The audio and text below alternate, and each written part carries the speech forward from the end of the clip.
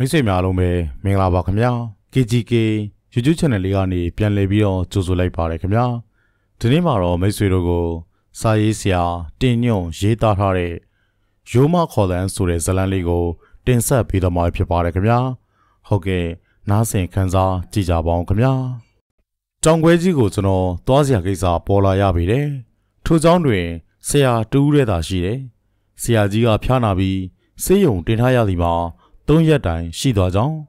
ထို့ကြောင့်တောင်ဝေးကျောင်းသို့ကျွန်တော်ကိုခိတ္တစာသွားတင်ပေးရန်လက်ထောက်မြို့နယ်ပညာရေးမှူးကမေတ္တာရက်ခံလာတယ်။ကျောင်းဆရာကြီးကလည်းမြို့ပေါ်စီယုံမှာကျွန်တော်စီကိုစာရေးပြီးတော့အကြောင်းကြားလာတယ်။ဆရာကလေးတွေကိုတပတ်အတွင်းမထိန်နိုင်ရင်တော်တယ်ပြန်ပြေးကြလိမ့်မယ်။ဒါဆိုရင်တစ်နှစ်လုံးကျောင်းပိတ်ထားလိုက်ရသလိုဖြစ်သွားနိုင်တယ်။သူတို့ကိုတနာပါ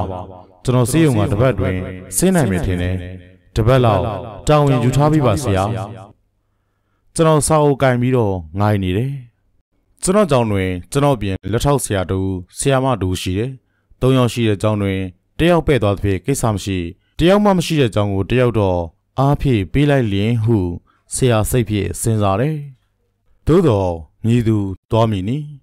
တောင်ဝဲကြီးကကျွန်တော်တာဝန်ကြရရွာမှာနောက်ထပ်9နိုင်လောက်လမ်းလျှောက်မှာရောက်နိုင်တဲ့နေရာတွင်ရှိတယ် ရေချမ်းမြေချမ်းခရီးလဲချမ်းတယ်။ကျောင်းမဆရာမလေးကိုလွှတ်ရင်တော့မဖြစ်နိုင်ပြီ။ဆရာလေးကလည်းသူ့ကိုလွှတ်ပြီးစိုးရင်တော့ကြောင့်မျက်စိမျက်နှာပြက်ပြီးနေမကောင်းဆိုကခွင့်တင်လာတယ်။နောက်ဆုံးကန်ဆိုးသူမောင်ရှင်ကျွန်တော်တယောက်တောင်ခွဲကြီးကိုသွားရင်ဖြစ်လာတယ်။ကျွန်တော်ကတော့ကြောပွေးနဲ့ခြေထောင်တစ်လုံးပါလျင်ကြာရသွားဖြစ်တယ်လို့စားစုံလိုနေရိုးနေပြီ။အချိန်ကပဲ့တောင်လည်းမပေါက်ကုန်းချောင်းလျှောက်ရမည်။ကျွန်တော်ရွာမှာမနေ့စောကြီးလင်းနေနေထွက်လာခဲ့တယ်။။ မှန်တော့တောင်ခွဲကြီးကိုကျွန်တော်မသွားရပါ။လန်ခီကိုသွားရသည့်မိတ်ဆွေကိုခေမောင်အားနင်းချင်းဆိုင်ရွာမှာဝင်ခေါ်သွားရမည်။ကိုခေမောင်ကလည်းသူ့လိုက်ဖို့ပေးမည်။တော့ပြရင်လိုက်ပေးမည်ဟုပြောတယ်။ခင်လွန်ရွာသို့ချောင်းဖြတ်ကူပြီးနောက်ကမ်းမပေါ်တက်လိုက်ချိန်တိုင်းကိုခေမောင်ကရိုင်ဖယ်တက်လက်ကိုဆန်းရင်ကျွန်တော်ကိုစောင့်နေတယ်။သူကပြည်သူစစ်အဖွဲ့ဝင်ကိုခေမောင်ရောက်နေတာကြားပြီလား။ကြားဖို့တနင်္လာလောက်ရှိနေပြီ။ဒီမှာပြောင်းမှုတွေမိဖို့စားနေတာဆရာဖို့လေဒီမှာ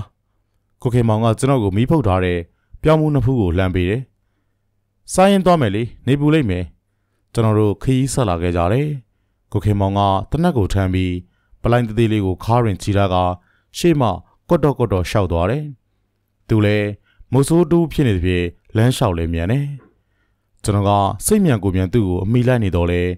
တောသားတွေလောက်တော့လမ်းလျှောက်ရသည်မှာအထာမကြပြီ။လမ်းလျှောက်ရင်ပြောင်းမှုဖို့စားလာပြီးနောက် ရေးစားလာပြန်တယ်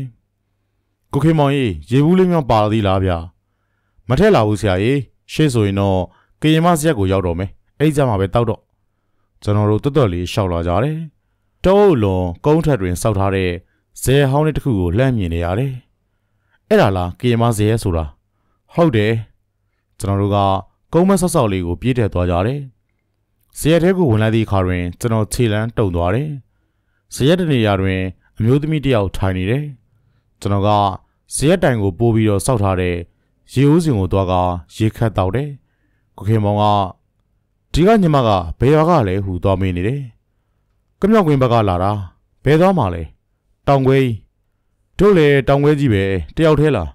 ဟုတ်ကဲ့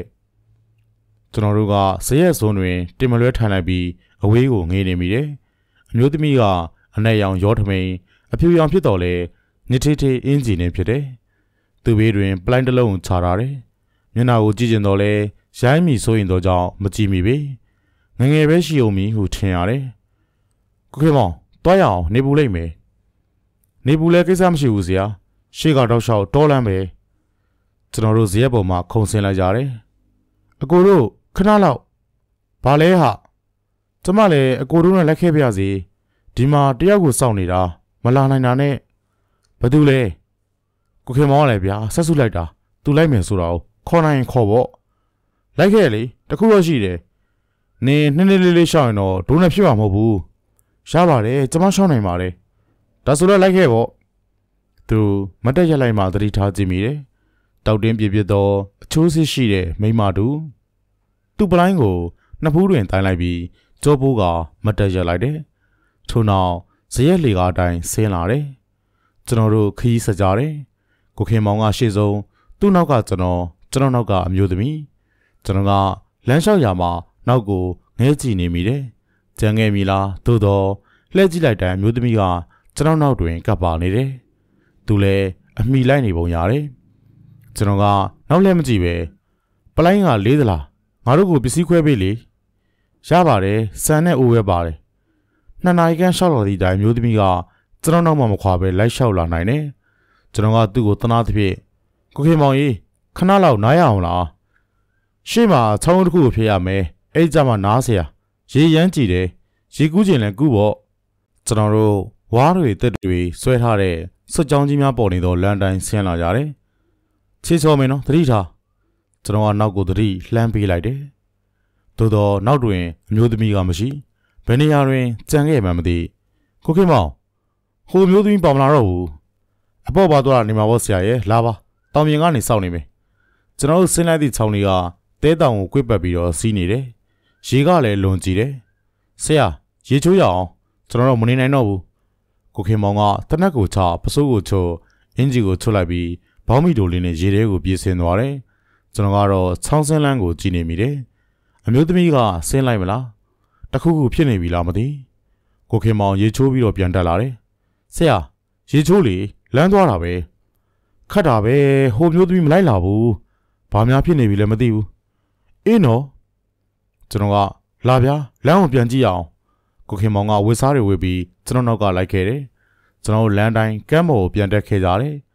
သူ့ရိပ်ရောင်မမတွေ့ရကိုခင်မောင်ကခြေလမ်းတိုင်းလျှောက်ကြည့်ကဆရာကျွန်တော်နောက်ကိုသူ့ပါမလာတာသိကြတယ်ဒီမှာကျွန်တော်နဲ့ဆရာရဲ့ခြေရနှစ်ခုပဲတွေ့တယ် ဒါကကျွန်တော်ခြေရဖက်မပါဘူးဒါဆရာခြေရစက်ပေါင်ဖနဲ့ရကောင်မလေးကဖက်မစီတာဘူးသူ့ခြေရမရှိဘူးဟင်ဘယ်ကလေးကပြက်ကြံခဲ့လဲမသိဘူးနော်ဟုတ်တယ်လာပါဆရာချောင်းထဲကပြန်ဆောက်မယ်နောက်15မိနစ်ဆောက်လို့မလာရင်တော့သွားကြမယ်သူ့မှာကျွန်တော်တို့ကိုအာကိုလိုဂျီနဲ့လိုက်လာတာအဲ့ဒါလိုမလုပ်ပါနဲ့တခုခုများဖြစ်နေလို့လားတောကောင်းနေပါလို့များဆွဲသွားသလားဒီမှာတောကောင်းကြီးမှမရှိပါဘူးဆရာကျွန်တော်တို့ချောင်းထဲကိုပြန်ဆင်းလာကြတယ် ခက်တီမှာအတော်ကိုခတ်တယ်ကိုဘာသာကိုအေးစစ်စစ်တွားရမယ့်ခီတွင် ခရီးကြုံလိုက်မဲ့သူကိုခေါ်ခဲ့ရမှာတောကရောက်နေရပြီကျွန်တော်လည်းရေချိုးရန်ပြင်ဆင်ပြီးတော့ချောင်းထဲတွင်စိတ်နေလိုက်တယ်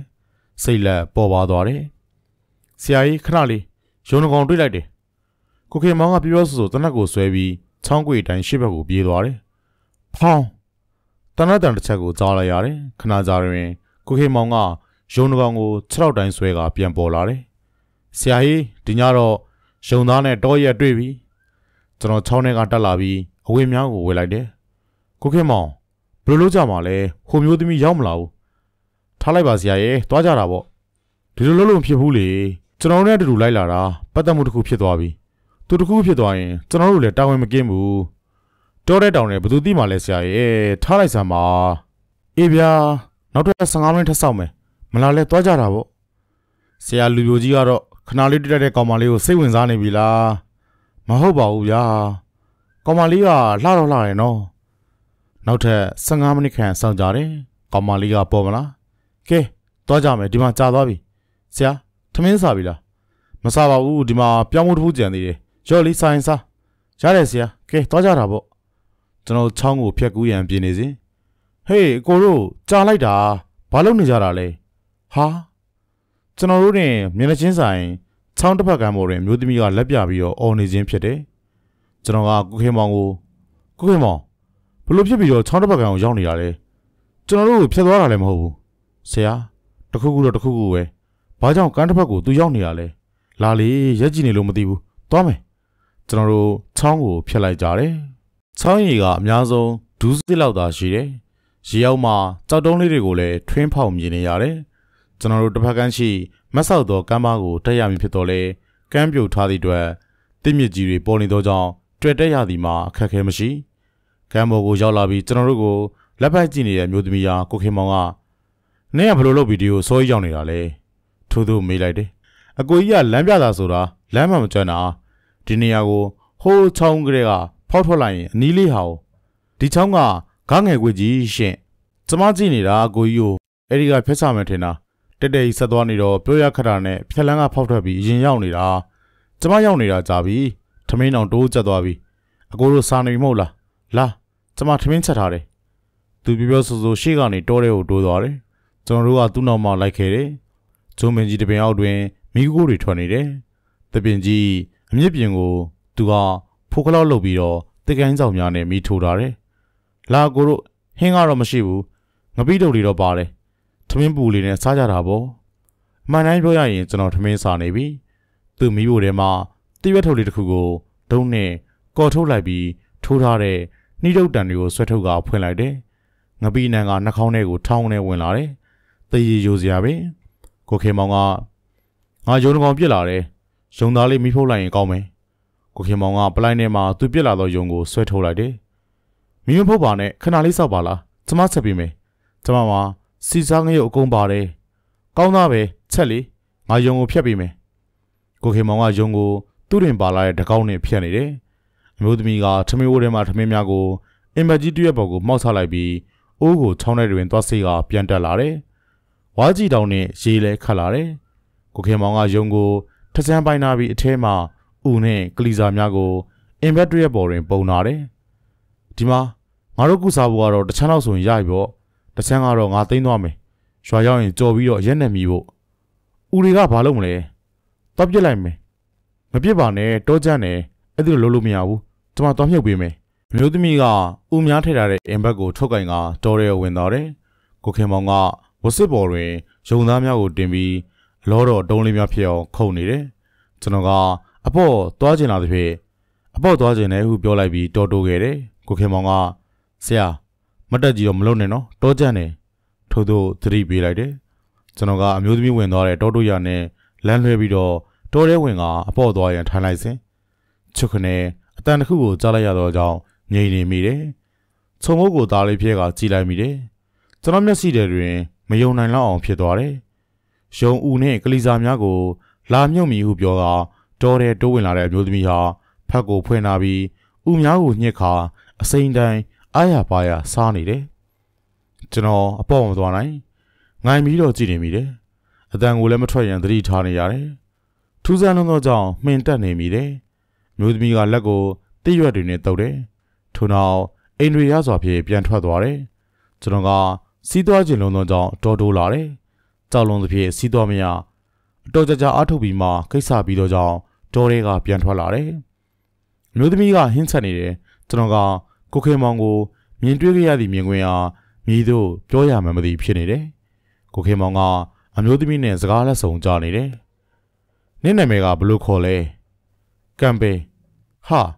ဘလို့ကြီးလဲကံပေတဲ့လား။ဒီနာမည်မျိုးကရှားတာဟုတ်တယ်ကံပေပြီးအသက်ရှင်နေရသူဖြစ်လို့အဖေကပေးထားတာ။အဖေရှိတယ်ဟုတ်လား။ဟုတ်ကဲ့နင်ကဗမာနေတာလဲတောင်ဝဲကြီးကလား။မဟုတ်ဘူးကျမတို့ကကမြောက်ကွင်းမှာနေတာ ကမြောက်ကွင်းမကြဘူးပါဘူးဒီကနေသွားရင်တနိုင်လောက်ပဲရုံသားဟင်းနှန်းကလည်းမွေးလာတယ်ကျွန်တော်ကကိုခေမောင်ကိုမျက်ရည်ပြကချောင်းထဲကိုဆင်းရန်ခေါင်းဆက်ပြလိုက်တယ်ဘာလဲဆရာရေချိုးကျင်လို့လားသွားချိုးလေချောင်းထဲခဏလောက်လမ်းလျှောက်ကြရအောင်မောပါဆရာရဲ့ဆရာပဲသွားကျွန်တော်တို့မက်ကံမဲနဲ့စကားပြောကောင်းနေလို့ထိုစဉ်တွင်မက်ကံမဲကကျွန်တော်ကိုစိုက်ကြည့်နေတယ်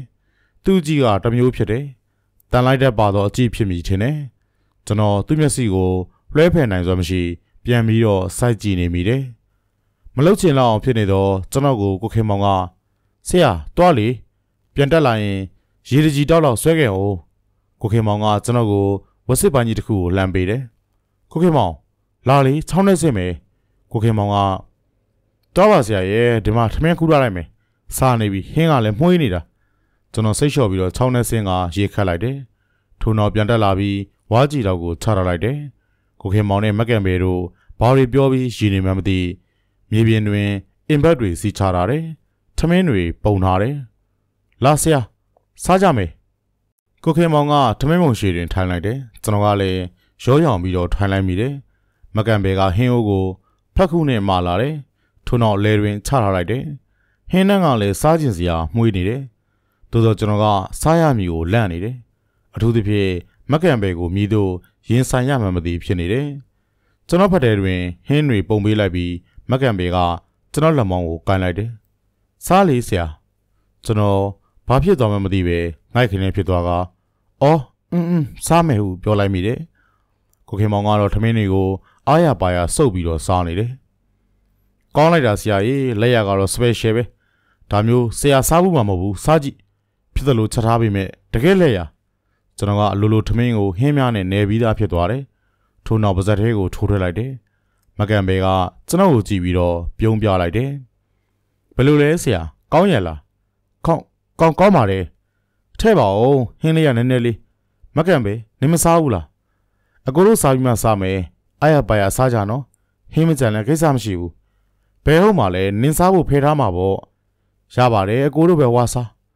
ကျွန်တော်ကထမင်းကိုသာစားနေရတယ်အ ရသာမခံစားမိစိတ်ထဲတွင်ကြောက်တယ်လို့လို့ဝမ်းနေတယ်လို့လို့ငိုခြင်းတယ်လို့လို့ဖြစ်နေမိတယ်သို့တော်ထည့်ထားတဲ့ထမင်းတွေကတော့ကုံသွားတယ်ထမင်းစားတော့ပြီးကျွန်တော်ကကိုခေမောင်ကိုစကားပြောရန်ကြိုးစားတော့လဲမအောင်မြင်ကိုခေမောင်ကဆရာကြီးထမင်းလဲစားကောင်းအိတ်လဲအိတ်ချင်တကြီးလောက်မေးရအောင်နောက်ထပ်နှစ်နိုင်လောက်ရှောက်ရင်ရောက်ပါပြီအိတ်ချင်လို့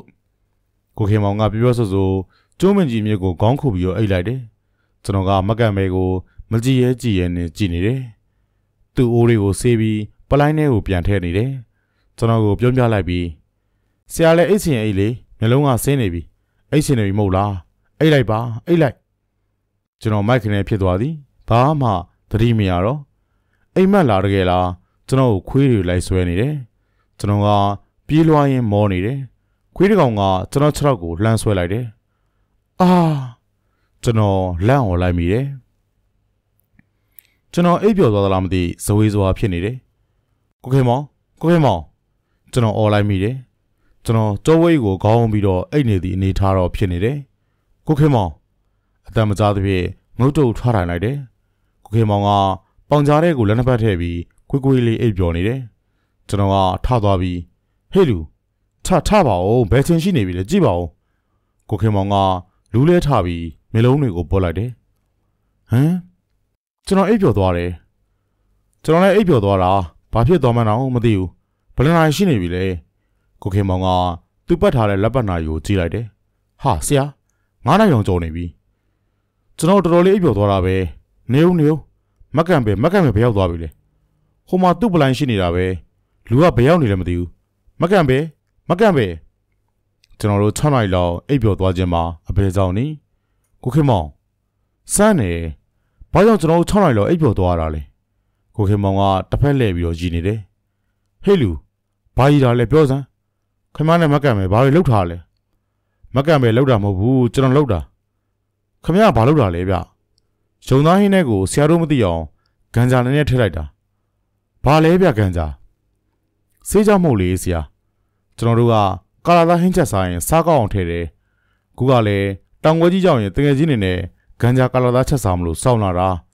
ရုံသားတဲ့အခွင့်ကြုံလို့ထည့်လိုက်တာဆရာကိုအသိပေးရင်မစားမှဆိုရင်လို့ဘယ်နဲ့လဲမကောင်းဘူးလားခမရဗျာတော်တော်ဆိုးတယ်ကျုပ်ကိုစစ်ကြောက်သမားဖြစ်အောင်လုပ်တာလားဒါနဲ့မက်ကံပဲဘယ်ရောက်နေပြီလဲဟင်းကြံတွေအားလုံးစားပြီးတော့မူးလဲနေပြီလားအဲ့လောက်ဖြစ်နိုင်မှာဘူးဆရာရဲ့ဒါနဲ့ကိုခေမောင်ကျွန်တော်တခုပြောမယ်ကျွန်တော်အပေါ့သွားတော့တခုမြင်လိုက်တယ်ဘာများလဲဆရာကျွန်တော်ကပြောတယ်မပြောတဲ့ဆင်ကျင်သေးတယ် သို့တော့ခရီးတူသွားများဖြစ်တဲ့ပေအကြောင်းသိချနိုင်ရင်ပြောမည်ဟုဆုံးဖြတ်ပြီးမက်ကံပဲလေဘာလဲဆရာပြောပါခမ ्या ကိုယုံမိုက်တဲ့ကလေးစားတွေတွားမြုံမယ်ဆိုပြီးတော့ယူသွားတယ်မဟုတ်လားအင်းလေ तू အဲ့ဒါတွေကိုမြုပ်ဖဲနဲ့ထိုင်စားနေတာကျွန်တော်တွေးလိုက်ရတယ်ဟာဆရာဟုတ်ရဲ့လားကျွန်တော်မလှမ်းပါနဲ့ဆရာရဲ့ကျွန်တော်ကတနတ်တာကိုင်းတာတရေတော့ကြောက်တယ်ဗျတကယ်တွေ့တာဥထဲကအညစ်အကြေးတွေကိုညှစ်ချပြီးတော့ ဥတွေကိုကိုက်စားနေတာဆရာဟုတ်လားကျွန်တော်လိန်ပြောပါမလားဗျာဆရာပြေးအောင်ကျွန်တော်တို့ဒုက္ခရောက်ပြီဆရာကျွန်တော်တို့ကိုတရေမကတ်နေပြီနေပါဦးခမ ्या ကလည်းဘာမှမသိညာမှမသိကြောက်နေပါနဲ့အခုမိုးချိုးတော့မယ်ဘယ်လိုလုပ်ကြမလဲဆရာနေချင်းပေါက်ဆိုပြီးဓမီလည်းမဆောင်လာမိဘူးဒုက္ခပဲတောထဲကိုဘယ်လိုဖြတ်ကြမလဲတောထဲကိုဖြတ်တာတဲ့ဒီကိစ္စကိုဘယ်လိုရှင်းကြမှာလဲထိုစဉ်တောင်ဘက်မှာ ခြုံမြင်များလှုပ်သွားပြီးမက်ကန်ပဲထွက်လာတယ်ကိုခေမောင်က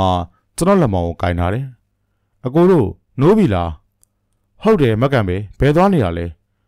ဘဲတော့မသွားဘူးဟိုဘက်မှာတောသွားထိုင်နေတာယုံသားစားလိုက်သေးလားမစားဘူးမစားလို့အကိုတို့ကိုနှိုးမလို့ပဲမနှိုးဝင်လို့တော်သေးတာဗောဒါဆိုရင်ငါတို့ပြောတာတွေကိုကြားလိုက်သလားကြားတယ်အဲ့ဒါကိုပြောချင်လို့နင်ဦးတွေကိုဒီတိုင်းစားတာလူမဟုတ်ရဲ့လား ကျမရှင်းပြတာကိုနားထောင်ပါဆရာကျမအဲ့ဓာတွေကိုစားကျင်လို့စားတာမဟုတ်ဘူးဟော်ဒီဘိုက်ထဲကခွေးသလိပ်ဆန်ရဲ့သွေးကတောင်းဆိုလုံးလို့စားရတာဟာဟမ်ကျွန်တော်တို့အံ့အားသင့်နေကြတယ်မကန်ဘေကကျွန်တော်ရှိတဲ့တဲ့တွင်ထိုင်ချလိုက်ပြီးကျမဘိုက်ထဲမှာခွေးသလိပ်ဆန်နဲ့ရထားတဲ့ကိုဝင်ရှိနေတယ်အဲ့ဒီကလေးကိုကိုဝင်ဆောင်ပြီးကသွေးကိုအစိမ့်တိုင်းတောက်ချင်တယ်ဦးရီအသေးတွေကိုမြင်အစိမ့်တိုင်းစတိဖြစ်ဖြစ်ကိုက်စားခြင်းစိတ်တွေဖြစ်နေတယ်ဟော်ဒီကလေးကြောင့် တလိပ်ဆန်လေးကြောင့်မကန်ဘေကပြပြောဆိုနေသူ့ဘိုက်ကိုတပုံပုံထူရိုက်နေတယ်ကျွန်တော်က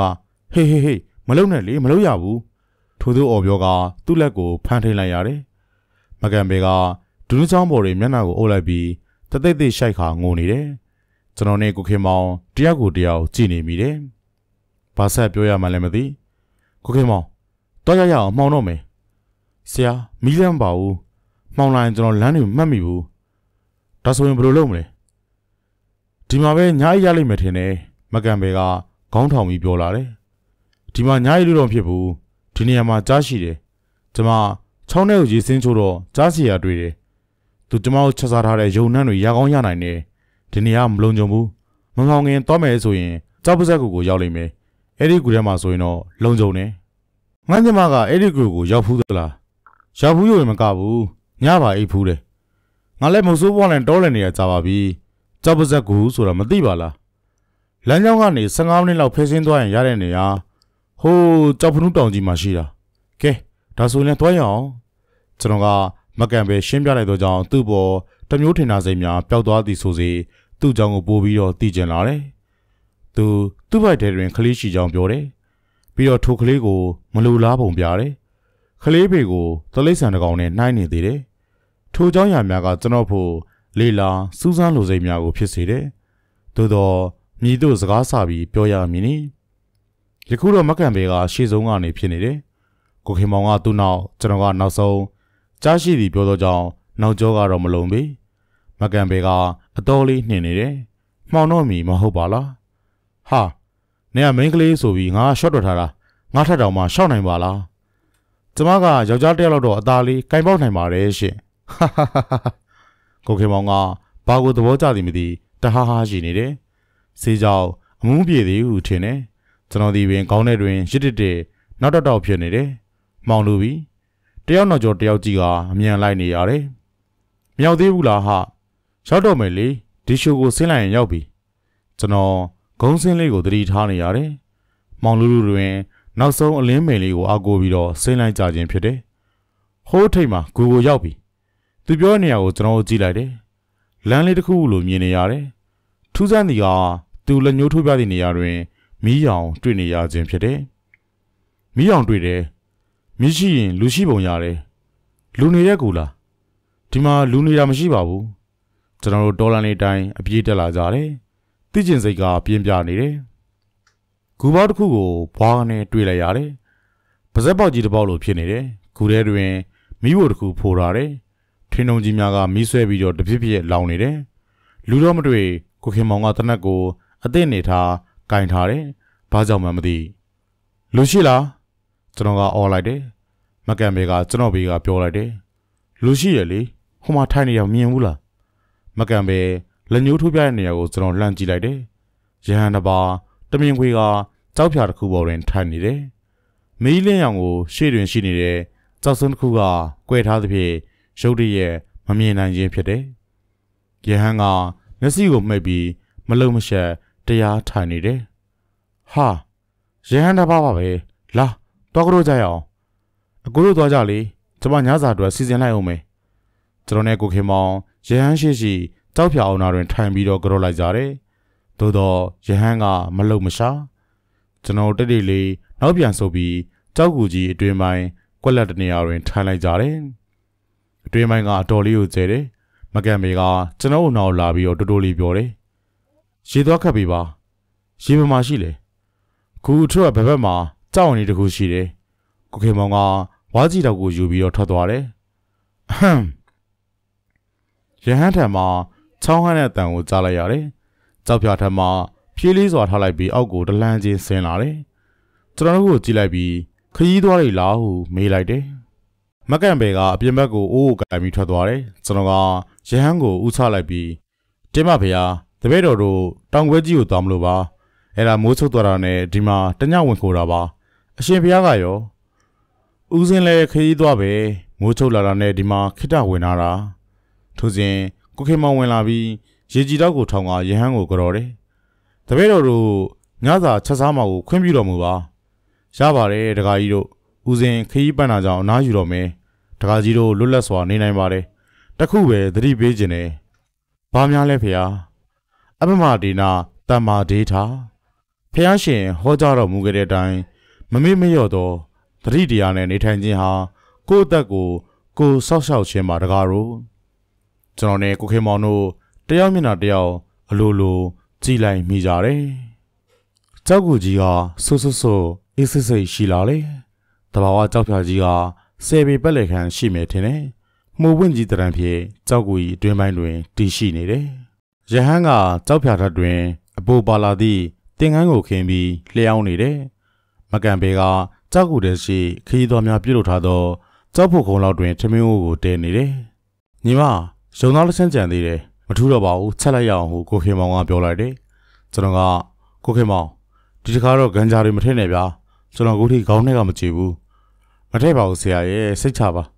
ကိုခေမောင်ကပြောပြောဆူဆူသူ့ပလိုင်းကိုကန်လာပြီးဆရာဘာလဲဗျ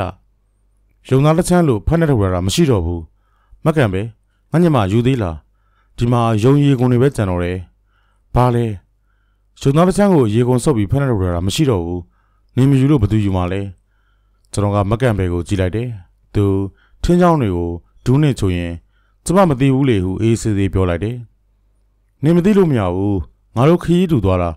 နေရငါရဲ့ဆရာရဲ့၃ယောက်ပဲရှိတာနေမယူလို့ရှိရင်ဘယ်သူကယူမှာလဲပြောစမ်းနေယူပြီးတော့စားလိုက်ပြီမဟုတ်လားအကိုကျမပြောရတယ်လေကျမမသိဘူးအကိုယုံသားကိုကျမကဘာလို့လို့ရမှာလဲနင်းနင်းကိုခေမောင်ကမကန်ဘဲကိုလက်ညှိုးထိုးပြီးအသားတွေဇက်ဇက်တုံနေတယ်ကျွန်တော်ကမနေတာတော့ကိုခေမောင် तू မယူဘူးပြောနေရလေဗျာဘာဖြစ်နေရလဲ तू မယူလို့ရှင်ဆရာယူသလားကျုပ်ကဘာယူလို့ရမှာလဲ ခမနဲ့ကျွန်တော်တူတူနိုးတာပဲဟိုကထွက်လာတော့ကခမသတိထားပြီးမကြည့်ဘူးလားမကြည့်မိဘူးဒါပေမဲ့ဖတ်ထုတ်ကိုပလိုင်းထဲတော့တေးကြတယ်အေးလေကျွန်တော်တို့အဲ့နေတော့တောကောင်တကောင်ကဝင်ဆွဲသွားတာလည်းဖြစ်နေတာပဲမဖြစ်နိုင်ဘူးဆရာဒါတော်ပြီကိုခေမောင်ခမရှောက်ပြောနေနေတော့ဟိုမှာမင်းကလေးကနေရခတ်နေလိမ့်မယ်ပျောက်သွားတော့ရောဘာဖြစ်တယ်လဲမစားတော့ဘာဖြစ်လဲကျမမယူဘူးအမှန်ပဲရုံသားမရှိလဲငပိဖုန်နဲ့စားလို့ရပါတယ် အသားပါမှာဆိုရင်တော့ကျမတခုဖန်နေပေးနိုင်တယ်တော်ပါပြီရှိတာနဲ့ပဲစားမယ်ဒီကညီမပါလို့ထမင်းစားခွင့်ရတာပဲကျေးဇူးတင်တယ်မက်ကန်ဘဲကအပြင်ကိုထွက်သွားတယ်ကျွန်တော်ကကိုခင်မောင်ကိုအနားသွားပြီးတော့ခမရဗျာတော်တော်ကိုချင်းမစားတာပဲသူ့မှာစံနေစီတွေပါတော့ထမင်းလည်းမငတ်ဘူးတကယ်ဆိုရင်ပျောက်တယ်ဆိုတော့မထုံပြောတင်ဘူးခမရတော်တော်လွန်တယ်မဟုတ်ဘူးဆရာဒါသွေးဦးသားုံဖြစ်နိုင်ဘူးထိုစဉ်မက်ကန်ဘဲကူထဲကိုပြန်ဝင်လာတယ်လက်ထဲတွင်မွေးတကောင်ကိုကင်လာတယ် မွေကခေါင်းတစ်ခုလုံးကြေပြီးတော့သွေးတွေတစ်စက်စက်ကျနေတယ်ကျမကိုဓားပေးပါမက်ကန်ဘဲကကိုခင်မောင်ထံမှဓားကိုလှန်တောင်းတယ်ကိုခင်မောင်ကခါရင်ပတ်တဲ့ခပတ်နဲ့တွေ့ထားသောဒိန်ထဲမှာတကောက်ကိုထုတ်ပေးလိုက်တယ်မက်ကန်ဘဲကမွေကိုခေါင်းမှဓားနဲ့ရစ်လိုက်ပြီးအရေကုန်ကိုဆွဲလန်လိုက်တယ်ထို့နောက်ဝမ်းကိုဓာတ်နဲ့ခွဲပြီးကလီစာများကိုထုတ်လိုက်တယ်ကျွန်တော်ကစိတ်နှလုံးမသက်မသာဖြစ်ကြည်နေမိတယ်မကန်ပဲ ငါတို့စားဖို့အတွက်ဆိုရင်တော့ဒီလိုမလုပ်ပါနဲ့လားစိတ်ထဲမှာတမျိုးကြီးပဲပြီးတော့ဒီမှာဥစဉ်လည်းရှိနေတာဒီလိုမျိုးမလုပ်သင့်ဘူးထင်တယ်ဆရာရဲ့တတဝါဆိုတာလူချွတ်မှကြွရတာပါဆိုကောင်မွေးကိုအတုံးများဖြစ်အောင်ခုန်နေတယ်ကျွန်တော်ကသူ့လောက်ကန်နေစီကိုမကြည့်ကျင်တော့သဖြင့်ဂူပြင်ကိုထွက်လိုက်တယ်ကိုခင်မောင်ကကျွန်တော်နောက်မှလိုက်လာတယ်ဆရာဘာလဲဗျအဲ့ဒါမွေဝေးကြီးဗျမွေတကောင်ကိုလော်လော်လေးခေါင်းကိုထုခဲ့တယ်ဆိုတော့ပေါ်သေးသေးတော့မဟုတ်ဘူး နောက်ပြီးကျွန်တော်သိသလောက်ဒီနေ့ဘက်မှာမွေစိုးတွေကတိတ်မရှိဘူးကိုခင်မောင်ရှိလို့ပဲသူတက်လာပြီလေဆရာကျွန်တော်တခုပြောပြစီပြောလေကျွန်တော်သတိထားရလိမ့်မယ်မကန့်ဘယ်ကိုကျွန်တော်ကသိမ့်မတင်ပါဘူးဆရာကျွန်တော်ယုံကိုအစိမ့်တိုင်းသူစားလိုက်တာနေမှာဒါကြောင့်လေဂန်ဂျာနဲ့ချက်တာကို तू ကမစားဘူးပြောတာပေါ့ကိုခင်မောင်ကျွန်တော်ရှင်းရှင်းမေးပြစီမက်ကပဲကိုခမရတခုခုများထင်းနေသလားဘာလို့ထင်ရမှာလဲဆရာဟိုဗျာနာနာဘဝလိုမျိုးပေါ့ အစိမ့်တန်းတွေစားတဲ့ဆိုတွေကမတင်ကြတာဆရာရဲ့တရေမှာဖြစ်ကောင်းဖြစ်နိုင်တယ်ဟိုဗျာမဖြစ်နိုင်ပါဘူးကျွန်တော်လည်းသူ့ရိမ်မှာထွက်ရလားဆိုပြီးသတိထားကြည့်နေတာအရေးထွက်ပါတယ်ဗျနောက်ပြီးသူ့ကိုတန်ရနဲ့မဆက်ဆံပါနဲ့ကျွန်တော်တို့ရင်းနှီးရောက်နေပြီးစုံစမ်းရမှာပေါ့ဆရာဆရာကတော့စုံစမ်းနေတော့ကြကျွန်တော်တို့ကိုဂုတ်ချိုးပြီးစားသွားရင်မကြောက်ပါနဲ့ကိုခင်မောင်ရဲ့ဟိုမှာရဟန်းတစ်ပါးလည်းရှိနေတာကျွန်တော်ကရဟန်းတစ်ပါးဟုပြောပြီးမှဦးစင်းကိုစိုးရင်သွားပြီးလာလာလာကူရဲပြန်အောင် ဦးစင်းတစ်ပါးလည်းမထားသင့်ဘူးကျွန်တော်တို့ကူရဲကိုဝင်လိုက်ချိန်တွင်မကန်ဘေကထမင်းများကိုဖတ်ထဲပုံနာပြီးအိုးနဲ့ဟင်းချက်နေတယ်ကျွန်တော်ကစောစောကပုံထားတဲ့မွေပိုက်တွေကကလီစာများကိုတတိထားကြည့်လိုက်တယ်မတွေ့ရတော့ကျွန်တော်တို့ကိုတတိထားကြည့်နေပုံပေါ်တဲ့မကန်ဘေကဦးလေးကလေးစားတွေကိုကျွန်မမစားပါဘူးဟိုဘက်ထဲမှာထုတ်ထားတယ်ကျေးဇူးပြုပြီးအကိုတို့ပဲတွားမြုပ်ပေးပါကျွန်တော်ကသူညွန်ပြတဲ့ဖက်ကိုယူပြီးဓာတ်အုပ်ကိုင်ကဂူပြင်ကိုပြန်ထွက်လာခဲ့တယ် ဂူပြင်မျက်ွယ်ကိုရောက်တွင်ဖက်ထုတ်ကိုမတိမတာဖွင့်ကြည့်လိုက်သေးတယ်အရီဝန်နဲ့ကလေးစားများအားလုံးရှိနေတယ်ကျွန်တော်ကဓာတ်နဲ့ကျင်တူရင်ဖက်ထုတ်ကိုမြေမြုပ်လိုက်တယ်ဟင်းချက်ပြီးဖြစ်တဲ့ကျွန်တော်တို့ထမင်းစားကြတယ်မကန်ဘေကလည်းကျွန်တော်တို့နဲ့တူတူတဝိုင်းထဲမှာထိုင်စားတယ်မကန်ဘေကမွေသားဟင်းကိုမနိုင်ကျွန်တော်ကမကန်ဘေဟင်းနေထစားလေကျမမွေသားမစားဘူးဆရာတို့အတွက်ချက်ပေးတာအမှန်တိုင်းပြောရရင်မွေကိုဖြတ်ကြတဲ့ကကျွန်တော်စိတ်ထဲတွင်တမျိုးကြီးဖြစ်နေတယ် ငရုတ်သီးဆက်ဆက်နဲ့စားကောင်းမဲ့ပုံပေါ်တော့လဲကျွန်တော်စားဝင်ပြီကိုခေမောင်ကတော့တရှိရှိဖြစ်ထမင်းကိုအားရပါရစားနေတယ်တော်ပြီလားဆရာကျွန်တော်သိမစားဘူး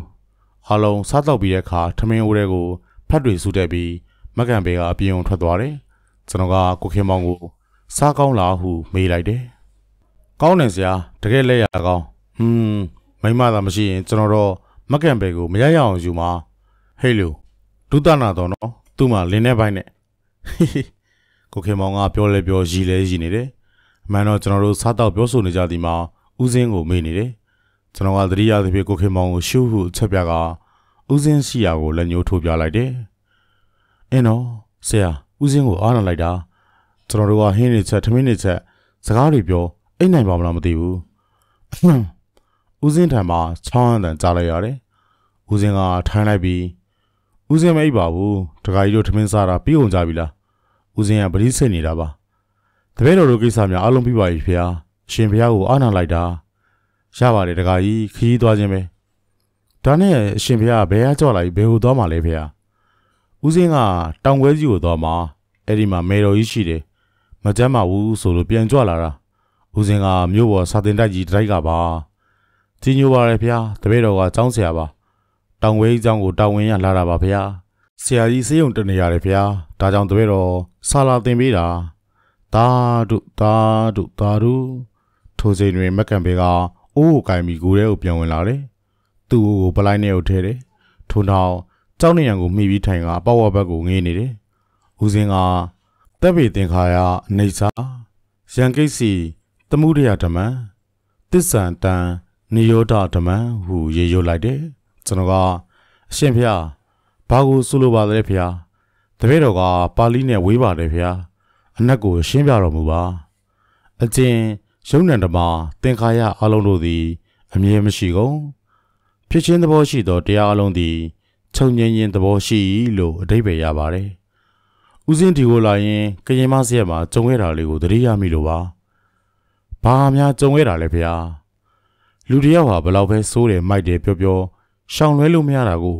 မသိသေးချိန်လေးပဲစိုးလို့မိုက်လို့ရတာပါလောကကြီးကအပြစ်ဒဏ်ခချင်းခံရတဲ့နေ့မှာသူလည်းဘာမှမဟုတ်တော့ပါဘူးတပည့်တော်တို့နားမလည်ဘူးဗျာဦးစင်းဒီကိုလာရင်ကင်မဇက်မှာခိတ္တဝင်လာခဲ့တယ်အဲ့ဒီဇက်ပေါ်မှာဓမြကြီးမိုးဟင်းကိုတွေ့ခဲ့တယ်။ဦးစင်းထိုးထိုးပြောနေစဉ်မက်ကန်မေကထိုင်နေရမှထလာပြီးကျွန်တော်ဘေးတွင်ဝင်ထိုင်ကဦးစင်းမိုးဟင်းမှဘလို့သိတယ်လဲ။တ က္ကမကြီးမိုးဟင်းကိုဒီနယ်မှာမသိသူမရှိပါဘူး။ဦးစင်းဖခင်ကိုလည်းကိုမိုးဟင်းတက်ခဲ့တာပဲ။ဦးစင်းရှိမိခင်ကြီးရှိမှရင်ဓာတ်နဲ့ရဲရဲဆက်ဆက်ခုတ်တက်သွားတာ။ဦးစင်းကြောက်ပြီးတော့မြို့ကိုထွက်ပြေးခဲ့တယ်။ရှာသက်ပံရဟန်းဘွားနဲ့နေတော့မယ်လို့ဆုံးဖြတ်လိုက်တယ်။အရှင်ဖျားမိုးဟင်းကရှင်ဖျားကိုဘာလုပ်လိုက်သေးလဲဗျာမိုးဟင်းလားဦးစင်းကိုဘာမှမလုပ်နိုင်တော့ပါဘူးဦးစင်းနေစုံဖုံးမဲပြီးထိုင်နေချိန်မှာ လူတယောက်ကိုပခတ်နဲ့ထမ်းလာကြတယ်ဈေးရမှာခိတ္တနာပြီးတော့ပြုစုကြတယ်ဒါပေမဲ့ဦးစင်းရှိမှပဲတည်သွားတယ်ဘာဖြစ်လို့လဲဗျာမွေကြိုက်ထားတာဟမ်အရှင်ဗျာမိုးဟင်းကျင်းတည်ရလားသူ့ရင်ဘတ်ပေါ်ကဘလူးကောင်းရုပ်ကလူတရာမှာတယောက်မရှိပါဘူးဦးစင်ကောင်းကောင်းမှတ်မိတာပေါ့သူသေးတာကျင်းသေးလားဗျာဦးစင်ကိုယ်တိုင်တရဏဂုံတင်မိခဲ့ပါတယ် ဒါကြောင့်နောက်ကျသွားလို့ဒီမှာတညဝင်ခိုနေရတာပေါ့ကျွန်တော်ကမက်ကန်ဘေကိုငေးကကြည်နေမိတယ်သူစိတ်ဝင်စားသွားပြီးဦးစင်းကိုမင်းနေခြင်းဖြစ်တယ်ထူးဆန်းတီကသူ့မျက်လုံးတွေဖြစ်တယ်မျက်လုံးထဲတွင် မျက်ရည်တွေခိုနေတယ်ခွေးတလိဆန်ခွေးတလိဆန်မကန်ဘေကအန်ကျိတ်ခါပြောရင်အသားတွေဆက်ဆက်တုံနေတယ်မျက်စိကိုမိတ်လက်သီးကိုစုပ်ပြီးနေရမှာကျွန်တော်ဘက်ကိုခေါင်းလေးငိုက်ချလာတယ် မကန်ဘေဘာဖြစ်လို့လဲကျွန်တော်ပြောနေတဲ့အချိန်မှာပဲမကန်ဘေကကျွန်တော်ရဲ့ပေါင်ပေါ်မှာခေါင်းငိုက်ဆိုင်ကျသွားတယ်မကန်ဘေမကန်ဘေကျွန်တော်ကမကန်ဘေဦးကောင်းကိုဒူးကောင်းပေါ်တင်ပြီးငယ်ရိတ်ကိုမှုတ်ပေးနေမိတယ်ဦးစင်းကကြောက်ဖြာပေါ်မှာဆင်းလာပြီးဘူးလေးတစ်ဘူးကိုလမ်းပေးတယ်တခါကြီးနှာခေါင်းဝါကိုတိတ်ထားပေးလိုက်ထို့သို့မိတ်တယ်ကျွန်တော်ကဦးစင်းပေးတဲ့ဘူးကိုဖွင့်ပြီး မက်ကန်ပဲနှာခေါင်းဝါတွင်တိတ်ထားပေးလိုက်တယ်အင်းအင်းဟုဆိုကမက်ကန်ပဲလူးလွန်လာတယ်ကဲကြပါကဲကြပါဦးမက်ကန်ပဲဘာဖြစ်တယ်လဲသတိထားလေကျွန်တော်ကသူ့ကိုထိုင်နိုင်အောင်ထူပေးလိုက်ပြီးနောက်ကျောကိုလက်ပြထောက်ကကင်ပေးထားမိတယ်ရေရေရေတစ်ခွက်လောက်ကိုခေမောင်ရေကြီးတော့ပြပါဗျကိုခေမောင်ကရေကြီးတော့ကိုယူလာပေးတယ်ကျွန်တော်ကကြီးတော့ကိုစောင်းမိပြီးသူ့ရဲ့ပါဇက်ဝါကိုတိတ်ထားပေးလိုက်တယ်မကန်ဘဲကရေကို အားရပါရတောက်နေတယ်သူ့ရဲ့သပင်ထုံးကပြေးကြပြီးဖားရချတာသလိုဖြစ်နေတယ်သူဦးစင်းကိုမေးလိုက်တယ်ရှင်ဖေဟာသူတကယ်သေးပြီလားဆရာထဲမှာဦးစင်းကိုယ်တိုင်တရဏဂုံတင်ပေးခဲ့တယ်သူတပည့်တွေကနေချင်းမြုပ်မယ်ဆိုပြီးတင်းချိုင်းထဲကိုထမ်းသွားကြတယ်။အဲ့ဒီလူရုံမှာငွေကပ်ရုံလောင်နဲ့တည်ရဲဆိုတာမဖြစ်နိုင်ဘူးဗျာမဖြစ်နိုင်ဘူး။မကန်ဘေကပြပြဆူဆူနဲ့မတက်ရက်ပြီး ဂူပြင်ဘက်ကိုပြေးထွက်သွားတယ်။ကျွန်တော်ကလက်ကိုလိုက်ဆွဲတော့လဲဦးစင်းကထားလိုက်ပါတကားကြီးပရိဒီဝါအပူမီးတောင်းနေချိန်မှာတကားကြီးကနောက်ထပ်မီးလိုက်မတို့ပါနဲ့လား။သူ့ဟာသာသူအပြေရှာပါလိမ့်မယ်။မဟုတ်ဘူးဗျာသူတခုလုံးလိုက်မှစိုးရင်ရတယ်။သူ့အကြောင်းတကားကြီးသိလို့လား။မသိပါဘူးဖေဟာဦးစင်သတိထားရသလောက်စိတ်တက်ပျော့ပြောင်းတဲ့မိမတော့မဟုတ်တော့ဘူးကိုကေမောင်ကထားလာပြီးကျွန်တော်နာထိုင်ကထားလိုက်ပါဆရာရဲ့ တကာကြီးတို့နဲ့ဘလို့အကြောင်းတင်ပြီးဒီကိုရောက်လာတာလဲတပည့်တော်တို့နဲ့လည်းအဲ့ဒီကရင်မဆရာမှာပဲဆုံခဲ့ပြီးတော့ခရီးကြုံတို့လိုက်ပြစီပြောလို့ခေါ်ခဲ့တာဖေဟာတိုက်ဆိုင်လာကြီးလားမိုးဟိနဲ့အဲ့ဒီတကမာကြီးကဘလို့တွေများပတ်သက်နေလဲမသိဘူးတပည့်တော်တို့လည်းသိကျင်လာပေါ့ဖေဟာပြောတာပြောရတယ်ကျွန်တော်စိတ်ထဲတွင်မတင်မကြဖြစ်နေတယ်ထို့ကြောင့်ခွေးပြတော်မူပါဗျာတပည့်တော်သူ့ကိုစိတ်မချလို့လိုက်ကြည့်ပြစီခွေးမောင်လိုက်ခဲ့ဗျာ ဦးစင်ကဘာမှပြန်ပြောပရိကိုကင်ပြီးဇင်းကြံရှောင်နေတယ်ကျွန်တော်နဲ့ကိုခေမောင်ဂူပြင်းကိုထွက်လာခဲ့ကြတယ်ဂူပြင်းကိုမထွက်မီကိုခေမောင်ကထင်းတုံးတုံးကိုမိဘုံနဲ့ပြစ်ထလိုက်ရာမိဘွားတွေကလွင့်တက်သွားတယ်ကိုခေမောင်မကံမဲ့ဟိုမှာထိုင်နေရတွေ့လားမကန်ဘေကတပင်တပင်အောက်တွင်ထိုင်နေတယ်။ခေါင်းငုံထားပြီးသပင်တွေကဖားရချထားသည်ကိုမြင်ရသည်မှာထိတ်လန့်စရာဖြစ်နေတယ်။သူ့မျက်နှာကိုသပင်တွေကအုပ်ထားသောကြောင့်မမြင်ရ။ ကျွန်တော်ကသူ့ရှေ့တွင်တွားထိုင်ချလိုက်ပြီးမကန်ဘေညီမလေးစိတ်လျှော့ပါကွယ်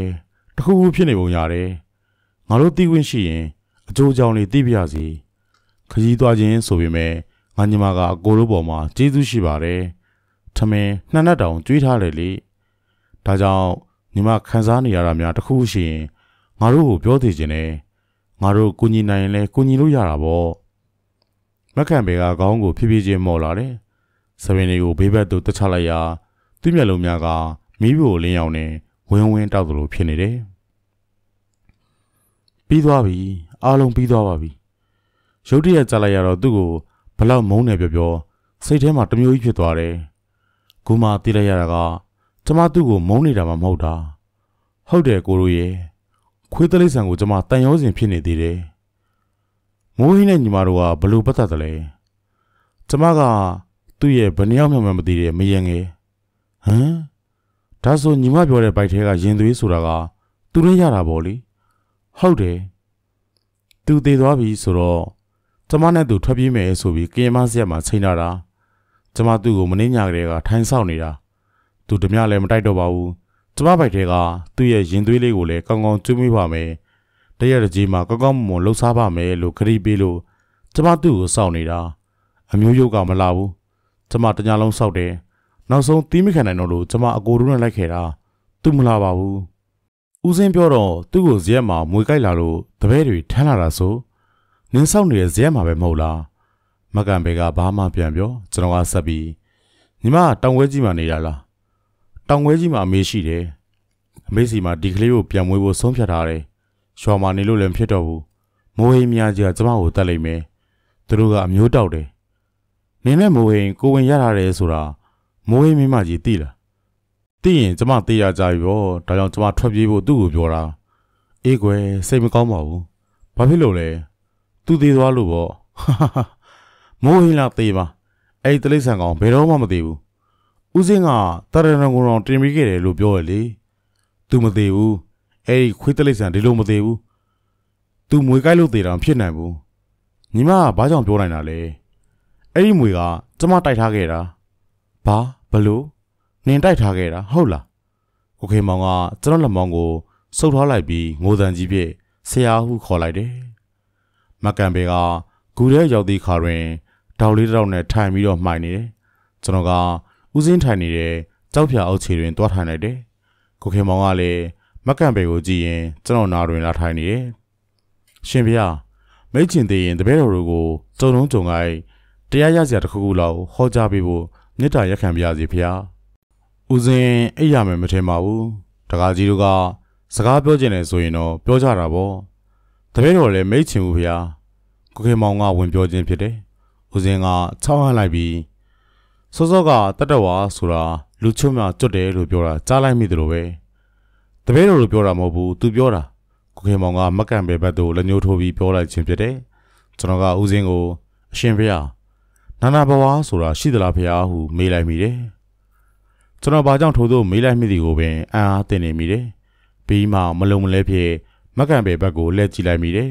။မက်ကန်ပဲကတော့ကြောက်ကူနေရန်ကိုမိပြီးတော့မျက်စိမိတ်ထားတယ်။အိပ်ပျော်နေသလားမသိကိုခင်မောင်ကတော့ကျွန်တော်ညီကိုပိုကတ်လာတယ်။ဦးစင်းဖတ်ဘူးတာလေးပြောပြခြင်းနဲ့ မန်လဲဆရာတော်ဘုရားကြီးနဲ့မင်းကုန်းဆရာတော်ကြီးအပြန်အလှန်စာချိုးထားတာလေးပါ။မန်လဲဆရာတော်ကြီးကတနေ့တွင် မင်းကွန်းဆရာတော်ဘုရားကြီးကို မေးလျှောက်ပါတယ်။ပြောကြလျင်လောကတွင်တဆေရှိတဲ့ဆွေသိရလားသိပါခြင်း။ရှိပါလျင်တဆေဆိုတဲ့ဒီပုတ်ကိုကောင်းရုပ်ကိုကြမ်းအုပ်လို့ကြား။မန်လဲဆရာတော်ကြီးကမင်းကွန်းဆရာတော်ကြီးကို မေးလျှောက်လိုက်တဲ့အခါတွင်မင်းကွန်းဆရာတော်ကြီးက ပြောကြလျင် လောကတွင်တဆေရှိသည်ဟုနှံ့တည်ကြော်ကြမျိုးထုထွေဒီတစေရှိသည်ဟုတ်ပါဘူးမြေဖုတ်ကိုတစေပြောကြတယ်လောကလူများဟု ပြန်လဲဖြေကြတော်မူလိုက်တယ်မင်းကုန်းဆရာတော်ဘုရားကြီးပြောလို့ရင်ကတော့မြေဖုတ်ပိတ်တာကိုတစေလို့ပြောလို့ရင်ပါမင်းကုန်းဆရာတော်ဘုရားကြီးနဲ့မန်လဲဆရာတော်ဘုရားကြီးဆိုတော့အဲ့ဒီမင်းကုန်းဆရာတော်ဘုရားကြီးဆိုတာက တီဘောမင်းနဲ့ဆူဖျားလက်တို့ကမဏိယရနာယာမမြထောင်ကျောင်းတော်ကြီးမှာကိုးဝယ်ခဲ့တဲ့ပဏ္ဏဝန်သာပိဒဇာဓိပတိပဝရာမဟာဓမ္မရာဇာတိရာဇာဂုရုဘွဲတော်ရတဲ့ဒုတိယမြတောင်ဆရာတော်ဘုရားကြီးကိုပြောတာပါတခါကြီးဒါတုဋ္ဌဓိပတိနိကာရေးသားတော်မူခဲ့တဲ့ဆရာတော်ကြီးပါတိပိတကဆရာတော်ကြီးကိုပြောတာမဟုတ်ဘူးဒါဆိုရင်တဆေရှိတာပေါ့နော်ရှင်ဗျာအလူတွေမှာရည်သက်ချတဲ့အခါမှာပေတာနံ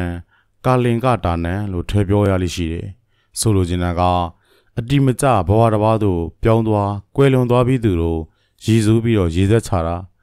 ပေတာဆိုတာပိတ်တာတဆေကိုပြောတာလူဘုံဘွားကနေကွယ်လွန်ပြီးနောက်ဘုံဘွားတစ်ခုကိုရောက်သွားသူမှန်သမျှကိုလည်းပေတာလို့ပြောဆိုနိုင်တာပေါ့ဒါဆိုရင်တကယ်ပဲသေသေးရဲဆိုတာရှိနေပြီပေါ့နော်ဗျာဦးစင်ကရှိသည်လည်းမပြောမရှိဟူ၍လည်းနှုတ်မပြန်တင်းငင်စွာထိုင်ရင် တဆေဆိုတာတစေတီးဆိုတဲ့ပါဠိကလာတာပါတကားကြီး6လန့်ဆိုတဲ့အဓိပ္ပာယ်ရတယ်ဦးစင်းမှတ်သားထားသလောက်ကတော့တစ္ဆေကနေတဆေဆိုပြီးဖြစ်လာတာ6လန်တတာကြောင့်ရှေ့ကလေးကကြောက်စရာဆိုပြီးတော့ယူဆခဲ့ကြတာလေအမှန်တော့တဆေပိတ်တာတွေကတမင်6လန်တာမျိုးတွေသိမလို့တကြပါဘူးအကြောင်းရှိလို့6တာဖြစ်နိုင်ပါတယ်ကိုခေမောင်ကကျွန်တော်သားနဲ့ထိကပ်နေအောင်နေရာယူလိုက်ရကျွန်တော်ကကိုခင်မောင်ဘလို့ဖြစ်နေတာလဲ ဟိုဘက်နေနေတိုးပါဦးဆရာကြောက်လို့ပါခမရနဲ့ဦးစင်းလည်းရှိပါတယ်မိန်လိန်နာမင်းကြီးနဲ့အရှင်နဂသိန်းတို့အပြန်အလှန်မေးမြန်းကြတဲ့မိန်လိန်နာပညတယ်မှာလဲမိန်လိန်နာမင်းကြီးကို ရှင်နဂသိန်းကဒီလိုပြန်ပြေဘူးတယ်မင်းကြီးတေကုံသောတဆေပိတ်တာတို့၏ကိုကောင်ကိုတွေ့မြင်ရ၏ထိုတဆေပိတ်တာတို့၏အပုပ်နံသည်လည်းလှိုင်မင်းကြီးတေကုံသောတဆေပိတ်တာတို့၏ကိုကောင်ကိုပိုးကောင်တွင်ဖြစ်၎င်း ဖောက်ဖက်တွင်ဖြစ်၎င်းခြာပုံးတွင်ဖြစ်၎င်းပိုးနံကောင်တွင်ဖြစ်၎င်းကင်းစီများတွင်ဖြစ်၎င်းငှက်တွင်ဖြစ်၎င်းတမင်တွင်ဖြစ်၎င်းတွေ့မြင်ရ၏လို့ကောင်မျိုးမျိုးအသွင်နဲ့တွေ့မြင်ရတယ်လို့လည်းရှင်းပြခဲ့တာရှိတယ်ဒါဆိုရင်တဆေတကယ်ရှိနေပြီပေါ့အရှင်ဖျားဖျားငွေလိုလဲဖန်ဆင်းနိုင်တယ်ပေါ့ဦးစင်ကမဖြစ်ကျွန်တော်ကအကောင်အသွင်မျိုးမျိုးနဲ့ဖန်ဆင်းနိုင်ပါတယ်လို့ပြောမှတော့ငွေလဲပါတာပေါ့ ကိုခင်မောင်ကိုကျွန်တော်ကတိုးတိုးလေးပြောလိုက်ချင်ဖြစ်တယ်ကိုခင်မောင်ကပြုတ်ဝံတက်လာပြီးပါဇက်ကိုပိတ်ထားလိုက်တယ်ဦးစင်တခုပြောခြင်းနဲ့မြတ်စွာဘုရားရှင်ကိုရောမြတ်ကြီးရာဇကြိုပြီးဝေလူဝင်ကျောင်းတော်မှာတရင်သုံးနေတော်မူစဉ်ကတတဝါတွေကိုလူချုံမှကျွတ်တယ်ဆိုတဲ့ယူဆနဲ့ပတ်သက်ပြီးဟောကြားတော်မူခဲ့တာရှိတယ်။တခါကြီးတို့နားထောင်ကြသလား။နားထောင်ကြပါလေဗျာ။အပန်းမကြည့်ရင်ဟောပြတော်မူပါ။ဟိုရှိရှိက အိန္ဒကဝတီရွာကြီးတရွာရှိတယ်။ထိုရွာဟာဂေါရမဘုရားပွင့်တော်မူမီလွန်ခဲ့သောနှစ်ပေါင်း900ကျော်ကလေးကတည်ရှိခဲ့တဲ့ရွာလည်းဖြစ်တယ်။ထိုရွာတွင်နေထိုင်သူများဟာတန်တာယမောစကအယူဝါဒကိုယုံကြည်သူများဖြစ်ကြတယ်။တန်တာယမောစကယူဝါဒဆိုတာတတဝါတို့သည် လူချွတ်မှကျွတ်သည်တို့ကြောင့်တတဝါတို့ကိုတတ်လျင်အပြစ်မရှိတတဝါတို့ကိုတချင်းသည် ခံစားနေရသောဝိတုကမှလွတ်မြောက်အောင်ကယ်တင်ခြင်းဖြစ်သောကြောင့်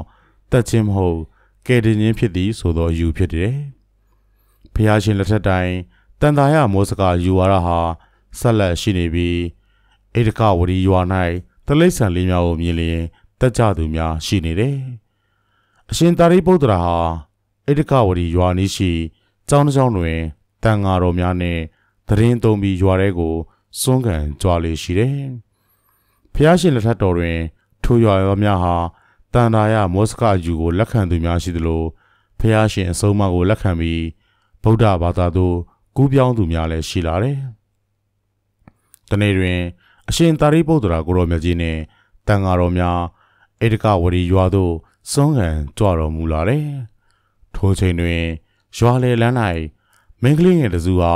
ထုတ်စည်းထိုးတန်းကစားနေကြတယ်။တန်ဃာတော်များကြွလာသဖြင့် ဗုဒ္ဓဘာသာဝင်မင်းကလေးများကလက်အုပ်ချီပြီးထိုင်ကကြော်ကြတယ်။ထိုထဲတွင်အသက်9နှစ်အရွယ်မင်းကလေးတယောက်ဟာတန်ဃာတော်များကိုကြော်ခြင်းမရှိဘဲမတ်တက်ရက်ခါနေတယ်။အရှင်သာရိပုတ္တရာကစင်ကျင်ကြည့်ပြီးအားလုံးသောသူများရှ िख ိုးမှုပြုနေခြင်း၌အသင်သည်အဘဲကြောင့်ရက်နေသည်နည်းဟုမေးလိုက်တယ်။ထို့သို့မေးလိုက်သည်ဖြင့်တကယ်ချင်းတွေကထိုတကယ်မကိုယဟန်ရှ िख ိုးရန်ပြောကြတယ်။ သို့သောကလေးမလေးကမရှ िख ိုးပဲနေတယ်။တကယ်ချင်းတွေကအတင်းဆွဲချထိုင်ခံပြီးရှ िख ိုးခိုင်းတော်လဲတကယ်မ၏စိတ်ကိုညှို့ပြောင်းအောင်မလုံနိုင်ရကြပေ။ထိုတကယ်မလေးဟာအပြိုရွယ်လေးဖြစ်လာသည့်တိုင်တန်တာရမောစကအယူဖြစ်သာနေထိုင်နေတယ်။ထို့နောက်ဓိကရာစီရွာသားတို့နဲ့အကြောင်းပါပြီးအိမ်အောင်ရှင်မဘွားကိုရောက်ခဲ့တယ်။ကိုဝင်ရှိလာပြီးကိုလာလည်းပဲဆယ်လမွေးစဉ်ရောက်လာတယ်။ မိမဖွားနိုင်ပဲမိရင်းမှာပင်တေလွန်တယ်။တေလွန်သောအခါမှာပိတ်တာမှဖြစ်လာတယ်။ထိုပိတ်တာမှဟာတနေ့တွင် ရှင်သာရိပုတ္တရာကျောင်းရှိကိုရောက်လာတယ်။ထိုချိန်တွင်အရှင်မြတ်ကကျောင်းသင်္ကန်းရှိတွင်ဇင်းကြံရှောင်နေတယ်။ပိတ်တာမှဟာရှင်သာရိပုတ္တရာနဲ့တွေ့ရန်အားထုတ်ပြီးနောက်ဆုံးတွင်အရေးဆုံးကကိုထင်ပြတယ်။အရှင်မြတ်ကအဝေးလည်းမပါရုပ်ဆူဆူ နံရိုးကြကြဲနဲ့ပိတ်တာမကိုမြင်တယ်။အရှင်မြတ်ကထိုပိတ်တာမကို မေးလိုက်တယ်။တင်းမြည်သူနေတန်သာရမောစကအယူရှိသူပိတ်တာဖြစ်တယ်။အသက်ခုနှစ်နှစ်သမီးရွယ်ကရွာလေတွင်စုံခဲ့ဘူးတယ်။အဘဲကြောင့်ငါးထံကိုရောက်လာပြီးကိုထင်ပြရသည်။တပည့်တော်တန်တာရမောစကယူကြောင်းတမလွန်ဘဝတွင်ဒုက္ခရောက်နေရပါတယ်ဖေဟာထိုယူကြောင့်ပင်ပိဋ္ဌာဘဝရောက်နေရပါတယ် တပည့်တော်ကိုကဲ့တင်တော်မူပါရှင်သာရိပုတ္တရာကတင်းသည်ငါအားတလုတ်စာများသောစွန်းကိုလူပါလက်တော်ရွယ်ပမာဏရှိသောအဝိဆကိုလူပါတောက်ရည်တစ်ခွက်ကိုလူပါဟုပြောလိုက်တယ်ပိတ်တာမကအရှင်မြတ်အားစွန်းတလုတ်စာရေတစ်ခွက်နဲ့အဝိဒစကတ်လူပူဇော်လိုက်သောကြောင့်နတ်တို့၏စီးစိမ်ကိုပြန်ရသွားတယ်ကိုခင်မောင်ကဦးစင်းကိုဒါဆိုရင်ပိတ်တာမတွေကလူရောင်ဖန်ဆင်းနိုင်တယ်ပေါ့ ကိုခင်မောင်ကဦးစင်းကိုမေးလိုက်ခင်တွင်ကိုဝါနိုင်အရေးတစ်ခုကိုမြင်လိုက်ရတယ်ဗလာတောက်တောက်လူကောင်ထွက်တော်လက်တွင်ငှက်ကြီးအောင်တော်ဆောင်ကိုကင်ထားတယ်ထို့သူကသူ၏အောင်မြင်သောအတန်ကြီးဖြင့်ကံပဲဟုအော်လိုက်တယ်ကျွန်တော်ထိုသူကိုကြည့်လိုက်ပြီးမကန်ပဲကိုလည်းတပြိုင်တည်းကြည့်လိုက်ကြတယ်မကန်ပဲကအကောင်းကိုဆက်ခနဲ့မောလိုက်တယ်ထို့နောက်တေချင်းစိုးဟုအော်ကသူနဲ့မနီမွေးတွင်ထောင်ရသောကိုခင်မောင်ရဲ့တကောက်ကိုယူပြီးဂူဘောဝကိုပြေးထွက်သွားတယ်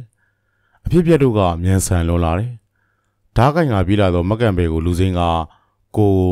ဘေးကိုဆောင်တင်းကရှောင်းလိုက်ပြီးသူ့လက်ထဲကတကောက်ကန်လန်လက်ကိုလက်ဝါးနဲ့ရိုက်ချလိုက်တယ်ထို့နောက်မကန်ပဲကိုတွန်းလိုက်ပြီးလဲကျသွားသောသူ့ဘောတက်ခွာထားလိုက်တယ်ကျွန်တော်ကလည်းဘေးနာတွင်အသေးရှိနေသောထင်းချောင်းချောင်းကိုဆွဲပြီးမကန်ပဲဘောကိုခွာစီထားသောလူစိမ်း၏ဥကောင်းကိုပိုင်ပိုင်နန်နန်ရိုက်ထည့်လိုက်တယ်။ဖြောင်း ကျွန်တော်ထင်းချောင်းကအစိစိမ့်မွားမွားဖြစ်သွားတယ်။လူတော်ကြီးကမတက်ထားလိုက်ပြီးကျွန်တော်ကိုဓားနဲ့ရွှဲလိုက်တယ်။သူ့နှဖူးတွင်သွေးတွေကစီးကြလာတယ်။ဟဲ့မိုးဟိရက်လိုက်စမ်းတလိဆန်ကောင်ရက်လိုက်စမ်းဟုမကန်ပဲကပက်လက်အနေထားမှអော်လိုက်တယ်။မိုးဟင်းဆိုသူမျိုးလုံးမိဝဝင်တောက်လို့နေပါကျွန်တော်ကိုစားတော့ဝါတော့မလို့ကြည့်နေချိန်တွင်မကန်ဘဲကပြေးလာပြီးကျွန်တော်ရှေ့တွင်ကားထားလိုက်တယ်။ဟဲ့နင်းလေလားနင်းလေမို့ငါ့ကိုရိုက်တာလား သေပြီတော့မိုးဟင်းကပြောပြောဆိုဆိုဓမြောင်ကိုမျောလိုက်တယ်။မိုးဟင်းငါပြောနေရက်စမ်းရက်လိုက်စမ်းဒါကြောင်းเสียရက်လိုက်စမ်းကိုခင်မောင်ကကြောက်လွန်သဖြင့်တုံနေတယ်။ထို့နောက်ရှင်ဖျားမိုးဟင်းမိုးဟင်းဆိုတာမိုးဟင်းသေပြီလေသေပြီပဲအရှင်ဖျားကဲတော်မူပါမိုးဟင်းကြီးကငကားဆိုလျင်ကျွန်တော်ပြားချသွားတော့တယ်မီးဝင်းဝင်းတောက်နေတဲ့မျက်လုံးဆိုသည်ကိုယခုမှလက်တွေ့မျက်တွေ့ဖြစ်တယ်ကျွန်တော်ကမကန်ပဲ အဲ့ဒါနေယောက်ျားလားယောက်ျားလားမဟုတ်ဘူးခွေးခွေးလို့ကောင်ခွေးကတော့တစ္ဆာရှိအောင်မနှိုင်းစရာမရှိတဲ့ကောင်ငါပြောတာနားထောင်အောင်တော်ပြီနင်ဘာမှပြောမနေနဲ့မကန်ပဲ तू ဘာပြောမလဲဆိုတော့လေနားထောင်တင်ပါလေကျွန်တော်ဝင်ပြောမိတယ်မပြောနဲ့နားမထောင်ချင်ဘူးသွားတော့နင်ထွက်သွားတော့နင်းမျက်နှာကိုငါမကြည့်ချင်ဘူးအေးငါထွက်သွားမယ်ဒါပေမဲ့နင်တို့ကိုတယောက်မှရှင်မထားခဲ့ဘူးနင်တို့ကိုတတ်ပြီးမှထွက်သွားမယ် ထိုချိန်တွင်ကိုခေမောင်ကသူ့ရဲ့ rifle ကိုဆွဲလာပြီးမိုးဟင်းကိုချင်းလိုက်ကဟေးအောင်ထွက်သွားမင်းဒီမှာရန်ကားစီတိုင်းလာပြီးရန်ကားလို့မရဘူးဟောဒီမှာတွေ့လားရဟန်းတစ်ပါးရှိနေတယ်မင်းလေးစားရမယ်ငါပြစ်လိုက်မှာနော်ထိုးသူအော်လိုက်တယ်အဖြစ်ပြက်တို့ကမယုံကြည်နိုင်လောက်အောင်ပဲမိုးဟင်းကဟိတ်ဟုတလုံးနဲ့အော်လိုက်ပြီးခုံလိုက်ခါကိုခင်မောင်မျက်ခွက်ကိုဒူးနဲ့တိုက်ချလိုက်တယ်ကိုခင်မောင်တယောက်ပလက်လန်လဲကျသွားပြီးမလုံနိုင်တော့ပြီ ကျွန်တော်ကကိုခင်မောင်လက်ထဲကလွတ်ကျသွားတဲ့ rifle ကိုပြေးကောက်ရန်ကြိုးစားလိုက်စဉ်မိုးဟင်းကပြေးလာပြီးကျွန်တော်မျက်နှာကိုခြေပြစ်ခါလိုက်တယ်ကျွန်တော်မျက်လုံးထဲတွင်မီးဝင်းဝင်းတောက်သွားပြီးလုံးဝအမောင်ကျသွားတယ်ဆရာဆရာကျွန်တော်ကိုတယောက်ယောက်ကလှုပ်နှိုးလိုက်တယ်မျက်စိကိုဖွင့်ကြည့်လိုက်တဲ့အခါတွင်ကျွန်တော်ကိုကြိုးတွေနဲ့တုပ်ထားတယ်ကျွန်တော်နဲ့ကိုခင်မောင်ကိုထိုင်လျက်နေထားတိုင်းကျိုးနဲ့တုတ်ထားခြင်းဖြစ်တယ်။ကျိုးကຫນွေကျိုးတွေဖြစ်တယ်။ ຫນွေကျိုးစိမ့်တိုင်းခြိထားပြီးဘေးဘက်တွင်ဝါးတုတ်ချောင်းပြေလိန်ကအပတ်ခံရသောကြောင့်တင်းကျပ်နေတယ်။ကိုခင်မောင်ကျွန်တော်တို့ကိုကျိုးတုတ်ထားတာပဲမကန်ပဲရော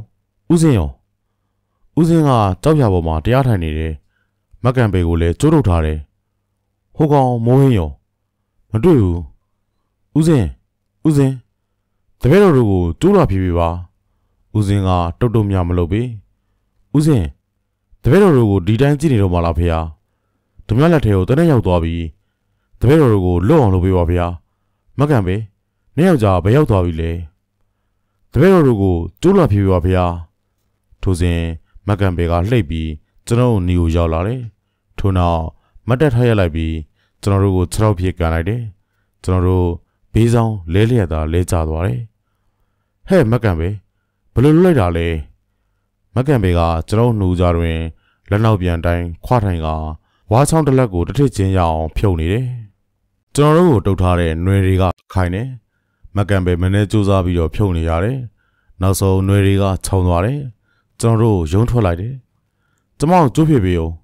ကျွန်တော်ကမက်ကန်ဘေအကျိုးများကိုဖြုတ်ပေးလိုက်တယ်။တို့ဘာဆက်လုပ်မလဲထွက်ပြေးမလား။သူရောဘယ်ရောက်သွားပြီလဲ။ကိုခင်မောင်ခမလမ်းသိတယ်မို့လား။ကျွန်မလည်းလမ်းသိတာပဲဒါပေမဲ့ ကျမတို့ထွက်ပြေးလို့ဖြစ်ဘူးဒီတလိษံကောင်မှာဘာတွေကြံရှိနေတယ်မသိဘူးဟုတ်တယ်ဆရာကျွန်တော်ရိုင်ဖယ်ကိုသူယူသွားတယ်ကျွန်တော်တနက်ပြောက်သွားလို့မရဘူးဆရာကျွန်တော်တနက်ကိုပြန်ရမှဖြစ်မယ်ဟုတ်ပြီအဓိကကြတာကတော့မိုးဟင်းကိုရင်ဆိုင်ဖို့ပဲဒါပေမဲ့တနက်ကင်ထားတဲ့လူမိုက်ကိုငါတို့၃ယောက်ဘယ်လိုရင်ဆိုင်ကြမလဲနောက်ပြီးဦးစင်းကိုအကာအကွယ်ပေးဖို့လည်းလိုသေးတယ်ငါမေးချင်တာတစ်ခုရှိသေးတယ်မကန်ပဲနင်ဘာဖြစ်လို့နင်ပိုက်တဲ့ကလေးဖေကိုတက်ချင်လာအောင်မုန်းနေတာလဲ နင်တကယ်တော့သူ့ကိုမမုန်းဘူးဆိုတာငါသိတယ်သူသေးပြီဆိုတော့ကနင်ငိုတာပဲ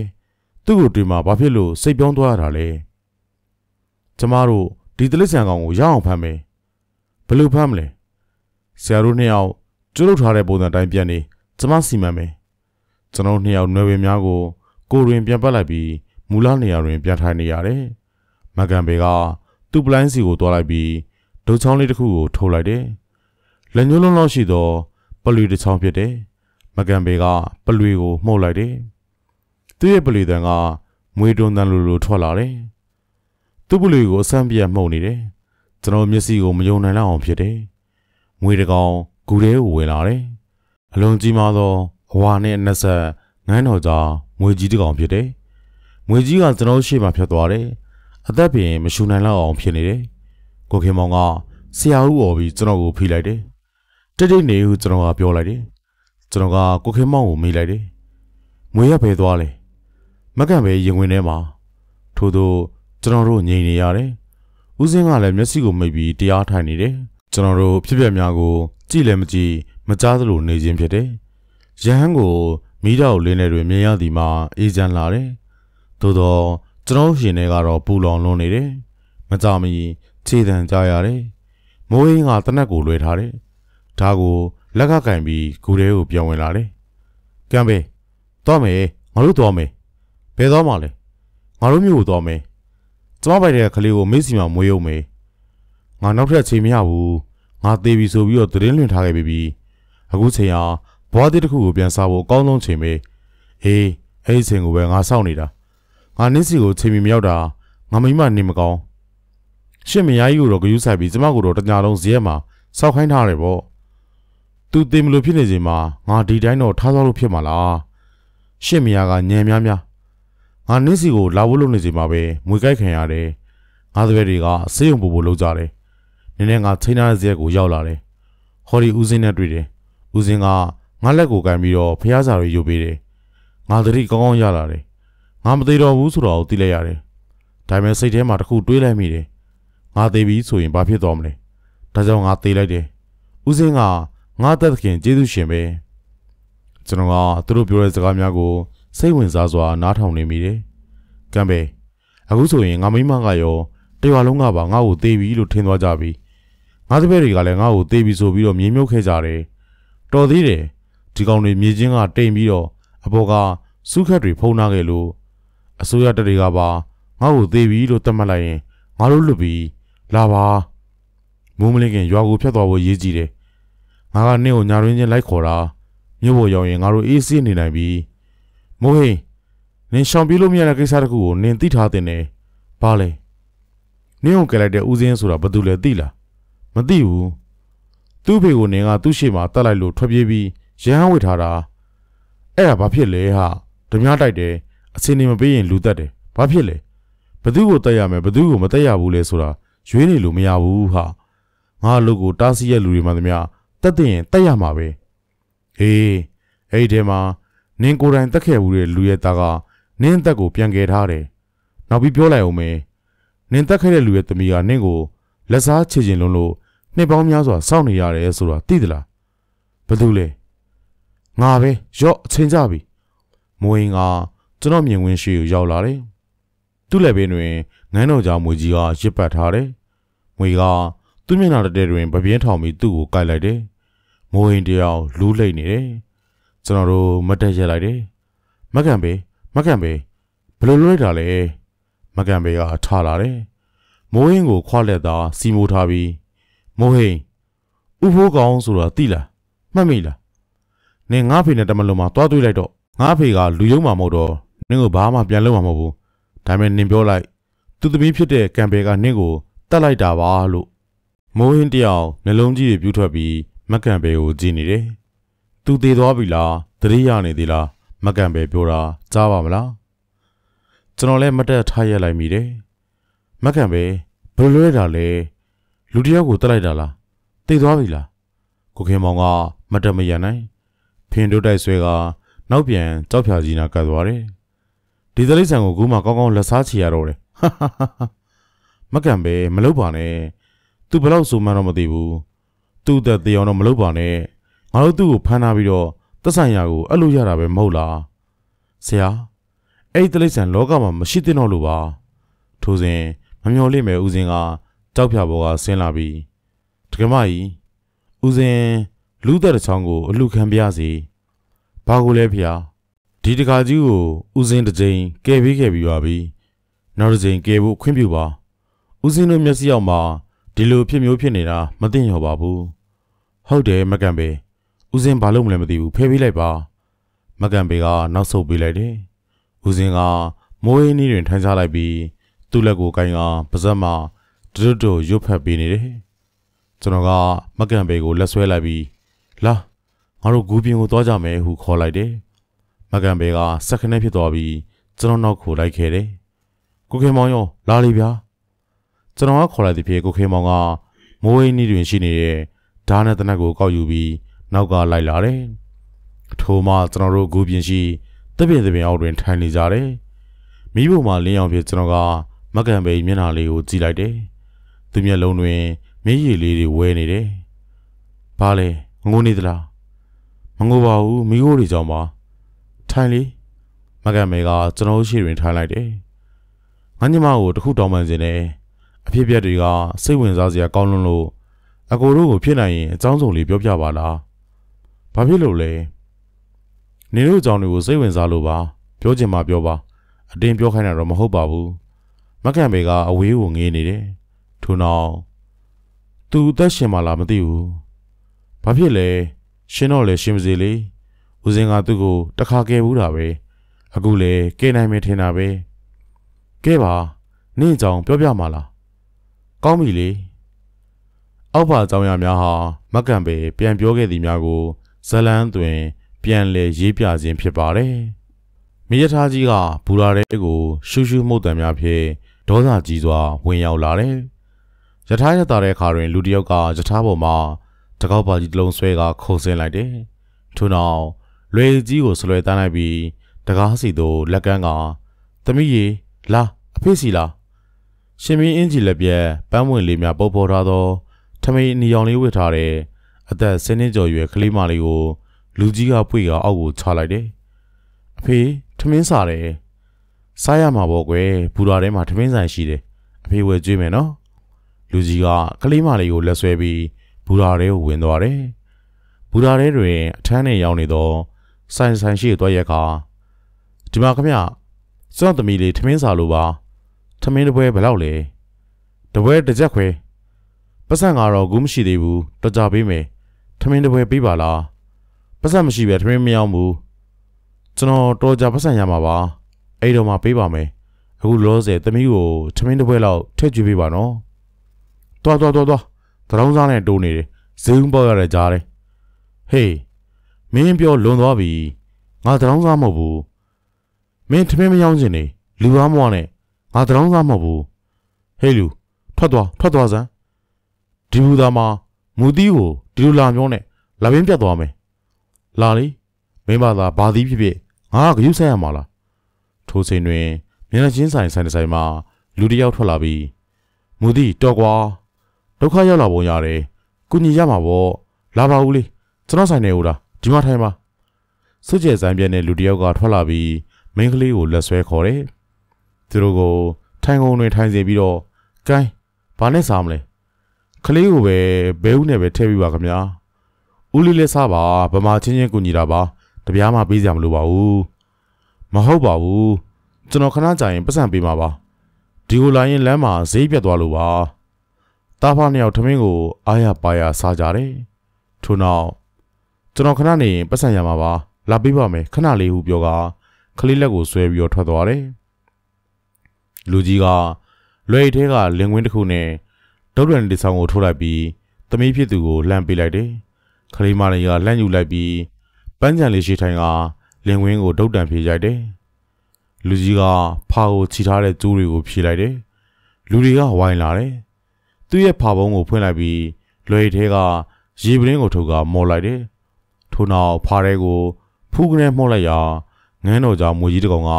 ရှူးကနေ ခေါင်းထောင်ထွာလာတယ်။ဝိုင်းကြည့်နေတဲ့လူတွေကရှဲကနေနောက်ဆုတ်သွားတယ်။သူမွေကို ထိပ်ပုတ်လိုက်ငွေရှိတွင်တိုင်းကားကားသလိုရိန်းထိုးပြလိုက်လုံနေတယ်။ခလီမလေးကလည်းလင်ဝင်းချမ်းကိုတုံးနဲ့အဆံပြတ်ရိုက်နေတယ်။မွေကလှမ်းပေါက်လိုက်ခုံရှောင်လိုက်လှမ်းကင်လိုက်အကိုင်မခံပဲမွေကပေါက်လိုက်လုံနေသည်ကိုလင်းကွင်းတီးနေတဲ့ခလီမလေးကလည်းအဖိအဖော့လေးများနဲ့စိတ်ဝင်စားစွာတီးပြနေတယ်။ နောက်ဆုံးနဲ့မွေကညင်ပြီးမွေလက်မဲ့ဆရာကိုကြည့်နေတယ်။သူကမွေကိုလက်ပင်ကဖမ်းကန်ပြီးအမိကိုဆွဲထုတ်ကဝိုင်းကြည့်နေတဲ့ပိသက်ကြီးဘက်ကိုလွှဲလိုက်တယ်။လူတွေကထွက်ပြေးကြတယ်။မကြောက်ပါနဲ့သူ့ကိုကျွန်တော်ထိန်းလိုက်နိုင်ပါပြီ။ဒါဟိုးရိုးမတောင်တန်းကြီးပေါ်ကမွေပြင်းလို့ခေါ်ပါတယ်။ရိုးရိုးမွေမဟုတ်ပါဘူး။ဒေါ်ကြီးမွေဟောက်ပါ။သူ့ရှေက15ပြီကျော်တယ်။ဒီငွေကြီးကိုတော်တွေကခက်ခဲစွာဖမ်းခဲ့ရတာပါ သူကြိုက်ရင်ဆေးမမိပါဘူးချက်ချင်းသိနိုင်ပါတယ်ဒါပေမဲ့စိုးရင်စရာမရှိပါဘူးငွေကြိုက်မှာကြောက်နေသလားကင်းကြိုက်မှာကြောက်နေသလားအစိတ်ရှိတဲ့တလိษံတကောင်ကောင်ကြိုက်မှာကြောက်နေသလားမကြောက်ပါနဲ့ကျွန်တော်စီမှာရိုးမတော်တွေကရလာတဲ့မွေနိုင်ကမုံတွေပါလာပါတယ်ဒီမှာမွေကြိုက်ခံရတဲ့သူတွေရှိပါသလားချက်ချင်းလက်တွေကုပြပါမယ်ထွက်ခဲ့ပါ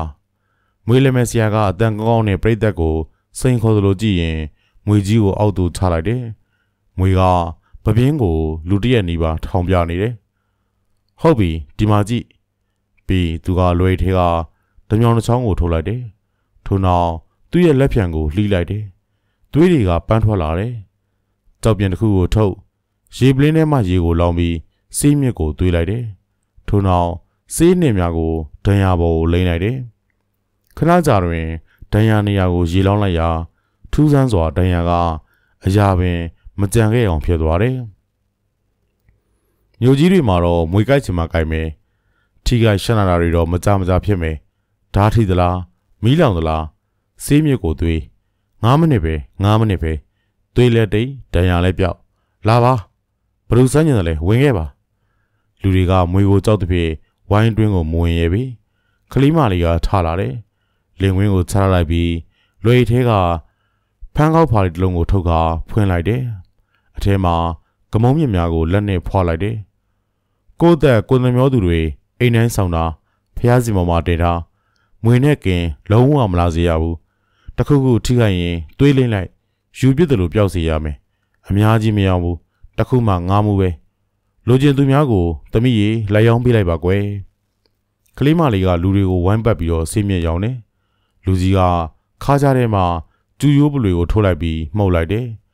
ငွေကြီးကပပင်းကိုချလိုက်တယ်။တကောက်ဖာတဲ့ကိုလိုလိုဝင်ပြီးတော့သွားခွေနေတယ်။သူတကောက်ဖာကိုပိတ်လိုက်ပြီးကျိုးပြန်ချီလိုက်တယ်။မွေးလည်းမဲပွဲပြီးသွားပြီ။ကလေးမလေးကသူ့ဖေတံကိုပြန်လာပြီးရောင်းရငွေများကိုအပ်ပေးတယ်။မွေးလမ်းပဲဆရာကဘူရာတဲကိုပြန်ဝင်သွားတယ်။သူတို့သားဖာကိုထမင်းကျွေးလိုက်တဲ့ဆိုင်ကိုသွားကပတ်စံသုံးချက်သွားပေးတယ်။ရပါတယ်ဗျာကို့ဘမှာချင်းချင်းကူညီတာပါတွေ့ထဲမှာစေးမြစ်တစ်ခုကိုထိုးလိုက်တယ်ရော့ပါ ညီလေးကိုလက်ဆောင်ပေးတာမွေကြိုက်လို့ချင်းချက်ချင်းသွေးလိမ့်လိုက်တက်တာသွားမယ်ထိုသူကစေးမြင့်နဲ့ပတ်စံကိုယူလိုက်တယ်မွေလည်းပဲဆရာကစက်ကားဂိတ်ကိုသွားပြီးစက်ကားစီးကိုသွားမိတယ်ဒီမျိုးကအောင်ပင်လေကျောင်းလိုက်ကိုဘယ်လောက်ပေးရမလဲအရှိအောင်ပင်လေလားအနောက်အောင်ပင်လေလားအောင်ပင်လေပဲသိတယ်စာတင်တိုက်လားတောကျောင်းလားစာတင်တိုက်တော့မဟုတ်ဘူးဗျတောကျောင်းပဲဒါဆိုရင်တော့အနောက်တော်တွေကဥအာဒေစာကျောင်းပဲဖြစ်မယ် ဟုတ်တယ်ဟုတ်တယ်ဥအာဒိစာစီသွားမယ်ဘယ်လောက်ပေးရမလဲဝေးတယ်ဗျနှစ်ချက်တော့ပေးရမယ်ပေးမယ်ဗျာပို့ပြီထိုစဉ်ဘူရာတွေကလူတွေလူတယောက်ကိုပွေးချီကပြေးဆင်းလာကြတယ်စိုက်ကစိုက်ကမြင်မြန်လေးဘာဖြစ်လာလဲဘာဖြစ်လို့လဲမိသေးပုံနဲ့လက်သွားလိုက်တာမွေးပေါက်လိုက်လို့မွေးတွေ့လားမွေးမမလဲမတွေ့တော့ဘူးထူးဆန်းလိုက်တာဘူရာတဲကိုငွေရောက်လာရတယ်လို့ငွေလည်းပဲဆရာကလူစားတဲကိုတိုးဝင်လာပြီး ကျွန်တော်ကြည့်ပြစီဟုပြောလိုက်တယ်သူ့ကိုထမင်းမယောင်ပဲမရိုင်းစွာပြောခဲ့တော့မူတီးဖြစ်နေတယ်ငွေကြိုက်တာဆိုရင်တော့ကျွန်တော်ကူပေးနိုင်ပါလေသူတိုက်ပုံအင်ဂျီထဲမှာဆေးမြစ်တစ်ခုကိုထိုးလိုက်တယ်ပါဇက်သေးကိုထဲကဝါလိုက်ပြီးမူတီးလက်ခွာကြမွေပေါက်တဲ့နေရာကိုအုံလိုက်တယ်9မိနစ်ခန့်ကြာတွင်မူတီးကမျက်လုံးပွင့်လာတယ်ဟေးကောင်ငါမင်းလို့မမရိုင်းပါဘူးတိလားတွားတော့ဟုပြောလိုက်တယ်မူတီးကထားရလိုက်ပြီး သူ့တပည့်များနဲ့အတူဘူရာထဲကိုပြန်ဝင်သွားတယ်သူစက်ကားသမားကိုကဲတွားကြရအောင်ဟုပြောလိုက်တယ်စက်ကားသမားကခမရကိုကျွန်တော်ကစေးညာရောက်နေရထင်တာပြီးစံပါကျွန်တော်လည်း၃ခုလောက်၄ခုယူဗျာစက်ကားကားနဲ့နှိမ်လိုက်ဆရာကြီးကဆေးဆရာလားဆိုပါတော့အခြားယောဂတွေရောကုသလားခကြီးသွားသမားတော်ပါလမ်းမှာတွေ့ရင်တော့ကြုံတို့ကုတယ်อืมအောင်မင်းလဲဆရာတော်ကလည်းဆေးစွမ်းတယ်လို့နာမည်ကြီးတယ် အဲ့ဒါကျုပ်ဆရာပဲသူတို့ဘုန်းကြီးเจ้าကြီးတကြောင်ရှိကိုရောက်လာတယ်เจ้าနဲ့ထိနင်းလေเจ้าနဲ့ကိုဘယ်သူမှမဝင်ရဲဘူးဗျဒီเจ้าကမွေဘောတယ်လို့နာမည်ကြီးတယ်ဆရာတော်ကြီးကမွေတွေကိုမွေးထားသလိုပြောတာပဲရော့ပါဒီမှာဆေးမြင့်9တော့ခမရကိုတော်တော်ပို့ပေးလိုက်တယ်ကောင်းတာပေါ့စိုက်ကားသမားပြန်လှည့်ထွက်သွားတယ်ငွေလည်းပဲဆရာနဲ့သူသမီးလေးတို့ဖာကြီးကတစ်ဖက်ခလေးတစ်ဖက်ဆွဲကကြောင်းထဲကိုဝင်သွားတယ် ရှင်ဖျားဆရာတော်ဖျားဟဲ့ဘသူတွေလဲဘိုးကောင်းပါဗျာဩဘိုးကောင်းလားကျောင်းမို့တက်ခဲ့သူတို့သားဖာနေအောင်ကျောင်းမို့တက်ပြီးဆရာတော်ကိုဥချလိုက်ကြတယ်မင်းဘယ်ကနေရောက်လာတာလဲအညာတခွင်ပတ်စံသွားရှာတာပါဗျာအစင်မပြေခဲ့ပါဘူးအဲ့ဒါသမီးလေးနဲ့ရွာကိုပြန်မလို့ဗျာဒီတညလောက်တော့ကျောင်းမှာခိတ္တာတဲခုပါရစီဒါကံပဲမဟုတ်လားမှန်ပါဗျာ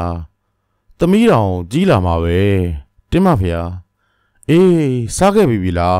ကျောင်းမှာတော့ငါပြောသည်ပဲရှိတယ်စားခဲ့ပြီပါပြီဗျာတွားတွားတွားဟိုးစွန်းစားဆောင်တွေမှာတွားနေကြသူတို့ထားသွားမယ်ပြူတွင်ဘိုးကောင်ဖျားည7နာရီကျော်ရင်ငါစီလာအောင်ငါတွေ့ထားတာပြမယ်တင်းမဖျားဥပုကောင်းနဲ့မက်ကန်ဘဲတို့ထွက်သွားကြတယ်စွန်းစားစရက်တွင်ကပိယာကြီးကစောင့်နေတယ် မက်ကန်ဘဲကိုငပြောသည်တပီးချကြွေတယ်ဥပုကောင်းကလည်းတလုံးယူစားတယ်သမီးအိတ်တော့အဖေရောအဖေလည်းခဏလောက်မေးလိုက်အောင်မယ်သမီးဘာလဲဖေငါကြရင်အဖေဘာဖုန်းနဲ့တော့တွေ့မယ်သမီးအိတ်နေနိုးလဲထားမလားနဲ့ဆက်ပြီးအိတ်နေရမယ်ကြားလားအဖေကဘာဖုန်းနဲ့ဘာသွားလို့မှလဲမမင်းနဲ့သမီးအဖေတို့မှအကြောင်းကိစ္စတွေရှိတယ်သမီးဘာဖုန်းစီကိုဝင်လာလဲဒါကြောင့်ပဲဒီနေ့လာပြည့်နေကွ အဘဒီချင်းကိုစောင့်နေတာအချိန်ကရောက်လာတာပဲဘာဖုန်းကလူလာလာခေါ်တယ်ဆိုတော့အဖေပညာတစ်ခုတူတော့မယ်သမီးအိတ်တော့နော်ဟုတ်ကဲ့ဖေည7နာရီမထိုးမီဥပိုးကောင်းတယောက်ထားသွားတယ်မကန်ဘေကသူ့ဖေထားသွားသည်ကိုသိနေတယ်သူ့ဖေသွားတဲ့နောက်ကိုတက်တက်လေးလိုက်သွားတယ်ဥပိုးကောင်းကကျောင်းပေါ်တက်သွားတယ်ခဏကြာတွင်မိရင်ကင်ထားတဲ့ဘာဖုံးနဲ့အတူကျောင်းပေါ်ကပြန်ဆင်းလာကြတယ် မကန်ဘေကမကြီးပကြီးနောက်မှာပုံပြီးတော့ကြည်နေတယ်ဘာဖုံးနဲ့ဖေတို့တိမ်ပြကြီးဘက်ကိုထွက်သွားတယ်တိမ်ဘေးတွင်တဲကြီးတစ်လုံးရှိတယ်သူတို့တဲတကားကိုဖွင့်ပြီးတော့ဝင်သွားတယ်ထို့နောက်တဲတကားကိုပြန်ပိတ်လိုက်တယ်မကန်ဘေကခလေးဖြစ်တော့လဲစူးစမ်းစိတ်အလွန်ကြီးတယ်တဲနီချင်းကပ်ပြီးတော့အတွင်း၌ဘာတွေဖြစ်နေသည်ကိုချောင်းကြည့်လိုက်တယ်အဖေနဲ့ဘာဖုံးကြီးကဖိုးထိုးနေကြတယ်အဖေကဖိုးကျိုးကိုဆွဲနေတယ် ဘာဖုံးကပါဇက်မှာဒရွတ်ရွတ်ရင်ဖိုးရဲသို့ခါးထဲတွင် လိန်ထားတဲ့တခုကိုပြစ်ထည့်လိုက်တယ်မီးတွေဝုန်းကနေထတောက်သွားတယ်ဘိုးကောင်ဖျားတဲဘဝင်ကျုံကိုထွက်ကြည့်စမ်းဘယ်သူမှမရှိဖို့ရေးကြည့်တယ်တင်းမဖျားမကန်ဘဲကတဲဘေးမှာပြေးလေးထွက်ပြီးတော့တိမ်ပြကြီးနီးတွင်သွားပုံနေတယ်သူဘေကတဲထဲမှာမီးရိပ်လေးကင်ကထွက်လာခဲ့တယ်ထို့နောက်တဲဘေးကိုရှောက်ကြည့်တယ်အဖေက သူ့ပုံနေတဲ့တိမ်ပြစီသို့တနက်မမတ်လာနေတယ်ထို့နောက်တို့တို့လေးသမီးနင်ရှိနေတာသိတယ်ဘယ်မှာလဲဟုမေးတယ်မကန်ဘေကအမောင်နဲ့ထွက်လာတယ်ဘာဖြစ်လို့လဲလာတာလဲအဖေကိုစိတ်မချလို့အဖေကဘာမှမဖြစ်ဘူးပြန်တော့ဒီမှာဟောဒီအောင်ယူသွားမိုးလင်းအဖေပြန်လာမယ်သမီးဒီတလုံးကိုတိန်တာအဖေကိုမနှက်ဖက်မှာပေးသွားတော့မကန်ဘေကလှည့်ထွက်လာတယ်သို့တော့ မကြီးပင်ကြီးဘေးမှာသူ့ဖေကိုချောင်းကြည့်နေမိတယ်အဖေပေးလိုက်တဲ့တလုံးကိုလက်ထဲတွင်စုပ်ထားမိတယ်။မကြမီတဲစီမှာဟုံးဆိုတဲ့အတန်ကြီးနဲ့တူမီးဟိုးလုံးကြီးကိုတက်လာတယ်။အဖေနဲ့ပါဖုံပြေးထွက်လာတယ်။မကန်ပဲလေကြောက်ကြောက်နဲ့စွန်းစားစရက်ကိုတက်ပြေးတယ်။အဖေကသူ့ဘေးတွင် လာလဲချလိုက်ပြီးသမီးအဖေကိုတလုံးပေးထိုးသူပြောလိုက်တယ်။မကန်ပဲကသူ့ဖေလက်ထဲကိုတလုံးထည့်ရင်ဘာဖုံရောဘာဖြစ်သွားသေးလဲ။ သမီးချောင်းကြည့်နေလား။ဟုတ်ကဲ့။ဘာမှဖြစ်ဘူး။အဖေတို့ချမ်းသာတော့မယ်သမီး။ဒီမှာတလုံးရခဲ့ပြီ။ဘာလို့ချမ်းသာမှာလဲ။အဖေတို့မိုးမလင်းခင်ဒီကထွက်ရမယ်ကြားလားသမီး။မိတ်နဲ့တော့မိုးလင်းသွားလို့မရဘူး။အဖေတို့ဒီကအမြန်ထွက်သွားရမယ်။ဟုတ်ကဲ့။မိကနေဖြစ်သွားတော့မကန်ပဲကိုသူ့ဖေကလှုပ်နိုးလိုက်တယ်။သမီးအုံမမခေါက်မီထွက်ရတော့မယ်။ထထထထသူတို့အထုပ်တွေဆွဲကတက်တက်လေးကျောင်းပေါ်ကဆင်းရဲကြတယ်။ ကျောင်းပေါ်ကရောက်ခါနေတွင်ဘိုးကောင်းဆိုတဲ့တန်ကိုကြားလိုက်ရတော့ကြောင်းမကန်ပဲတုံနေပြေကအဖေကိုဖတ်ထားလိုက်မိတယ်။ဆရာတော်ဘုရားကကျောင်းဝတွင်ခါထောက်ပြီးတော့မီးရင်ကိုကင်ကသူတို့ကိုကြည်နေတယ်။မင်းတစ္ဆာမဲလာကြီးလား။လုံးရက်တယ်လောပါလောပါဥပိုးကောင်ကဒူးထောက်ထိုင်လိုက်တယ်။မကန်ပေကလည်းထိုင်လိုက်ပြီးလက်အုပ်လေးချီထားလိုက်မိတယ်။တပည့်တော်တို့ကိုခွင့်လွှတ်တော်မူပါဗျာ။ တပည့်တော်တို့တစ်သက်လုံးဆင်းရဲစွာ နေထိုင်ခဲ့ရပါတယ်ဗျာ။သမီးလေးကိုကြောင်းတောင်မထားနိုင်ပါဘူးဗျာ။တခါတော့ချမ်းသာစွာနေခြင်းလို့ကြံမိပါတယ်ဗျာ။နင်ကံငါးပါးတဲ့ကတပားကိုချိုးဖောက်လိုက်ပြီးနင်စီမစွမ်းတော့ဘူး။နင်ကတစ်သက်လုံးထိငယ်သမျှကိုဒီပါမုတ်တဲ့တလုံးနဲ့လဲလိုက်တာပဲ။ဥပိုးကောင်ကသူ့ရဲ့တိုက်ပုံအိတ်တွေကလက်ကင်ပွားနဲ့ထုတ်ထားတဲ့တလုံးလေးကိုဆရာတော်ကပြန်ပေးလိုက်တယ်။ ဆရာတော်ကယူပါနင်းနဲ့ထိုက်တယ်ထင်ယူသွားပါ။တပည့်တော်မှားပါပြီဖေ။မယူတော့ပါဖေ။တပည့်တော်တခိုးဖြစ်သွားပါပြီ။ဆရာတော်ကတလုံးကိုယူလိုက်တယ်။မကန်ပဲရှစ်တိုးစံဟုပြောလိုက်တယ်။မကန်ပဲကကြောက်လွန်းသောကြောင့်သူ့ဖေကိုဖတ်ထားတယ်။တွားလိုက်သမီးမကန်ပဲကရှစ်တိုးကဆရာတော်နီးတွင်ဒူးထော်လိုက်တယ်။သမီးလက်ပေးစမ်း မကန်ပေကညာလက်ကိုစမ်းပေးလိုက်ရာဘယ်လက်ပေးသမီးဆရာတော်ကသူ့ခါစီမှာတစ်ခုကိုဆွဲထုတ်လိုက်တယ်လက်သေးကွန်ရွယ်ရွှေပြားလေးတစ်ပြားဖြစ်တယ်ဆရာတော်ကမကန်ပေနီကိုကတ်လာကလက်မောင်းကိုဖြောင်းနှဲမိအောင်ပုတ်လိုက်တယ်ဆရာတော်လက်ထဲကရွှေပြားလေးပျောက်သွားတယ်ဘိုးကောင်မင်းမဘာစွမ်းမှမရှိတော့ဘူးမင်းတစ္ဆာဖောက်တယ်ဒါကြောင့်မင်းစမ်းတွေပျောက်ပြီသမီးလေးဖေဟာ နောက်ဆိုရင်သမီးဖေလုပ်တွေကိုသမီးဆက်လုပ်ပါမှန်မဖေဟာတွားကြတော့ဘိုးကောင်မင်းမျက်နှာနောက်ဘယ်တော့မှမတွေ့ကျင်တော့ဘူးဘိုးကောင်ခေါင်းကဆက်ချကသမီးလေးကိုလက်ဆွဲပြီးတော့ထွက်လာခဲ့တယ်အဖေဘာဖြစ်လို့ဘာဖုံးစီကဒလုံးကိုခိုးရတာလဲအဲ့ဒီဒလုံးပိုင်ရင်ချမ်းသာပြီသမီးရဘာဖြစ်လို့ချမ်းသာမှာလဲသမီးအဖေတို့မှအဲ့ဒီဒလုံးရှိရင်လုံးသမျှအောင်ကြံသမျှအောင် ဘာပြောပြောချမ်းသာပြီအခုတော့အဖေရဲ့အစွမ်းတွေပါဆုံးရှုံးလိုက်ရပြီဘာအစွမ်းနေလဲဖေအဖေငွေလည်းပဲပြစားလို့မရတော့ဘူးပြီးတော့အဖေစေးကုလို့လည်းမရတော့ဘူးအဖေစေးမလိုက်တော့ဘူးတမိကိုပဲအားကိုးရတော့မှာဘာကိုပြောတာလဲဖေအဖေမွေစည်းကိုကင်လို့မရတော့ဘူးတမိဆက်လို့ရမယ်အဖေကတမိကိုကူညီလို့ပဲရတော့မယ်မွေကင်လို့မရတော့ဘူးစေးကတော့တမိဘလောက်စွမ်းတယ်လဲဆိုတာလက်တွေ့မှာပဲသိမယ်။ သမီးကမွေကန်ရမယ်ဟုတ်လား။ဟုတ်တယ်။ဖေပြောတော့16နှစ်ပြည့်မှဆိုအခုဘာဘုံကသမီးကိုတိတ်ထိတင်ပေးလိုက်ပြီးဘာဘုံရှိပြားလေးကသမီးလက်မောင်းတွေကိုရောက်သွားတာလား။ဟုတ်တယ်။အဲ့ဒါသမီးကိုအတိမတ်ပြုတ်လိုက်တာ။ဘယ်သူအတိမတ်ပြုတ်လိုက်တာလဲဖေ။အဖေတို့က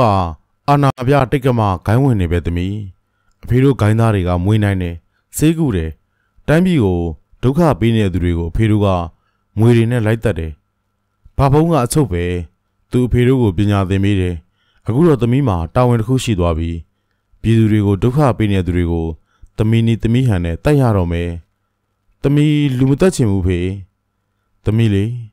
တချိန်ချိန်မှာသမီးတက်ဖို့ခံစားချက်တွေဖြစ်လာရင်တက်ပါသမီး။ဒါပေမဲ့တခုသတိထားပါ။တက်တဲ့လူပဲဖြစ်ပါစေ။သူတို့ဈေးထဲကိုရောက်လာကြတယ်။လူစီကားတဲ့နေရာတွင်ဥဖိုးကောင်ကသမီးကို လက်ဆွဲထားလိုက်ပြီးသမီးကိုပထမဆုံးစမ်းသပ်ရမယ့်ပွဲပဲသမီးကဘာလို့ရမှာလဲဖေအဖေနဲ့သမီးနေရလဲတာပဲသမီးအဖေကလင်းခွင်းကင်ပြီးတော့ဆေးရောက်မယ်သမီးကမွေကိုကစားပြလက်ကိုဓာတ်နဲ့လီးဆေးလူပြအဖေလို့တလို့လိုက်လို့ယုံပဲမွေလည်းပဲပြရသည့်လောက်ကသူ့အတွက်အဆန်းမဟုတ်ပဲအဖေနဲ့တွေ့လာသည်မှာနှစ်နှစ်ခန့်ရှိနေပြီဖြစ်တယ်အဖေရဲ့ဟန်တိုင်းကောင်းကောင်းလုပ်နိုင်ခဲ့တယ်လူတွေက ကလေးလေးတော်လိုက်တာဟုပြောကပို့ပြီးတော့အားပေးတယ်အဖေထက်ပင်ပတ်စံတွေပိုးရအောင်ရှာနိုင်တယ်အဖေကဆေးပဲရောင်းနိုင်တယ်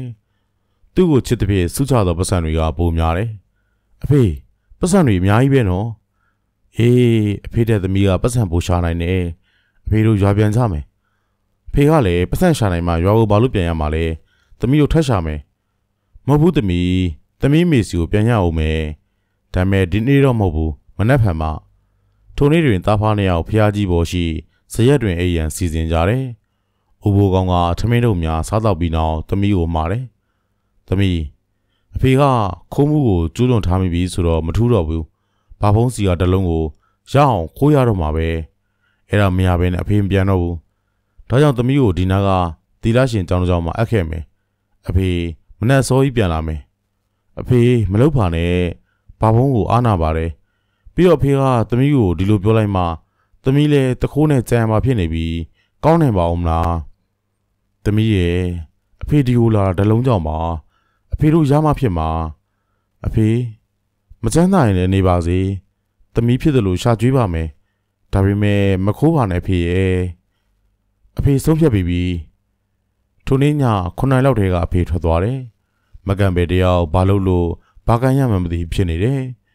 သူတောင်းရှိအခန်းလေးတစ်ခန်းထဲတွင်တယောက်တည်းနေရတယ်စိတ်ပြတ်စွာပြေတကောက်ဖာကိုဖွင့်ကမွေကိုရေတိုက်တယ်။မွေကခါတိုင်းဖွင့်လိုက်ရင်ကောင်းထောင်နေကြဖြစ်တယ်။သို့တော့ခွေနေတယ်။သူရေနဲ့နှုတ်ခွက်လေးကိုပြင်တွင်ချပေးပြီးအစာကျွေးနေတယ်။အဖေကဘာဘုံစီကိုသွားပြီးငါဘာလို့ရမလဲမိနန်းရဲ့ထို့သူစိတ်ပြတ်စွာမွေကိုပြောလိုက်တယ်။မွေကြီးကချက်ချင်းပပြင်းထောင်လိုက်တယ်။နင်သိလား ဖေကဘာဘုံစီကတလုံးကိုသွားခိုးနေပြီးနင်းဆရာကိုနေမတားနိုင်တော့ဘူးလား။ငွေကြီးကချက်ချင်းပပြင်းထောင်နေသည်ကိုချလိုက်ပြီးကျောင်းအောက်ကိုဆင်းသွားတယ်။ဟဲ့ဘယ်ကိုသွားမှလဲပြန်လာခဲ့။မကန်ပဲကျောင်းအောက်ဆင်းလိုက်တော့လေငွေကိုမတွေ့တော့ဘူး။အဖေကမနှက်မိုးလင်းမှပြန်လာမယ်ဆိုတဲ့ပြေ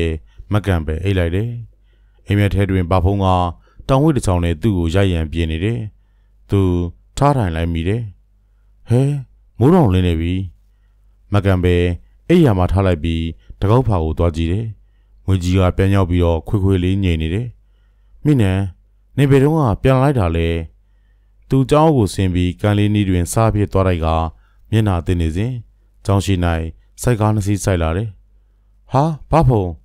မကန်ပဲပြေးထွက်သွားတယ်။ဘာဖုံကစိုက်ကားပေါ်ကဆင်းလိုက်ပြီးတောင်ဝေးကိုခိုင်းတာကစိုက်ကားသမားများကိုပြောလိုက်တယ်။ဟိုခွေးကောင်ကိုတွတ်တွဲလိုက်။ နောက်စိုက်ကားတစ်စီးပေါ်တွင် သူ့ဖေအဖေအဖေဘလို့ဖြစ်တာလဲ။သမီးဖေလေဖြတ်သွားပြီးကိုတချမ်းလေဖြတ်သွားပြီးဒါအဆပဲရှိသေးတယ်သမီးသူ့ကိုရွာပြန်ခေါ်သွားတော့ဆက်ကားသမားတွေကမကန်ပဲအဖေကိုတောင်းရှိကုပြစ်ပေါ်တွင်ခြာထားခဲ့တယ်ဆရာတော်ကပြန်ကာနေတွင်ကံပဲလောင်းမှန်မဖေဟာညကသမီးလွတ်လိုက်တဲ့အထောက်တော်ရောက်လာတယ်ဘာဖုံးလဲသိပါတယ်သမီးဖေရုံမာတော့မယ်ဆိုတာ ဒါပေမဲ့သူပြုတ်တဲ့တန်သူပြန်ခံရမယ်ရွာကိုပြန်ခေါ်သွားတော့တင်မဖေဟာအဖေဘွားကဘာမှမလုပ်နိုင်ထိုင်ပြီးကြွေးတာစားနေရတဲ့ဘွားကိုကူးပြောင်းသွားတယ်ရွာတွင်တားမိသားပါ၃ယောက်ပျော်ရွှင်စရာဘွားလေးတစ်ခုကို ပြန်လဲတီးဆောက်နိုင်သည်ဆိုစေအမေနဲ့သမီးနှစ်ယောက်တည်းလူမမာကြီးကို ပြုစုစောက်ရှောက်နေရသည်မှာမလွယ်လာပါမကန်ပေကငွေကြီးကိုတော်တယ်ပြန်လွတ်ပေးလိုက်သည် သူတွင်အချိန်မီခေါ်သုံးနိုင်တဲ့ကျူရိုးပလူလေးရာရှိနေတယ်ကျူရိုးပလူကိုမှုတ်လိုက်ရင်သူရောက်လာတယ်ပြောလိုက်ရင်နားလေတယ်ခိုင်းလိုက်ရင်လှုပ်တတ်တယ်မကန်ပဲအမေကဒွန်နှင်းနှုဖြစ်တယ်တစ်ချိန်ကရွာတွင်ကွန်းတော်ကိုင်ပန်းတော်ကိုင်အရွယ်ရလာတော့လေရိုးစင်းသောလှဖြင့်ဝင်းထင်နိုင်သူဒူးလည်းဖြစ်ပေတယ်အမေဘာလဲသမီးအခုတလောအမေညက်ကြရင်ပျောက်သွားတယ်ဘဲသွားနေရလဲ ရှိပါလေသမီးရဲ့အမေအပေါ့ပါသွားတာနေမှာပေါ့နောက်တနေ့ညတွင် အမေပျောက်သွားသည်ကိုသတိထားကြည့်နေသောမကန်ပေကတိတ်တိစိတ်သူ့နောက်ကိုလိုက်သွားတယ်။အမေကရွာပြင်ရိုးချောင်းလေးတစ်ခုတည်းကိုဆင်းသွားတယ်။အမေနဲ့လူတစ်ယောက်ချင်းတွေ့နေတယ်မိုးဟိန်မကန်ပဲကြောက်ရွံ့စွာပဲအိမ်ကိုပြေးလေးပြန်လာခဲ့တယ်။သူရင်ထဲတွင်တစ်ဆက်ဆက်တုံနေတယ်။ရက်ဆက်လိုက်တာမေရဲ့ရက်ဆက်လိုက်တာမကန်ပဲထိုင်ငိုနေမိတယ်။သမီး အဖေကသူ့ကိုဖះကမ်းမှလှမ်းခေါ်တယ်။အဖေဘာလဲအပေါ့သွားခြင်းလို့လား။ထိုင်အောင်သမီးဖေကအိယာထဲတွင်လှည့်နေရမှာစောင်းလိုက်ပြီးဘာဖြစ်စလဲ။ဘာဖြစ်လို့လဲဖေဘာမှဖြစ်ပါဘူး။မညာပါနဲ့သမီးရဲ့သမီးငိုနေပါတယ်။အဖေဘာလဲသမီးလေးအမေမရှိဘူးတိတ်ပါသမီးတိတ်ပါငုံမနေနဲ့အဖေသိတာကြားပြီသူလည်းအရွယ်ရှိသေးတာပဲကွယ် အဖေရဲ့အခုဟာကမိုးဟင်းနဲ့လေအဲ့ဒါသူ့ရဲ့ငယ်ကြီးစားပဲသမီးရဲ့အဖေသိရတာနဲ့ဘာဖြစ်လို့မပြောရတာလဲသမီးဖေကလူမမာကြီးဖြစ်နေပြီလေအဖေဒီဘွားမရောက်ခင်ကတည်းကသူတို့ဖောက်ပြန်နေကြတာအဖေသိတာပဲဒါကြောင့်သမီးလေးကိုခေါ်ပြီးတော့အဖေတို့ရှောက်သွားနေတာပေါ့အဖေမှသူတို့ကိုလွန်ဆန်တွန်းလှန်နိုင်တဲ့အင်အားမှမရှိတာအဖေမှမတရားတာတွေကိုတတ်ပေးနိုင်တဲ့မိနန်းရှိနေတယ်လေအဖေရဲ့ အဖေမလုပ်ချင်ဘူးသမီးသမီးမိကိုယ်တိုင်ကသူ့ကိုဆွဆွမမတ်ဖြစ်နေတာလေအဖေမလုပ်ရပါဘူးကွယ်အဖေရဲ့တွိုင်းနေသမီးသမီးမိပြန်လာတော့မယ်မသိကြအောင်ဆောင်နေရမယ်နော်ကြားလားအဖေဒီတိုင်းနေလာတာနှစ်တွေကြပြီအဖေတို့သိသွားတယ်ဆိုရင်မိုးဟင်းအန်ရဲ့ပေးမှာစိုးရင်ရတယ်အဖေရဲ့ခံပြင်းစရာကောင်းလိုက်တာ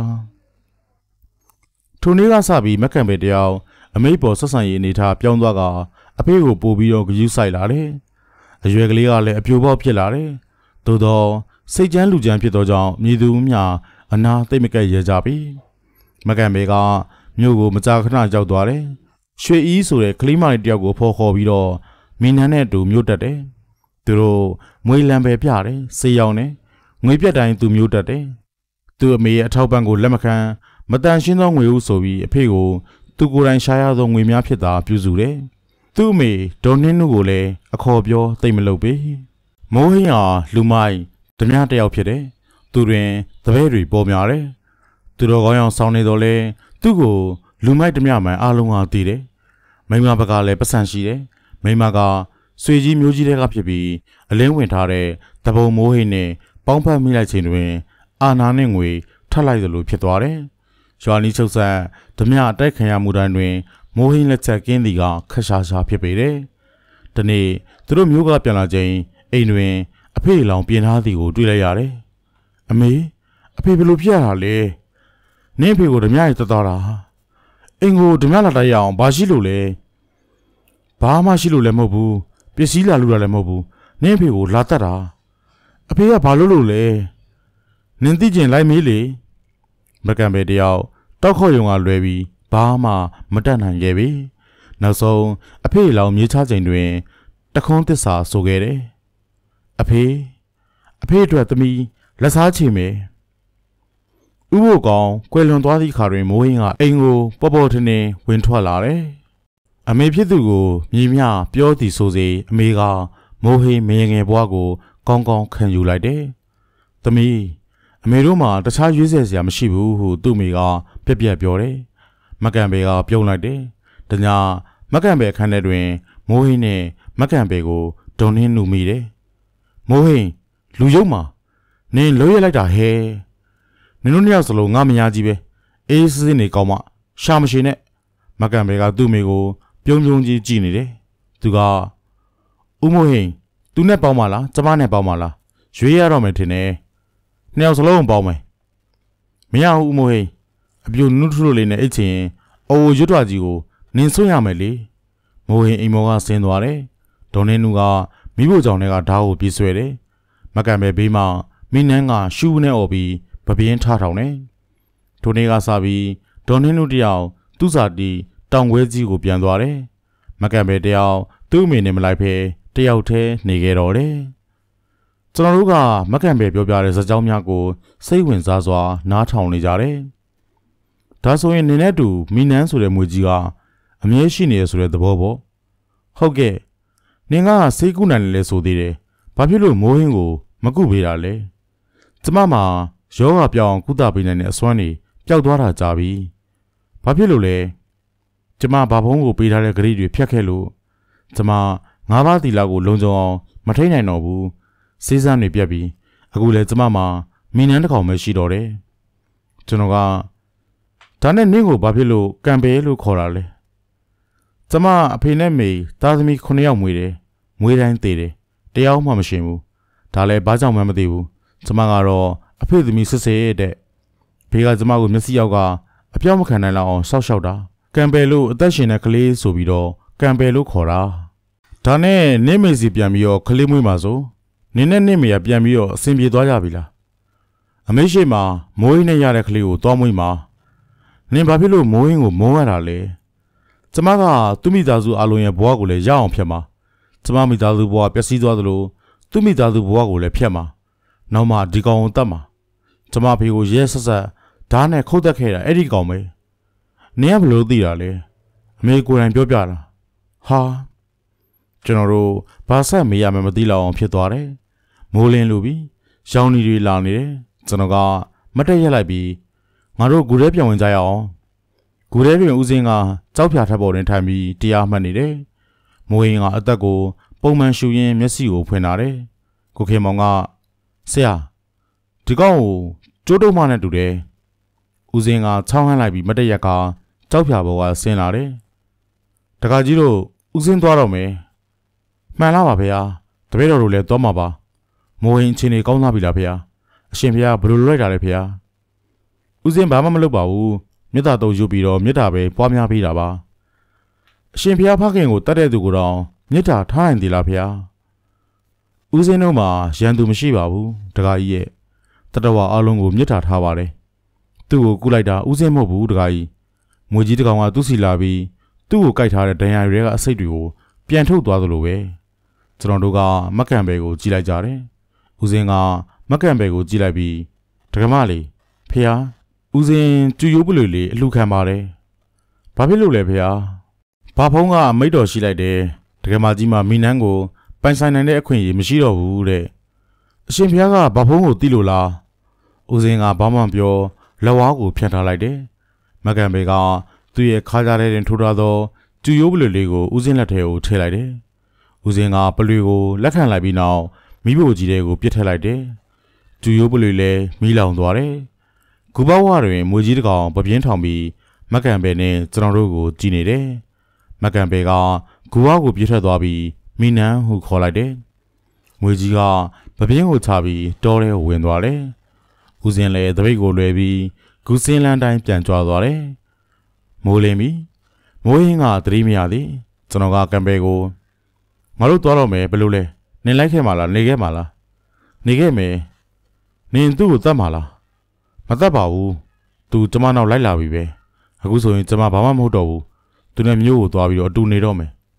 ဒါဆိုလဲငါတို့သွားတော့မယ်ကျွန်တော်နဲ့ကိုခေမောင်တို့ဂူထဲကထွက်လာကြတယ်ကိုခေမောင်တောင်ဝဲကြီးကိုဝေးသေးလားတနာရီခီးလောက်ပဲကျွန်တော်တယ်ဆရာကျွန်တော်တို့အမြန်ဆုံးရှောက်လာခဲ့ကြတယ်လမ်းတွင်ဦးစင်းနဲ့ဆုံကြပြန်တယ်ဦးစင်းကရှေ့မှကြွသွားတယ်ကျွန်တော်တို့ကနောက်မှလိုက်တယ်ကျွန်တော်တို့အားလုံးတောင်ဝဲကြီးကိုရောက်လာခဲ့တယ်။ ဦးစင်းကတခါကြီးဗမာတဲမလို့လဲတပည့်တော်တို့ဖုံးကြမှာပဲတဲမယ်ဖေဟာဦးစင်းလည်းအဲ့ဒီမှာပဲရှိမယ်ကျွန်တော်တို့ကရွာလူကြီးအိမ်ကိုဝင်တယ်ကျောင်းဖွင့်ရေးကိစ္စများကိုဆွေးနွေးကြတယ်မနက်ဖြန်ကစပြီးကျောင်းပြန်ဖွင့်မယ်ဆိုတဲ့အကြောင်းကိုရွာထဲတွင်လှည့်ပြီးတော့ကြော်ညာခိုင်းရတယ်ကိစ္စများစီစဉ်ပြီးနောက်ကျွန်တော်တို့ရွာလူကြီးအိမ်တွင်နေလေစာစားကြရတယ်သူတို့ကအိမ်တွင်တဲခွေရန်ပြောတော်လဲကျွန်တော်တို့က လွတ်လပ်စွာနေကျင်သောကြောင့်ဘုန်းကြီးကျောင်းတွင်တွားရောက်တဲခုမီဟုပြောကာထွက်လာကြတယ်။ကျွန်တော်ကလည်းဦးစင်းနဲ့စကားပြောချင်နေတယ်။ဘုန်းကြီးကျောင်းကရွာမြောက်ဖက်တောင်ကုန်းပေါ်တွင်တိဆောက်ထားပေတယ်။ကျောင်းဆိုတော်လဲဘုန်းတော်ကြီးတစ်ပါးနဲ့ကပ္ပိယတယောက်သာနေသောကျောင်းဖြစ်တယ်။ရှေးအောင်ကျောင်းကြီးဖြစ်ပြီးတော့တိုင်လုံးတွေကကျုံးတိုင်လုံးကြီးတွေနဲ့ဖြစ်တယ်။ကျွန်တော်တို့ကျောင်းပေါ်ကိုတက်လိုက်သည့်အခါတွင်ဦးစင်းကဆရာတော်နဲ့အတူရွှေနှွေးဝိုင်းတွင်ထိုင်နေတယ်။ တခါကြီးတို့လာလာလာလာထမင်းစားခဲ့ပြီပြီလား။စားပြီးပါပြီဗျာ။ရွာမှာဆာလာတင်တဲ့ကျောင်းဆရာလား။တင်းပါဗျာ။အေးအေးဒီကဆရာကြီးကတော့မကြမ်းပါဘူး။ဆရာကြီးကလည်းတယောက်တည်းဆိုတော့ဒီမှာဒုက္ခရောက်တယ်။တင်းပါဗျာ။ဆရာကြီးကအကူကြီးတောင်းလာနဲ့ရောက်လာတာပါဗျာ။ဒီကကိုတော်နဲ့တီးပြီးသားလား။လမ်းမှာတီးခဲ့တာပါဗျာ။อืมကြောင်းမလွတ်လပ်စွာနေတင်မဖေဟာကပိယကြီးဧည့်သည်တွေကိုခေါ်သွားလိုက် ကပိယကြီးကကျွန်တော်တို့ကိုအခန်းတစ်ခန်းစီသို့ခေါ်သွားတယ်အခန်းထဲတွင်ရှေးကရင်ကြီးတစ်လုံးရှိတယ်ကိုခေမောင်ကအခန်းထဲတွင်မနေခြင်းအသက်ရှူကျက်သည်ဆိုပြီးအပြင်ဘက်ဗရင်းပေါက်နာတွင်နေရာသွားယူတယ်သူ့တနက်ကိုကျွန်တော်ကရင်အောက်တွင်ထားခဲ့တယ်ကျွန်တော်ကကျိုးဘိတ်ကိုထားပြီးအခန်းပြင်ကိုပြန်ထွက်လာခဲ့တယ်လက်ဖေးဝိုင်းတွင်ဦးစင်းတို့မရှိတော့ကျွန်တော်ကကြောင်းအုပ်ကိုဆင်းလာခဲ့တယ်အပေါ်သွားကျင်သောကြောင့်ဖြစ်တယ်ကပိယကြီးအိမ်သားဘယ်နားမှာလဲ ဟိုးငါပြောတော့ဘေးကဆင်းသွားလိုက်ကျွန်တော်ကငါပြောတော့ဘေးလန်းတိုင်းတောင်ကုန်းအောက်ကိုဆင်းလိုက်တယ်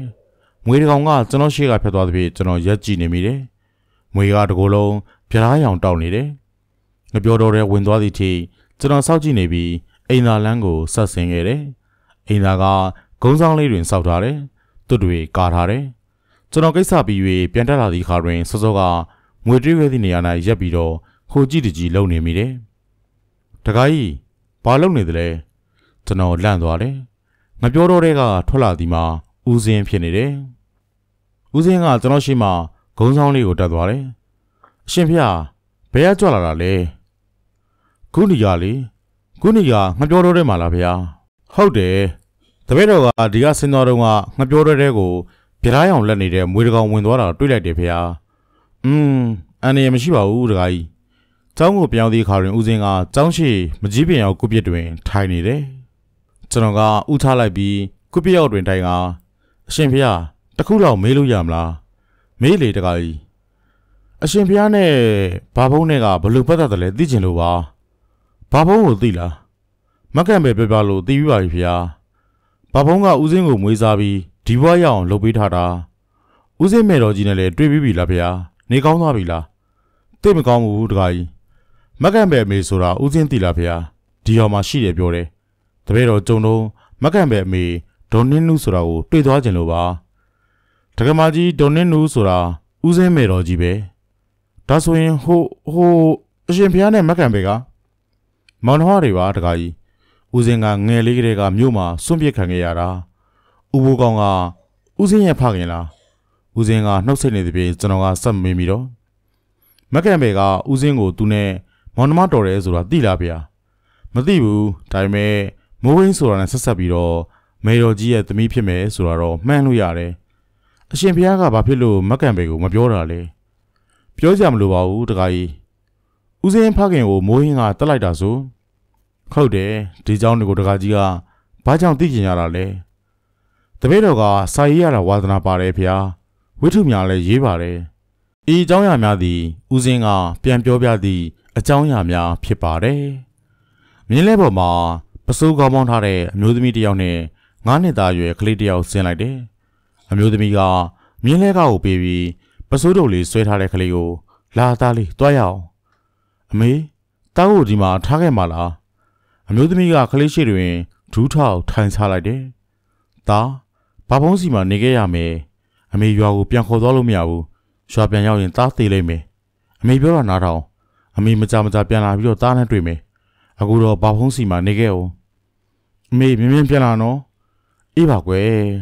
သူတို့ဖုံးကြောင်းထဲကိုဝင်လာကြတယ်စွန်းစားကြောင်းပေါ်တက်သွားပြီးစွန်းစားနေတဲ့ဆရာတော်ကိုဦးချလိုက်တယ်ဘဲကလည်းတကမာကြီးတပည့်တော်ဥဖိုးကောင်းရဲ့ဇနီးပါဗျာဘိုးကောင်းနေကောင်းရဲ့လားကောင်းပါလေဗျာ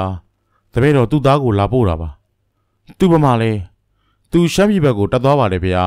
အပြန်သားကိုဝင်ခေါ်မယ် အရှင်ဘုရားကျောင်းမှာထားခဲ့ပါဆိုလို့ပါဖေဟာတကယ်မကြီးကရောတပည့်တော်ဒီနေ့ပဲပြန်မယ်ဖေဟာသားလေးကိုအပ်ခဲ့ပါရစေထားခဲ့ထားခဲ့ထားခဲ့လာစမ်းထမင်းစားပြီပြီလားမစားရသေးဘူးဖေဟာကပိယကြီးခလေးကိုထမင်းကျွေးတကယ်မကြီးလည်းစားသွားလေမစားတော့ပါဘူးဗျာတပည့်တော်ရွာဘက်ထွက်မဲ့ကမမိမာဆိုးလို့ခွင့်ပြုပါဦးမနင်းတို့ဖုန်းကြီးကိုဥချပြီးတော့ကျောင်းပေါ်ကဆင်းသွားတယ်။တားဖြစ်သူကိုတစ်ချက်ပင်လှည့်မကြည့် ကလေးကဗရင်းပေါက်တန်နိုင်များကြားမှာမိခင်ကိုငေးကြည့်ပြီးတော့မျက်ရည်တွေကျနေတယ်။ဦးစင်းကဝေးရှိရိုးမတောင်တန်းကြီးကိုငေးကြည့်ရင်တက်ပြင်းချလိုက်တယ်။ဦးစင်းကိုမိက9နှစ်သားလောက်ကလေးကဗဖုံးစီမှာထားသွားတာပြန်ကိုမလာတော့ဘူး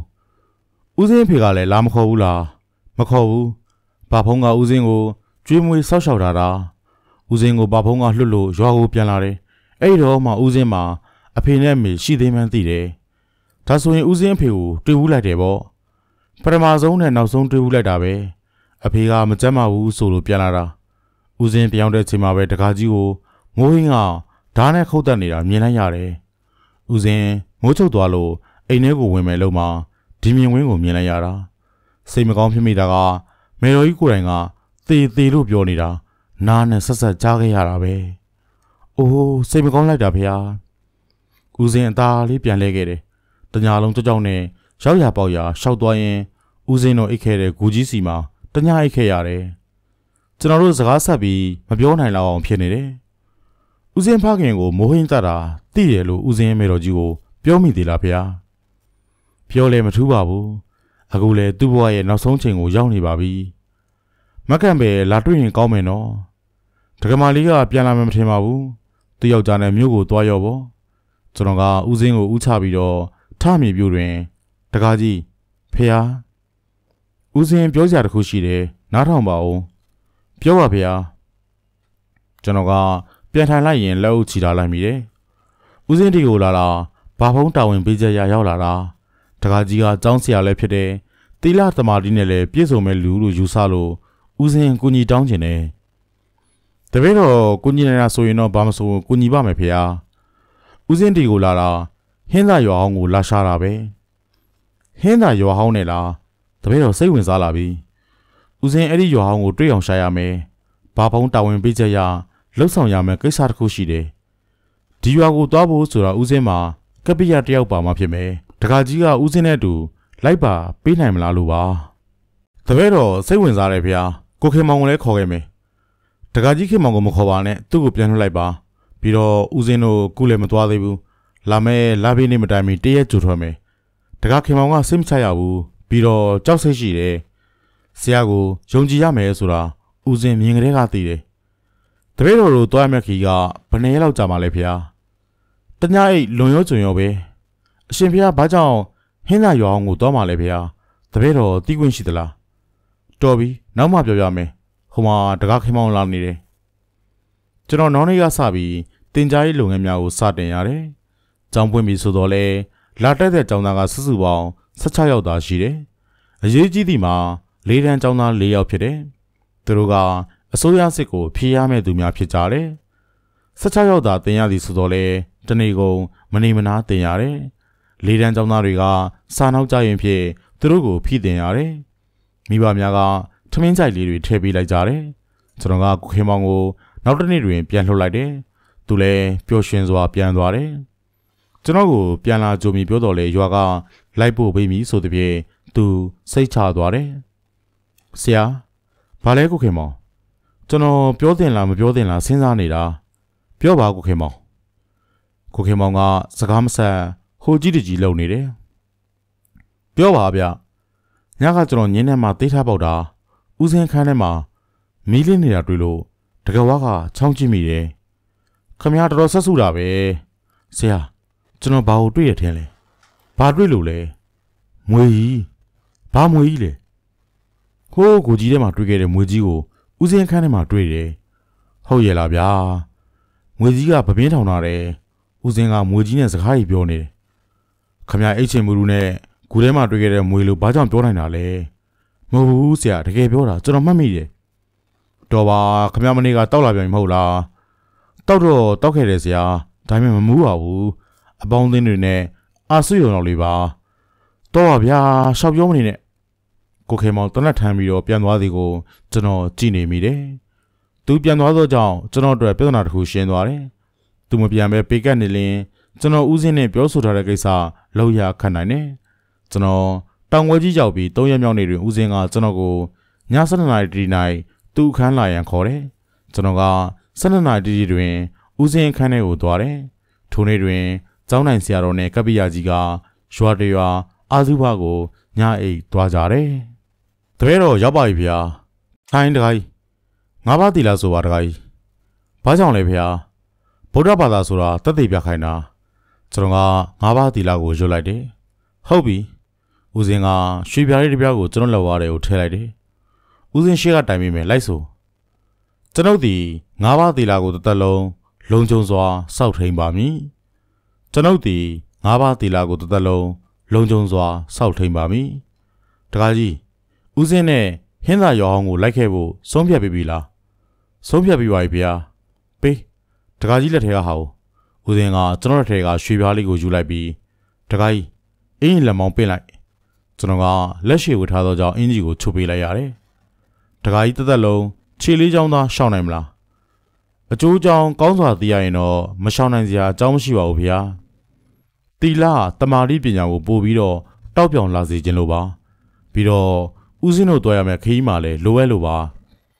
တပည့်တော်ကစွန်စားရတာတွေဝါသနာပါတယ်ဗျာယနေ့ကစပြီးတော့ခြေလေးချောင်းသားမစားတော့ပါဘူးဗျာလှူမယ်ပေါ့တင်းမဗျာဦးစင်းကကျွန်တော်လက်မောင်းကိုဖျောင်းနေပုတ်လိုက်တယ်ကျွန်တော်အမှတ်မဲ့နေတော့လေလက်ထဲဆုပ်ထားတဲ့ရွှေပြားလေးကကျွန်တော်ကိုယ်ထဲကိုရောက်သွားသလိုခံစားလိုက်ရတယ်။အရှင်ဘုရားတပည့်တော်ကို အာနာပြတက်ကမဂိုင်းဝင်ဖြစ်လွတ်လိုက်တာလားဘုရား။မဟုတ်ဘူးတကားဦးစင်းနဲ့ကြီးသွားရင်ဘေးကင်းအောင်လောက်ပဲ။တကားကြီးကအာနာပြတက်ကမဂိုင်းဝင်ဖြစ်လို့မရသေးဘူး။အစင်တစင်ကြံသေးတယ်။အဲ့ဒါကလည်းဟင်းလာရောင်းကပြန်လာရင်ဘာဖုံးစီမှာအဆုံးဖြတ်ခံရမှာတကားကြီးကလည်းစိတ်ဝင်စားရင်ပေါ့လေ။တပည့်တော်စိတ်ဝင်စားပါလေဗျာ။ဒါဆိုရင်တကားကြီးအသင့်ဖြစ်ပြီးအဖေနဲ့မနဲ့အစိုးရခီးစားမယ်အဖေနဲ့ဥပုပ်နဲ့ရဲ့ចောင်းပိတ်တီနဲ့အတော်လေးဖြစ်သွားတယ် ကျွန်တော်ကဦးစင်းနဲ့အတူဟင်းသာရွာအောင်ဆိုတဲ့နေရာကိုတွားရမည်ဖြစ်သောကြောင့်စိတ်ဝင်စားနေတယ်ကျောင်းဆရာကြီးထံကလည်းစားရောက်လာတယ်ကျမ်းမာရေးချင်းတွေကောင်းသောကြောင့်စိတ်ယုံကဆင်းရတော်မူမကြမီပြန်လာမည်ဟူ၍ဖြစ်တယ်ခရီးမထွက်မီတရက်လိုတွင်ဦးစင်းကကျွန်တော်ကိုသူ့ခန်းထဲခေါ်ပြီးဟင်းသာရွာဟောင်းကျောင်းကိုပြောပြတယ်တက်ကတဲ့889ခုနှစ်တွင်တောင်ငူဘရင်မင်းတရားတပင်ရွှေတီဟာမင်းရဲ့တရားသူကိုမျိုးစောက်ခံပြီးတော့ တိုက်စင်200မြင်း8000စစ်တီ9000တို့နဲ့ပဲကိုးကိုချီလာတယ်။မင်းတရားရွှေတီတက်တွင်ကြော်ထင်တော်ထာကရှစ်တက်ဒရိုးသမားရာဇာကနောက်တက်ထားပြီးတက်ကြီးခုနှစ်တက်ဖြင့်ပဲကိုးကိုချီတက်လာခြင်းဖြစ်ပေတယ်။ကော်လီယာယခုရွှေကျင်မြို့နယ်အတွင်းနေရာ၌မွန်မင်းတို့ကခုခံတယ်။မွန်တက်ပြတ်သဖြင့်မွန်မတ်တမိန်ပရုနှင့်စင်မြင်းတုံ့ပန်များရလေတယ်။တပင်ရွှေရီတက်ဟာနောက်ကလိုက်တိုက်ပြန်တယ်။တ နက်ခုံတွင် ခုခံတော်လဲမောင်မြင်ပဲပကိုးကိုရပြီးစင်မြင်းတုံ့ပန်များနဲ့ရွှေငွေတို့ကိုယူကာပကိုးကိုမိတိုက်ခဲ့တယ်။ဟင်းသာယာဆိုသည်မှာစစ်ရှုံးပြီးထွက်ပြေးလာသူများလာရောက်ခုနာပြီးတဲထားသောရွာကြီးတရွာဖြစ်တယ်။ရိုးမတောင်ကြီးနီးတွင်ရှိပြီးစစ်ဘေးနှင့်ကင်းဝေးရာနေရာတနေရာဖြစ်ခဲ့တယ်။မွန်ဗမာအလုံးစီးလုံးစွာဖြင့်ရောက်လာခိုးနာပြီးအေဂျင့်စွာလောက်ကင်ရှာဖွေစားတော့ကြတယ်။ဦးစင်ပြောချင်တာက ရွှေသစ္စာပန်းနှပွင့်အကြောင်းပဲဆရာ။ရွှေသစ္စာပန်းနှပွင့်ဟုတ်လားဗျာ။မွန်တမ်းမဲ့နှစ်ပါးကိုအကောက်ကြံပြီးပေးလိုက်တဲ့ရွှေသစ္စာပန်းနှပွင့်ပါ။တက္ကရာ899တွင်မွန်တို့ကကေတုမဏီကိုတန်များစီလွတ်ခဲ့တယ်။နှစ်နိုင်ငံမင်းတို့ဟာရှေ့ကလေးကမဟာမိတ်ပြုကငြိမ်းချမ်းစွာနေထိုင်ခဲ့ကြတယ်။ထို့ကြောင့်တတဝါများချမ်းသာပြီးသာသနာတော်ထွန်းကားရန်လုံကစစ်ပြေငြိမ်းပြီး အေးချမ်းကြရန်ဖြစ်တယ်။အဲ့ဒီချိန်ကမွန်နုဘတ်မှာအမတ်ကြီးပညာလုံးနဲ့ပညာကြံတို့ကထင်ရှားတယ်။အဲ့ဒီမတ်ကြီးနှစ်ပါးအစီမံတွေကြောင့်ဟန်တာဝရီယာခိုင်ခိုင်မတ်မတ်ဖြစ်နေတယ်လို့လည်းဆိုရမယ်။ပညာလုံးနဲ့ပညာကျမ်းတို့ကိုတောင်ကူဆေးလက်တော်ဟိုကတန်ဖြစ်ကောင်းစွာလက်ခံတွေ့ဆုံတယ်။ကောင်းမွန်စွာစောက်ရှောက်တယ်သူတို့ပြန်မယ်ဆိုတော့ဥယျတော်နှစ်ပါးတွဲဆိုပြီးတောင်ငူကရွှေသစ္စာပန်းပွင့်လက်ဆောင်ပေးလိုက်တယ် စိတ်ဝင်စားစရာကောင်းလာပြီဗျာအဲ့ဒီပန်းပွင့်တွေကရိုးရိုးပေးတာမဟုတ်ဘူးအကြောင်းရှိတယ်ဗညာလုံးနဲ့ဗညာကျန်းတို့ကလက်ဆောင်ကိုကြည်ပြူစွာယူသွားတယ်ဆိုတာဖြစ်စေချင်တာပိုဆိုးတာရှိသေးတယ်ဦးစင်ပြပြောဆိုနေရနွေးချမ်းငှဲ့တောင်းနေပြန်နေကျွန်တော်ကသိကျင်စိတ်ပြင်းပြလာတော့ကြောင်းဘာများလဲဖေ။တောင်ကူရကောင်တွေရုပ်တာဦးကြီးတော်တို့ကရွှေသစ္စာပန်းတွေလည်းယူသွားပြီဆိုတော့ကြီးရွာတွေမှာစားလိုက်ချတယ် စားလိုက်ချတယ်ဆိုတာဘာလဲဖေဟာအရေးခင်းပြီးရင်ဦးကြီးတော်ဗညာလောကိုဟန်တာဝရီဗညာကျန်းကိုမုဒ္ဓမစားဖြစ်အောင်လုပ်ပေးမယ်ဆိုတဲ့ကောလာဟလာတွေစာချပြီးတော့လိုက်ဖြန့်တာဟာဖြစ်ရလေဗညာကျန်းနဲ့ဗညာလောတို့ကတန်စိမ့်နဲ့လက်ခံခဲ့တဲ့ရွှေသစ္စာပန်းဝင်တွေဟာဘကိုးကိုရရင်သူကောင်းပြုမဲ့သဘောတက်ရောက်သွားပြီးအမကြီးနှစ်ယောက်အသက်ခံလိုက်ရတယ်ဖြစ်ရလေဗျာအမကြီးတွေမရှိတော့စီရီအားနေပြီးပကိုးကိုတောင်ကူက အလွယ်တကူသိမ့်နိုင်သွားတယ်အဲ့ဒါနဲ့တပည့်တော်ရှာမယ်ဟင်းသာရွာဘလို့ပတ်သက်နေလဲဖေ။အမကြီးနှစ်ပါးလက်ခံခဲ့တဲ့ရွှေသစ္စာပန်းပွင့်ပျောက်သွားတာအမကြီးနှစ်ပါးအသက်မခံရမီညာကလေးကပဲအဲ့ဒီသစ္စာပန်းပွင့်ကဘာရီစမ်းတယ်လဲဒီအကြောင်းဘာဖုံးမဲကောင်းကောင်းသိတယ်ဘာဖုံးစီမှာတဝင်းရှိတယ်နောက်တစ်ပွင့်ကဟင်းသာရွာဘက်ကိုကျုံကျုံတယောက်ကယူပြေးပြီးတော့ရောက်နေတယ်လို့ကြားတယ်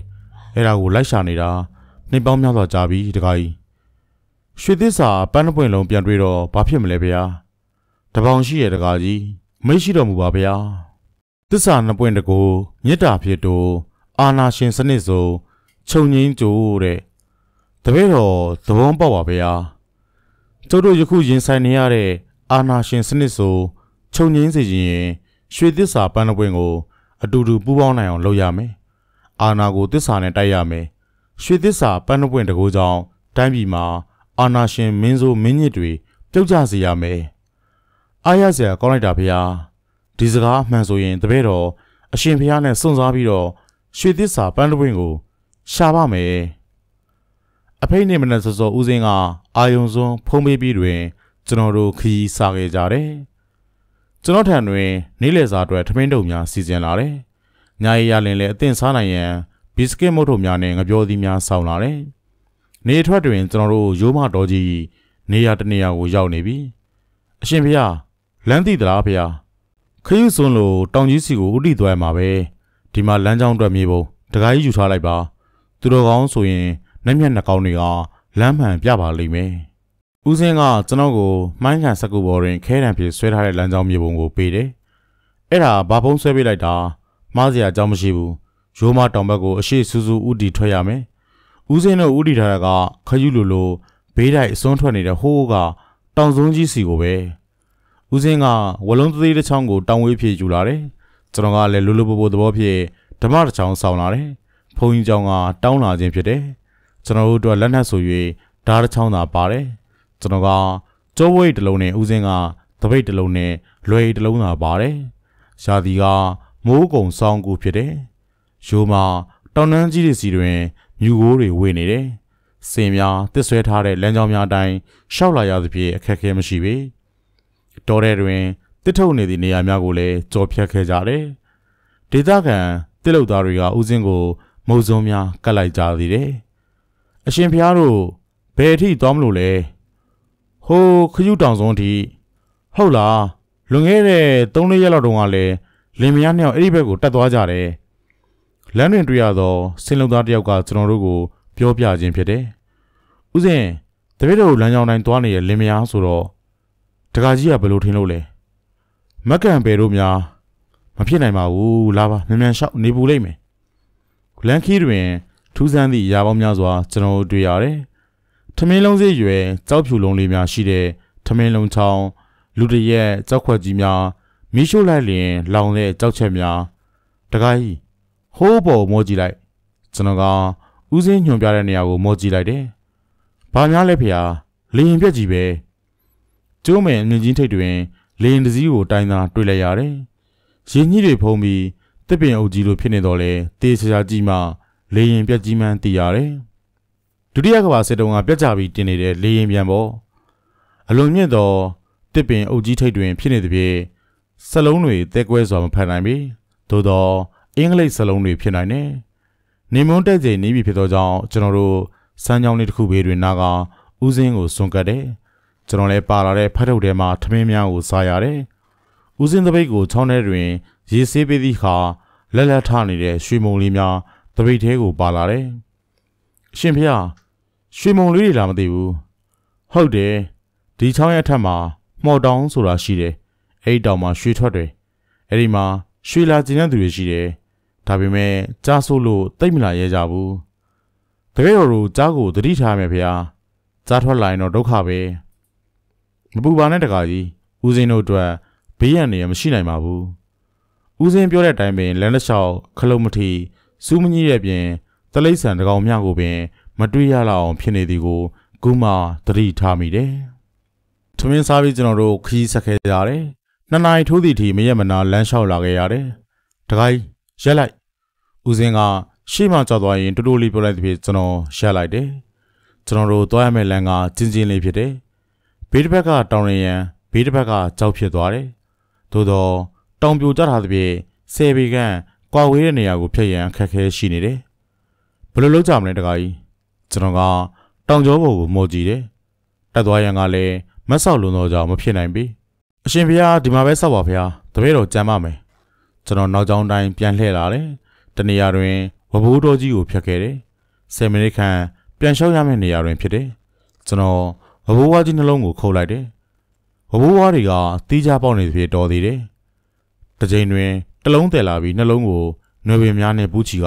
တစ်ဖက်ကိုရောက်အောင်တွန်းရတယ်တစ်ဖက်ပါထိတ်ကိုຫນွေကျိုးနဲ့ဆိုင်ပြီးဦးစင်းကဆွဲထားပေးရတယ်ကျွန်တော်ကဝါသရာကိုတောင်နေရကပ်ပြီးကြောပေးကဖြည်းဖြည်းချင်းဖြတ်တယ်တစ်ဖက်ကိုရောက်သွားပြီးမှဦးစင်းကိုခေါ်ရတယ် ဦးစင်းကလည်းတင်းငိမ်စွာဖြင့်ကျွန်တော်ဖြတ်တဲ့အတိုင်းဖြတ်ခဲ့ကြတယ်မကြောက်မရွံအခက်အခဲများကိုအေးဆေးစွာဖက်တန်းရတဲ့ဦးစင်းစိတ်ဓာတ်ကိုချီကျူးစရာပင်တခါကြီးတော်လိုက်တာစင်ပြေသွားပြီဒါပေမဲ့ဒီနေရာမှာနှစ်နာရီလောက်အချိန်ကုန်သွားတယ်အတော်ဝေးသေးလားဗျာဟိုးမှာခယူဘတ်တောင်စွန်းကြီးကိုမြင်နေရပြီလေညွှန်ချက်ရဆိုရင်တော့အဲ့ဒီတောင်စွန်းအောင်မှာဟင်းသာရွာတီးခဲ့တာပဲကျွန်တော်တို့ခရီးဆက်ခဲ့ကြတယ် တောင်စွန်းကြီးကိုမော်ကြည့်၍မမြင်ရသည့်နေရာတွင်80ရန်လမ်းမရှိတော့ပေရှေ့တွင်တောင်ပေါ်ကရေတွေစီးကြနေတယ်ရေတကုံတဖွဲဖြစ်နေတယ်အရှင်ဘုရားလမ်းဆုံးနေပြီဒီဘက်ကလည်းကြောက်တစ်ဖက်ကလည်းကြောက်တောင်ကြီးရှေ့မှာကလည်းရေတကုံတပည့်တော်တို့ဘယ်လိုဆက်ရမလဲမြေပုံထုတ်ကြည့်ပါဦးကျွန်တော်ကကျိုးဘွေထဲမှာမြေပုံကိုထုတ်ကြည့်လိုက်တယ်တောင်ကျိုးကိုလမ်းကြောင်းပြထားတဲ့ပုံမှာဆက်ဆွဲထားတယ်ရှင်ဖေ ဒီနေရာကိုကြည့်ပါဦးမြေပုံပေါ်တွင် ခဲချောင်းကထစ်နေတယ်လမ်းကြောင်းကအင်္ဂလိပ်အခရာဘွီပုံစံဖြစ်သွားသည်ကလွယ်ပြီးထူးခြားခြင်းမရှိပေတပည့်တော်ထင်တော့အောက်ကိုဆင်းရမယ့်နေရာတနေရာရှိမယ်ထင်တယ်ကြောက်သေးပဲဆင်းရမလားမသိဘူးဦးစင်းကခဲတလုံးကိုကောက်ကင်လိုက်တယ်ရေမြန်းကျဆင်းနေတဲ့နေရာတက်တဲ့ကိုဂဲလုံးဝပြစ်ထည့်လိုက်တယ်။ကြောက်ခဲကပြန်ကန်ပြီးတော့ထွက်မလား။တခါကြီးရေကျနေတဲ့နောက်မှာအပေါက်ရှိရမယ်။ကျွန်တော်က တပည့်တော်အရင်ဝင်ကြည့်မယ်ဗျာ။အရှင်ဖေခဏလေးနေအောင်ကျွန်တော်ကအသက်ကိုရှူလိုက်ပြီးရေကျနေတဲ့နေရာကိုတိုးဝင်လိုက်တယ်။လူကအတွင်းကိုရောက်သွားကကျွန်တော်အောက်ကိုပြုတ်ကျသွားတယ်။ရေကျတစ်ဖက်တွင်လှိုင်ကောင်းပေါက်ရှိတယ်။ကျွန်တော်ကြောက်လေကားလိုဖြစ်နေတဲ့နေရာမှာဒလိတ်ကောက်ကွေရေထဲကိုပြုတ်ကြတယ်။ရေကဒူးလောက်ပဲရှိသဖြင့်ပြန်ထတယ်။တခါကြီးတခါကြီးကျွန်တော်ကရေထဲမှာလူးလွတ်ထားကလှက်ကလေးများကိုပြန်တက်ပြီးအရှင်ဖေ ဒီဘက်မှာဝင်ပေါက်လှေကားလည်းရှိတယ်။အယမ်းဝင်တဲ့တပည့်တော်ကိုကြောဘွေရင်ဆုံးကမ်းပြီးဦးစင်းလက်တစ်ဖက်ထွက်လာသည်ကျွန်တော်ကဦးစင်းလက်ကိုဆွဲပြီးအထဲကိုခေါ်လိုက်တယ်။ရေများရွှဲပြီးဦးစင်းတစ်ဖက်ကိုရောက်လာတယ်။ကြောဘွေလည်းပါလာတယ်။တေးကြပြီတခါကြီးဒါဟင်းသာရဝင်ပေါက်ပဲရေတကုံမှာလေချုံရင်ရေသွန်လိမ့်မတယ်ဘာဖုံးကမှားလိုက်တယ်ကျွန်တော်တို့ကြောက်လီကားထိတ်တွင်ရက်နေရမှာဘာဆက်လို့ရမှမသိဖြစ်နေခြင်းတွင်ဦးစင်းပြောတဲ့အတိုင်း လုံရန်သာရှိတော်တယ်တပည့်တော်လေချုံကြည့်မယ်ဖေဟာကျွန်တော်ကပြောပြောဆိုဆိုလေချုံလိုက်တယ်ကျွန်တော်တစ်ချိန်နှစ်ချိန်သုံးချိန်အဆုံးတွင် လေချုံတန်ကိုပဲ့တင်တန်လိုလိုပြန်ကြားရတယ်ဟုတ်ပြီတခါကြီးလမ်းရှိမယ်လေချုံတန်ပဲ့တင်နဲ့ပြန်ကြားတယ်ထက်ချုံကျွန်တော်ကလေထက်ချွန်နေရွှီရွှီရွှီဆိုတဲ့အတန်နဲ့တူဟောဆိုတဲ့အတန်ကိုကြားလိုက်ရတယ်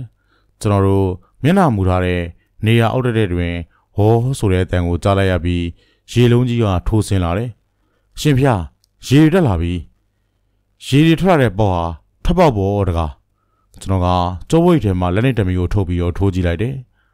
လူထိုင်စာလောက်အပေါက်တစ်ပေါက်ဖြစ်နေတယ်ရေကတော့စက်မကြတော့ပြီ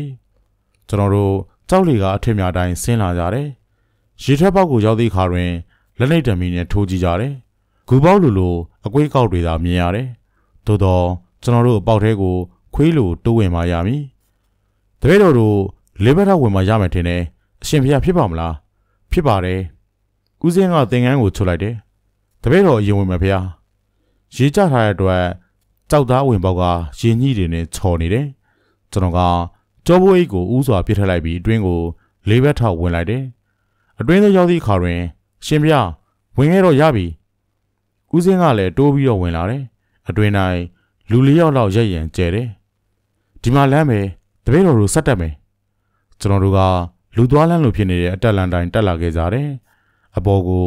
ခြေလမ်း20ခန်းတက်ပြီးတွင်လမ်းကြောင်းကိုဆက်လျှောက်ရပြန်တယ်။ဂူလမ်းကြောင်းကကျင်းလာတယ်။ကျကျွန်တော်တို့အချို့နေရာများတွင်စောင်းပြီးတော့တိုးရတယ်ရှေ့မှာလင်းရောင်တွေ့တယ်ထွက်ပေါက်ကိုရောက်ပြီးနေတူတယ်အဲ့ဒါနေလင်းရောင်မဟုတ်ဘူးတကားကြီးအပြင်မှာတော့မှောင်လောက်ပြီးအဲ့ဒါမီးဖို့ကမီးလင်းရောင်မျိုးဦးစင်ကတူတူလေးပြောတယ်တတိထားတကား ကိုထဲမှာလူရှိနေတယ်ကျွန်တော်တို့လက်လက်မီကိုပိတ်လိုက်ပြီးမီးလင်းတိုင်းခြေတန်းလုံးလုံးဖြစ်ရှောက်သွားကြတယ်အကွဲကြောင်းကြီးလိုဖြစ်နေတဲ့ကြောက်ကြားမှာကျွန်တော်တို့ကြည့်ရသည့်အခါတွင်မိဘကြီးတစ်ခုဘေး၌ထိုင်နေသောမိုးဟင်းကိုအံ့ဩစွာတွေ့လိုက်ရတယ်။အရှင်ဖျားမိုးဟင်းပဲရှူတူတူဒကမာကြီးကိုရောတွေ့လားမတွေ့သေးဘူးဖျားအောက်မှာလှိုင်ကူကအကျဲကြီးပဲဖျားအောက်ကိုဆင်းလိုက်ပါတကားကြီးဖြစ်ပါမလားဖျား မိုးဟင်းရှိရင်ကံပယ်လည်းရှိနိုင်တယ်အောက်ကိုဆင်းလိုက်ပါကျွန်တော်ကကြောက်ကြားမှာကိုဆောင်ကထွက်လိုက်ပြီးဟေးဟူអော်လိုက်တယ်မိုးဟင်းကမတက်ရက်လိုက်ပြီးဓာတ်ကိုကင်ထားလိုက်တယ်ဘယ်သူတွေလဲဟောကျောင်းဆရာကို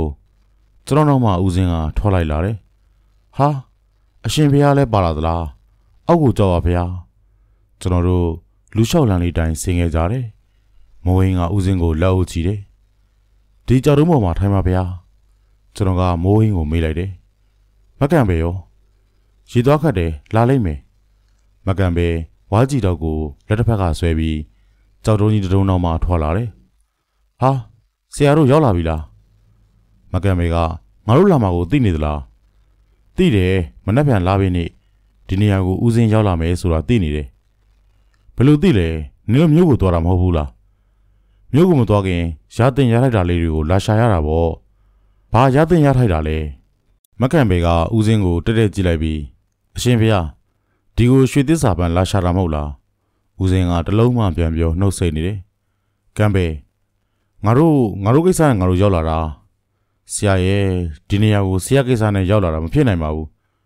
ဒီနေရာကိုရောက်လာနိုင်သူတွေဟာဘိုးကောင်းမျိုးဆက်တွေကလွယ်ပြီးဘယ်သူမှဖြစ်နိုင်ပါဘူး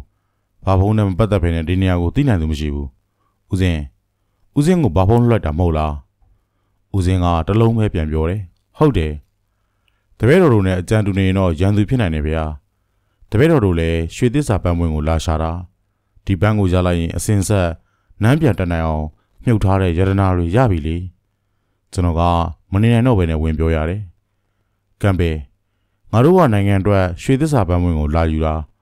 နိုင်ငံမှာဆီယနာရှင်စနစ်ကြာဆုံးမှုလာကြတာနင်တို့လိုယရနာလိုချင်တဲ့လောဘအတွက်မဟုတ်ဘူးအဲ့ဒါတွေမသိဘူး ကျွန်မသိတာမနှက်ဖန်ကိုပဲမနှက်ဖန်လာပြီးနေမှာရွှေသစ္စာရောင်မှန်တောင်မှန်ကထွက်မယ်လို့အဖေကပြောသွားတယ်။တက္ကမလီကဒါပဲသိသလားဟုဦးစင်းကဝင်ပြောတယ်။ရွှေသစ္စာပန်းကိုရရင်ရွှေတိုက်တကားပွင့်ပြီလို့အဖေကပြောတယ်။အဲ့ဒါလောက်မလွယ်ပါဘူးတက္ကမလီရဲ့ဥပကောင်မသိတာတွေအများကြီးပါ။ तू ဘာဖုံးပြောတာလောက်ပဲတက်တက်ကြပြီးတက္ကမလီကိုပြောခဲ့တာ။ပန်းကိုတွေ့အောင်လောက်နဲ့ရွှေတွေထားတဲ့နေရာကိုမသိနိုင်ဘူး။ကောင်းပြီလေဒါဆိုရင်တပည့်တော်တို့နဲ့ဦးစင်းတို့ပူးပေါင်းမယ်။ တပည့်တော်တို့ကရွှေတင်ငွေတွေယတနာတွေယူမယ်အရှင်ဘုရားတို့ကရွှေသစ္စာပန်းပဲယူပေါ့တကမာလေးရွှေသစ္စာပန်းကိုလာယူကြတာယတနာတကားကို အပီးပိတ်ခဲ့ဖို့ပဲယတနာတွေကိုယူဖို့မဟုတ်ဘူးနောင်သာသနာမှာသာသနာတော်ထုံးကားဖို့ရှေးလူကြီးတွေအတိတ်ထန်နဲ့ထားခဲ့ကြတာယူလို့မရဘူးမိုးရင်းကထလာပြီးဦးစင်းနဲ့ကျွန်တော်ရှေ့တွင်ရလိုက်တယ်အရှင်ဘုရားကတပည့်တော်တက်ကိုကယ်ထားဖို့တော့ကြောင့်ဒုက္ခမပေးကြပါဘူးဖေဟာ။ ကျောင်းဆရာလည်းသတိထားပါ။သူ့အချိန်မီတက်နိုင်တယ်စမ်းကြည့်လိုက်လေကျွန်တော်ကဓမ္မကိုကင်ထားပြီးပြောလိုက်တော့လဲကြောက်စိတ်ကဖြစ်နေတယ်မိုးဟိန်တော်စမ်းနင်းတော့ထိုင်နေတကိစ္စငါတို့ရှင်မယ်ဆရာဘလူးသဘောနဲ့လိုက်လာတာလေဦးစင်းခေါ်လို့ပဲအဖော်ဖြစ်လိုက်လာတာပါကောင်းပြီဒါဆိုရင်တော့အေးအေးဆေးနေကျမတို့ကိုရမ်းမရှာပါနဲ့ဦးစင်းလက်ခံသည်ဖြစ်စေလက်မခံသည်ဖြစ်စေတပည့်တော်တို့ရွှေသစ္စာပန်းကိုရင်ရှာရမှာပဲတွေ့မှကျန်တာဆုံးဖြတ်မယ် ကျွန်တော်ကညစာကိုငပြောသီးများထုတ်ပြီးစားနေချိန်တွင်မက်ကန်ဘဲကဆရာလာပါကျမတို့နဲ့တူစားပါရပါတယ်ငါငပြောသည်ပဲစားမယ်အစိတ်မခတ်ပါဘူးဆရာရဲ့လာပါဆရာဘေးမဖြစ်ဘူးကျမတာဝန်ယူတယ်ဦးစင်းကရေဆိုနေတဲ့သင်္ကန်းများကိုလဲဝစ်ပြီးကြောက်တုံးကြီးတုံးနောက်ကပြန်ထွက်လာတယ်ထို့နောက်မိဘုံကြီးတွင်သင်္ကန်းတစ်ထည်ကိုခင်းပြီးတော့ထိုင်နေတယ်ကျွန်တော်က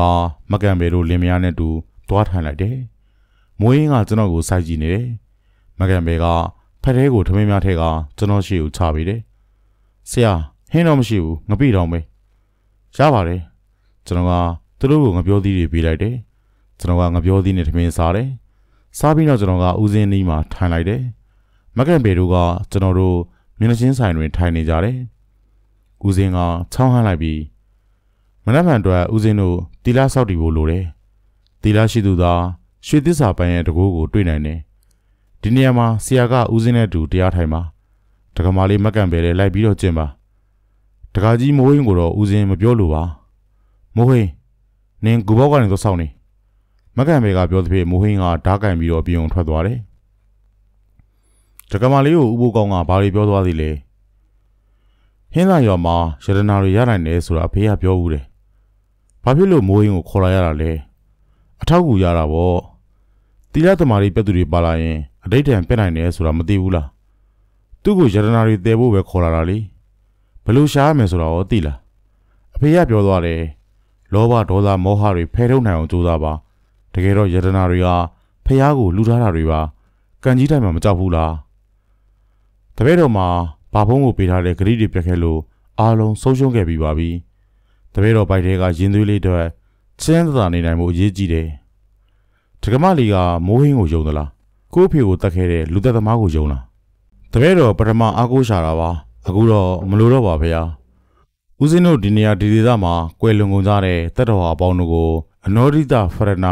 အောဒိတဖရဏမြတ်တာပွားနည်းတွေနဲ့မြတ်တာပို့ရမယ်ဦးစင်းကလွယ်ထဲမှာဖျောင်းနိုင်တစ်ထုံနဲ့အမွှေးတိုင်များကိုထုတ်လိုက်တယ်ကျွန်တော်ကကြောက်တုံးကြီးပေါ်တွင်ဖျောင်းနိုင်များကိုထွန်းအမွှေးတိုင်များကိုထွန်းလိုက်တယ်လိုက်ဆိုကြ အနောဒိတဖရဏတပ်ပေတတ္တာအဝေယာဟွန်တုတပ်ပေတတ္တာအဗျာပစ္စာဟွန်တုတပ်ပေတတ္တာအနိယာဟွန်တုတပ်ပေတတ္တာဒုက္ခိအတ္တနံပရဟရန္တုတပ်ပေပါနာအဝေယဟွန်တုတပ်ပေဘုဒ္ဓအဝေယဟွန်တုတပ်ပေပုဂ္ဂလာအဝေယဟွန်တု တပ်ပေအတ္တဘာဝပရိယာပန္နာအဝေယဟွန်တုဩရိဒဖရဏတပ်ပါအဋ္ဌိယောအဝေယဟွန်တုတပ်ပါအဋ္ဌိယောအဗျာပစ္စာဟွန်တု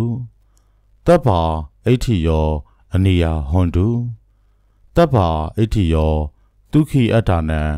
ပရိဟရန္တုတပ်ပေပုရိတာအဝေယဟွန်တု တပ်ပေအရိယာအဝေယဟွန်တု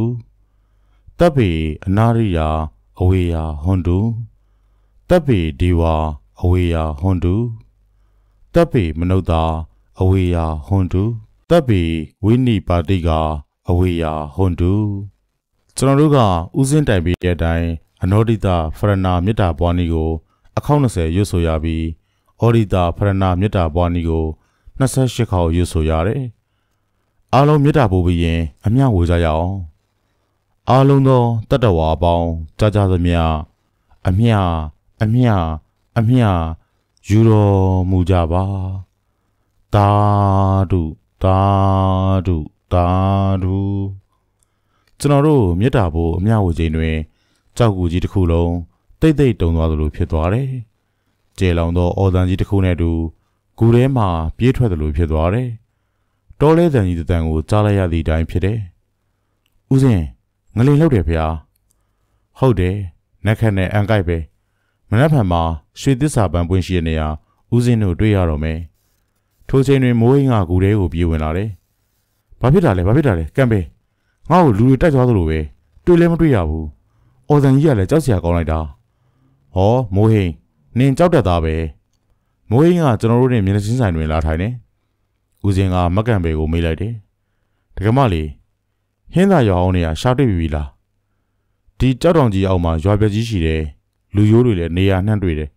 မနှက်ဖြံမှာတောင်းကိုဆင်းကြည့်မယ်မနှက်အာယုံမတက်မီထူးခြားမှုတစ်ခုကိုတွေ့ရမယ်ထင်တယ်ကဲအိတ်ကြတော့ကျွန်တော်ကဦးစင်းဘေးတွင်ပင်ဝင်ပြီးတော့အိတ်လိုက်တယ်မကန်ဘဲနဲ့မိုးဟင်းကကြောက်တုံးကြီးဘေးတွင်နေရာယူလိုက်တယ်။ကျွန်တော်ကပင်မလုံးသဖြင့်အိပ်ပျော်သွားတယ်။ ကျွန်တော်လက်မောင်းကိုတစုံတစ်ယောက်ကလှုပ်နှိုးလိုက်သဖြင့်လန့်သွားတယ်။တခါကြီးအာယုံမတက်မီအသိမြင်ထားဖို့လိုတယ်ဟုဦးစင်းကပြောလိုက်တယ်။ကျွန်တော်က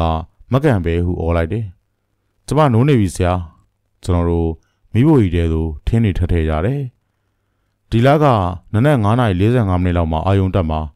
ဒီတော့တောင်းကိုဆင်းပြီးတော့နေရာယူထားမှရမယ်ဟုဦးစင်ကပြောတယ်ကျွန်တော်ကမပြောသေးသလုံးကိုဦးစင်ဟာအာယုံစွန်းဖြေကတ်လိုက်တယ် မကန်မေကပြားရည်ကြီးတော်လေးတစ်ခုလာပေးတယ်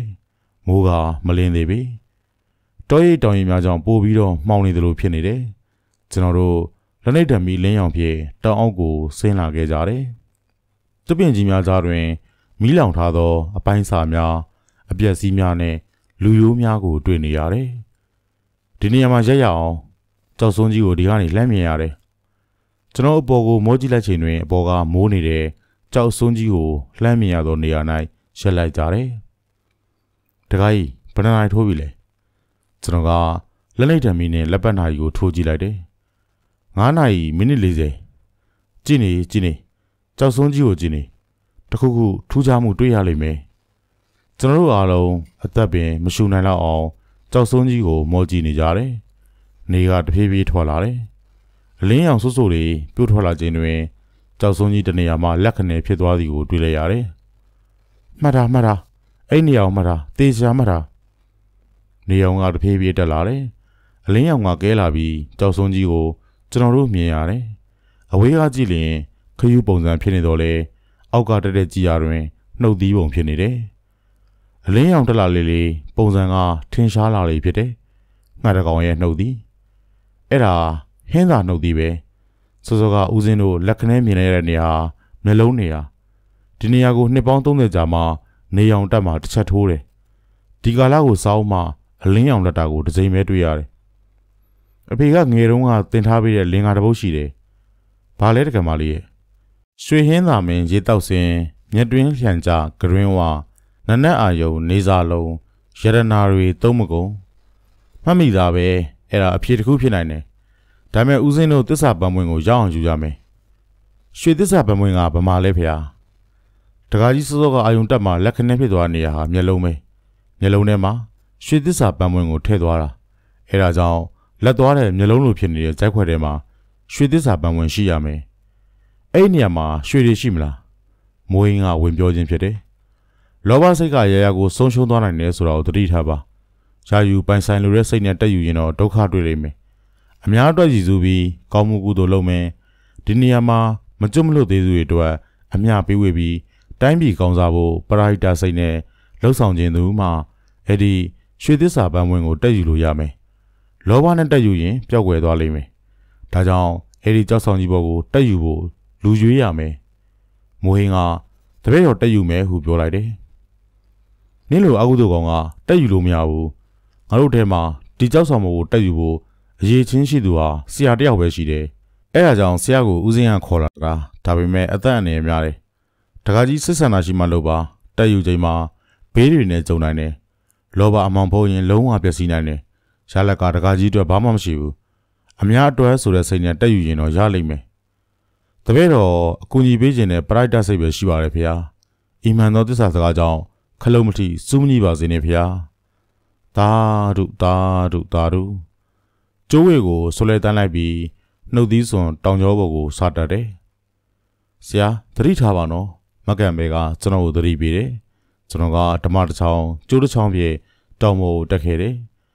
လူမြောက်တဲ့နေရာဖြစ်နေသောကြောင့်ခြုံမင်းတွေပင်များကို ရှင်းလင်းတက်ရသဖြင့်ခရီးမတွင်လာပါသို့တော့ကျွန်တော်ယောက်ျားတို့ဇွဲဖြင့်ဂရိပေးထားတဲ့အတိုင်းတောင်ကျောပေါ်ကိုတက်လာတယ်တောင်ထက်ရောက်သည့်အခါတွင်ကြောက်စွန်းစီကိုဆက်သွားရအောင်မည် ကြောက်စွန်းနှုတ်သီးနေရာကလူတရက်ကျော်နေတယ်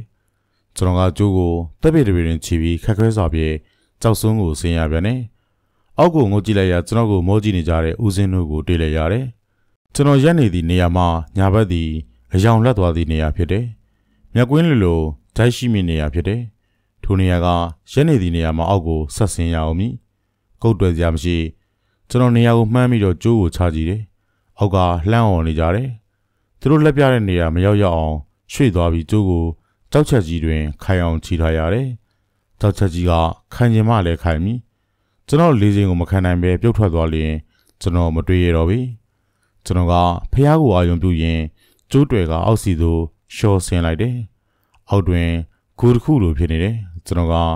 ကိုကိုလွှဲခါအတွင်းကိုခုံဝင်လိုက်တယ်။အတွင်း၌ဘာမှမတွေ့ကြောက်သားနေရန်ကြီးလိုဖြစ်နေတယ်။ရေကြီးတွေတက်နေတဲ့ ကြောက်သားနေရန်ကြီးဖြစ်နေတယ်ရေတွေဆွဆွနေပြီးလက်နဲ့ကန်ကြည့်လိုက်ရင်အေးစိတ်နေတယ်။တေချာတီဟာအီနီယာမှမနက်အာရုံတွင် အယောင်လက်သွားခြင်းဖြစ်တယ်။မနက်ကမက်ကံပဲရွပြတဲ့လင်္ကာထဲတွင်မြက်တွင်းရှန်ကြားဂရင်းဝါဆိုတဲ့စကားလုံးကိုမှတ်မိလိုက်တယ်။ကျွန်တော်ကရေစီးကြောင်းဖြစ်နေတဲ့ကြောက်သားလမ်းကြောင်းတစ်ခုကိုသတိထားလိုက်မိတယ်။ထိုလမ်းကြောင်းကနှုတ်သီးဘက်စီကိုတန်းတန်းသွားနေတယ်။ရေစီးကြတဲ့နေရာကိုကျွန်တော် လက်ထိုးထည့်လိုက်မိတယ်။အထဲတွင်အေးဆက်ဆက်ရာတစ်ခုကိုစမ်းမိတယ်။အချွန်တွေအတက်တွေနဲ့ဖြစ်တယ်။ခက်ခဲစွာလက်နဲ့ကော်ထုတ်လိုက်မှကျွန်တော်လက်ထဲကိုထိုးရာကပါလာတယ်။ရွှေပန်းပုံလေးတစ်ဝင်းဖြစ်တယ်။ကျွန်တော်လက်ထုတ်လိုက်ချိန်တပြိုင်နက်ရေတွေကလမ်းကြောင်းမှာဝေါ်ဝနဲ့စီးထွက်သွားတယ်။ကျွန်တော်ကရွှေသစ္စာပန်းဝင်းကိုသေချာကြည့်ပြီးအိတ်ထဲကိုထည့်လိုက်တယ်။ထို့နောက်ကျိုးကိုခိုးပြီးတော့ခက်ခဲစွာပြန်တက်တယ်။အောင်မြင်စွာကျွန်တော်ပြန်ဆင်းလာနိုင်ခဲ့ပါတယ်။ ဖရာတကူတီလာတကူဖြစ်ပါလိမ့်မယ်။အောက်ကိုပြောင်းတဲ့အခါဦးစင်းကိုပဲတွေ့ရတယ်။မက်ကန်ဘယ်တို့ရောဖရာဦးစင်းကလက်ညှိုးထိုးပြနေရကိုကျွန်တော်လှမ်းကြည့်မိတယ်။နှုတ်သီးလိုကြောက်ဆုံးကရေတွေကျနေတယ်။ရေကျနေတဲ့နေရာတစ်တဲ့တွင်မက်ကန်ပင်နဲ့မိုးဟိန်းတို့တစ်ခုခုကိုတူနေကြတယ်။နှုတ်သီးတစ်တဲ့ကရေတွေကျလာတယ်တခါကြီး။အဲ့ဒီနေရာမှာရတနာတွေရှိရမယ်ဆိုပြီးတော့တွားတူးနေကြတယ်။ဦးစင်းတို့ကိစ္စပြီးပြီးရွှေသစ္စာပန်းဝင်ရခဲ့ပြီမို့လား။ ရခဲ့ပါပြီဖေ။ဒီမှာပါ။တခါကြီးပဲသိမ့်ထားပါ။ဦးစင်းတို့ပြန်ကြရအောင်။ကျွန်တော်တို့လာလန်တိုင်းပြန်တက်ရန်ပြင်ဆင်နေကြတယ်။ထိုချိန်တွင်ရက်လိုက်စမ်းရက်လိုက်နော်တလန်းမှမရွေ့နဲ့ဒီလိုသွားလို့ရမလားမက်ကန်ဘယ်ကအော်လိုက်ခြင်းဖြစ်ပေတယ်မိုးဟင်းကပြေးလာပြီးကျွန်တော်တို့ရှိတွင်ရက်ခါဓားဖြစ်တားလာတယ်တက္ကမကြီးလူကျင်တာရပြီမို့လားဦးစင်းတို့ကိုတောခွင့်ပြုပေါ့အဲ့ဒီမှာဘာမှမရှိဘူးအဲ့ဒီရေကြတဲ့နေရာမှာဘာမှမရှိဘူးတပည့်တော်တို့ရတနာတွေရှားရအောင်မယ် ဘယ်မှာလဲရွှေသစ္စာပန်းဝင်ပေးပါဆရာကျွန်တော်ကဦးစင်းကိုကြည့်လိုက်တယ်ရွှေသစ္စာပန်းဝင်ရလဲရတနာတွေသိမ်းထားနေရကိုမသိနိုင်ပါဘူးနောက်ဆုံးလင်္ကာကိုဘယ်သူမှမရဘူးဦးစင်းကိုလည်းဘာဖုံးကသိမပေးထားဘူးရက်လိုက်မညာနဲ့ရတနာရှိတဲ့နေရာကိုဦးစင်းသိကိုသိရမယ်ဦးစင်းမညာပါဘူးတကမာလေးရဲ့ဟေးဟိုเจ้าဆရာတစ္ဆာပန်းဝင်ပေးစမ်းမပေးဘူးဒါဦးစင်းအတွက်ယူလာပေးတာမင်းတို့အတွက်မဟုတ်ဘူးဆရာခဏလေးနေပါဦးဦးစင်းလည်းရက်ပါဦး တပည့်တော်ပြောတာနားထောင်ပါဦး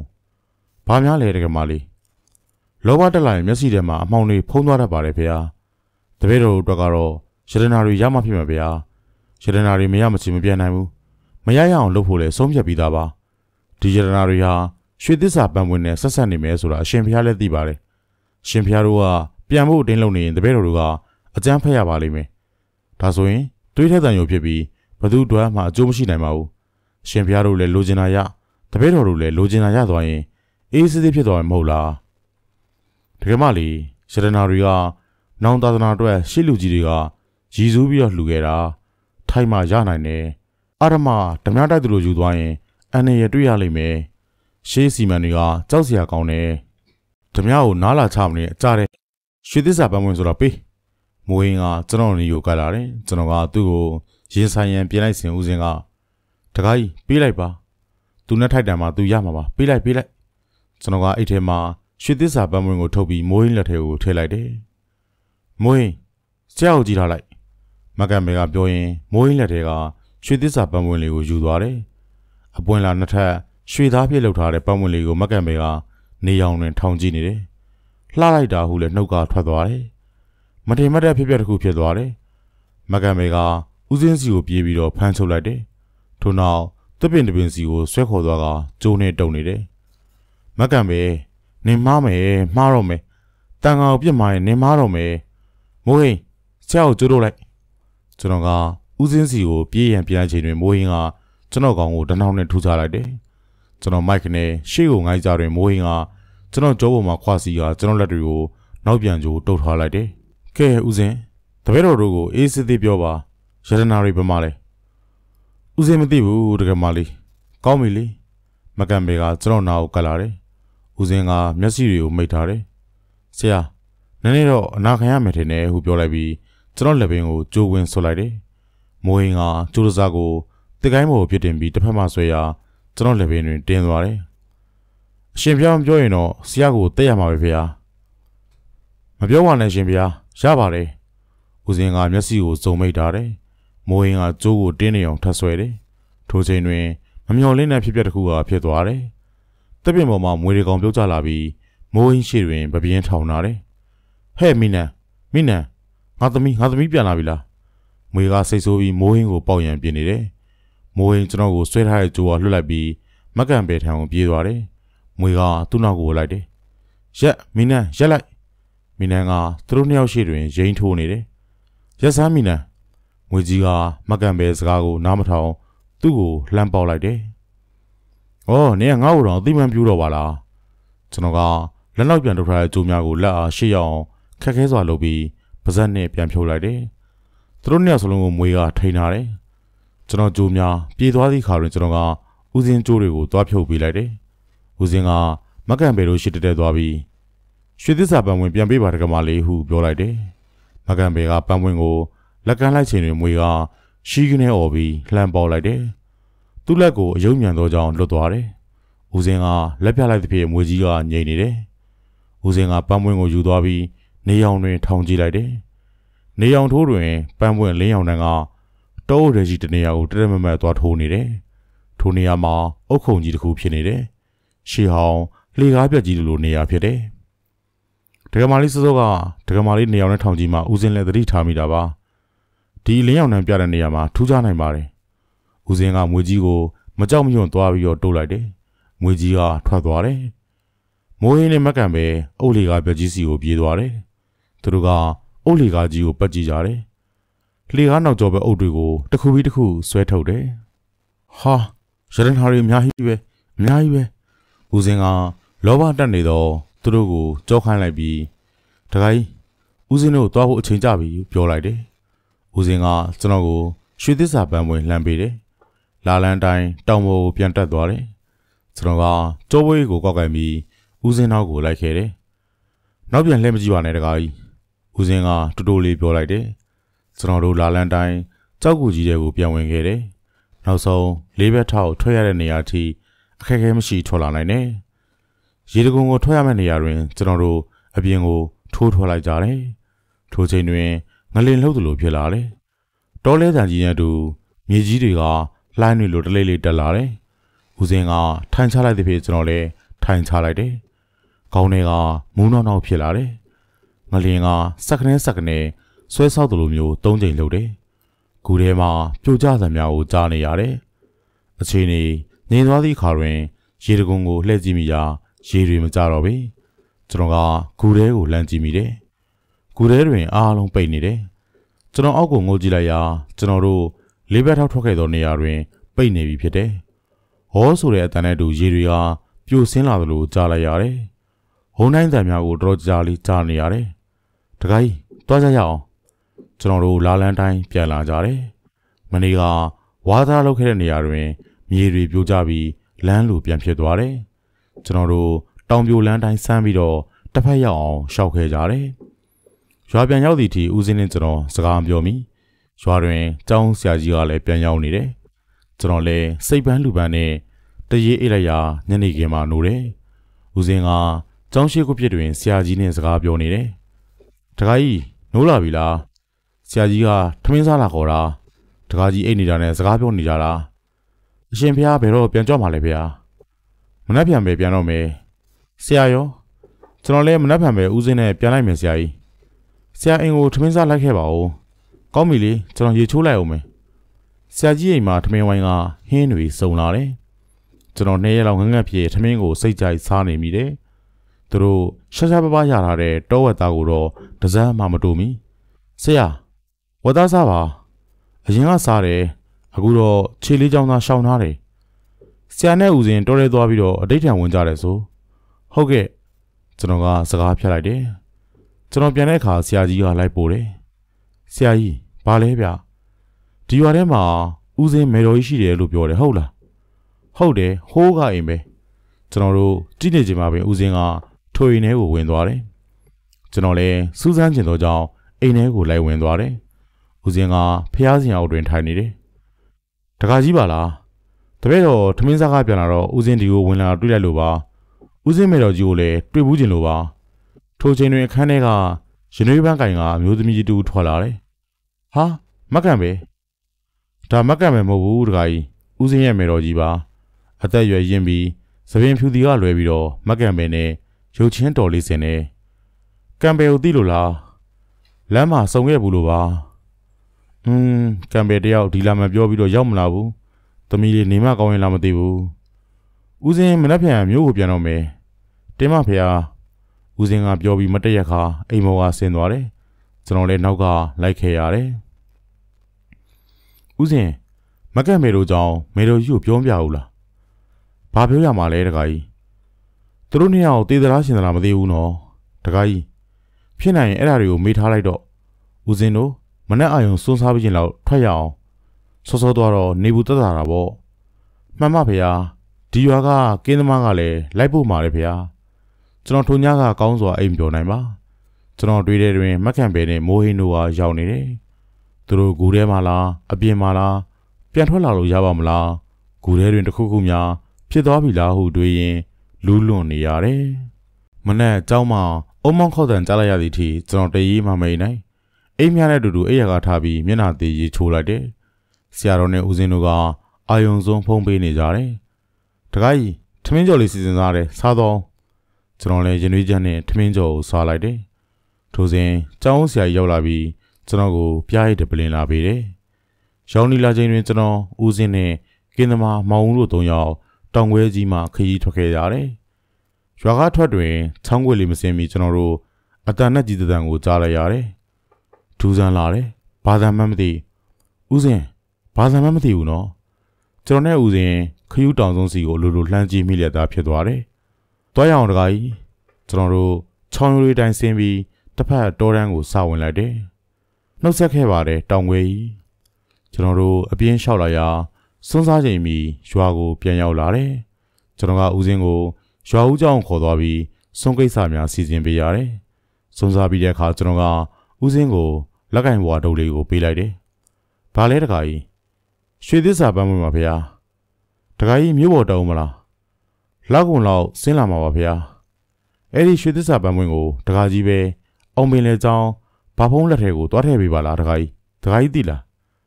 အနောက်တော်တွေကဥအာရင်စာချောင်းသိပါတယ်ဗျာတပည့်တော်ကိုယုံကြည်လို့လားဗျာဒါကအလွန်တန်မိုးရှိတယ်တပည့်တော်တောင်းပေးဘူးဆိုရင်ရောတခါကြီးကလူလူစားမျိုးမဟုတ်ပါဘူးဦးစင်းကပြုံးပြုံးလေးပြောသွားတယ်ကျွန်တော်ကမျိုးစိုးပြန်ပြီးမိသွေးကောင်းကန်းတွင်ဦးစင်းကိုလိုက်တင်ပေးလိုက်တယ်။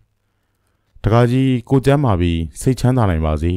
။ပေးတဲ့စုနဲ့ပြေးရပါလို့ဖျား။ကျွန်တော်ကကောက်တွင်ထိုင်ပြီးကြောလိုက်တယ်။ကားထွက်သွားသည့်အထိမျက်စိတစုံကြည့်နေမိတယ်။လောက်ကုန်ရန်လိုသေးတယ်။ကျွန်တော်ကကိုရွာကြောင်ပြန်ရောက်ပြီးတင်ကြားရေးတွေလုံပန်းနေရတယ်။ညအိချိန်ရောက်တိုင်းကျွန်တော်နားတဲ့တွင်ငိုတန်လိုလိုအော်တန်လိုတွေကြီးကြားနေရတယ်။ကျွန်တော်ကဖះရှိခိုးပရိစိတ်ပြီးစိတ်ကိုပြန်လဲတီးဆောက်ရတယ်။ လောက်ဝင်ရမရောက်မီကျွန်တော်မျိုးကိုဆင်လာခဲ့တယ်။ကျွန်တော်လက်ထဲတွင်ရွှေသစ္စာပန်းဝင်ရှိနေသည်ကိုပင်စိတ်ထဲတွင် မတေမကြားဖြစ်နေတယ်။ထိုပန်းဝင်နဲ့ပတ်သက်ပြီးစိတ်မကောင်းစရာတွေကရုပ်ရှင်ပြန်ကြည့်ရသလိုမျက်စီတွေပေါ်နေတယ်။မကန်ပဲမိုးဟိန်ဦးစင်မိနန်ကိုခင်မောင်မြို့ကိုရောက်ပြီးနောက်တစ်တွင်ကျွန်တော်အောင်ပင်လေဥဟာဒိန်စာကျောင်းကိုစပိန်လေးဖြစ်ရောက်လာခဲ့တယ်။ စွန်းစားပြီးချိန်ဖြစ်တဲ့ဆရာတော်ကစွန်းစားကျောင်းပေါ်တွင်ရင်းနှီးချမ်းတောင်းနေတယ်။ကျွန်တော်ဆရာတော်ကိုဥချလိုက်တယ်။ဘာကိစ္စလဲတကားကြီး။ကျွန်တော်ကအထွေထူးပြောအိတ်ထဲကလက်ကင်ပွားလေးကိုထိုးလိုက်ပြီးဆရာတော်ရှေ့ကိုချကဖွင့်ပြလိုက်တယ်။ကျောင်းဆရာမှတ်တယ်တင်းမဖေဟာဆရာတော်ကထားသွားပြီးအခန်းထဲကိုဝင်သွားတယ်။ထို့နောက်သူ့လက်ထဲရှိရုံးဘူးလေးထဲမှာရွှေသစ္စာပန်းလေးတစ်ပွင့်ကိုထိုးလိုက်ပြီးကျွန်တော်ပန်းဘေးတွင်ချထားလိုက်တယ်။အောင်ပြီတခါကြီး ဖုန်းကြီးတို့အောင်ပြီငါတို့နိုင်ငံမှာအာဏာရှင်စိုးမိုးမှုတွေခြုံငင်းပြောက်ွယ်ဖို့အချိန်ရောက်ပြီ။အားရစရာကောင်းလိုက်တာဖေဟာအမြန်ဖြစ်စေချင်ပါပြီ။မမြန်ဘူးတခါကြီးဖုန်းကြီးတို့နောက်ထပ်နှစ်ပေါင်း30ဆောက်ရအောင်မယ်။ဒီဘက်နှစ်ပွင့်နဲ့အစီမံတစ်ခုလုပ်ဖို့ဆိုတာနောက်ထပ်နှစ်30ဆောက်ရမယ်။အဲဒီချိန်နှက်ခိုက်ကြုံရင်ဒီတိုင်းပြည်ဆရာနာရှင်ဖနှောက်ကလွတ်ပြီးဝမ်းသာလာပါတယ်ဖေဟာတခါကြီးကြောင့်ဖုန်းကြီးတည်ပြီးပြီ တခါကြီးရဲ့ကိုကျိုးဆွနိုင်တဲ့စိတ်ဓာတ်အနစ်နာခံတတ်တဲ့စိတ်ဓာတ်သစ္စာရှိတဲ့စိတ်ဓာတ်တွေကိုသဘောကျတယ်။ကိုင်းအသင့်ဖြစ်ပြီလား။ဘာများလဲဖေဟာတခါကြီးကိုအာနာပြတိတ်ကမဂိုင်းကလက်ခံပြီးဂိုင်းလက်ဖြန့်ကျွန်တော်ကလက်ဖြန့်ပြီးမှတပည့်တော်အာနာပြတိတ်ကမဂိုင်းလေမဝင်ပြစီနဲ့ဖေဟာမွေတွေနဲ့လည်းမပတ်သက်ချင်ပါဘူးအေးစစ်စစ်ပဲနေပြစီတက်ခတ်တာပဲတထောင်မှတယောက်မငင်းဘူး တပည့်တော်ကတော့ကြုံတွေ့ခဲ့ရတဲ့အပေါ်မှာတံဝေရတွေအများကြီးယူစရာဖြစ်ခဲ့ပါတယ်ဗျာတပည့်တော်အေးစစ်စွာနေကြပါတယ်ကောင်းပြီလေအတင်းမတိုက်တော့ပါဘူးဒါလေးတော့အဆောင်ဖြစ်ပေးလိုက်မယ်ရော့ဘာဖုံးကကျွန်တော်ကိုသူ့လက်တွင်ဝတ်ထားတဲ့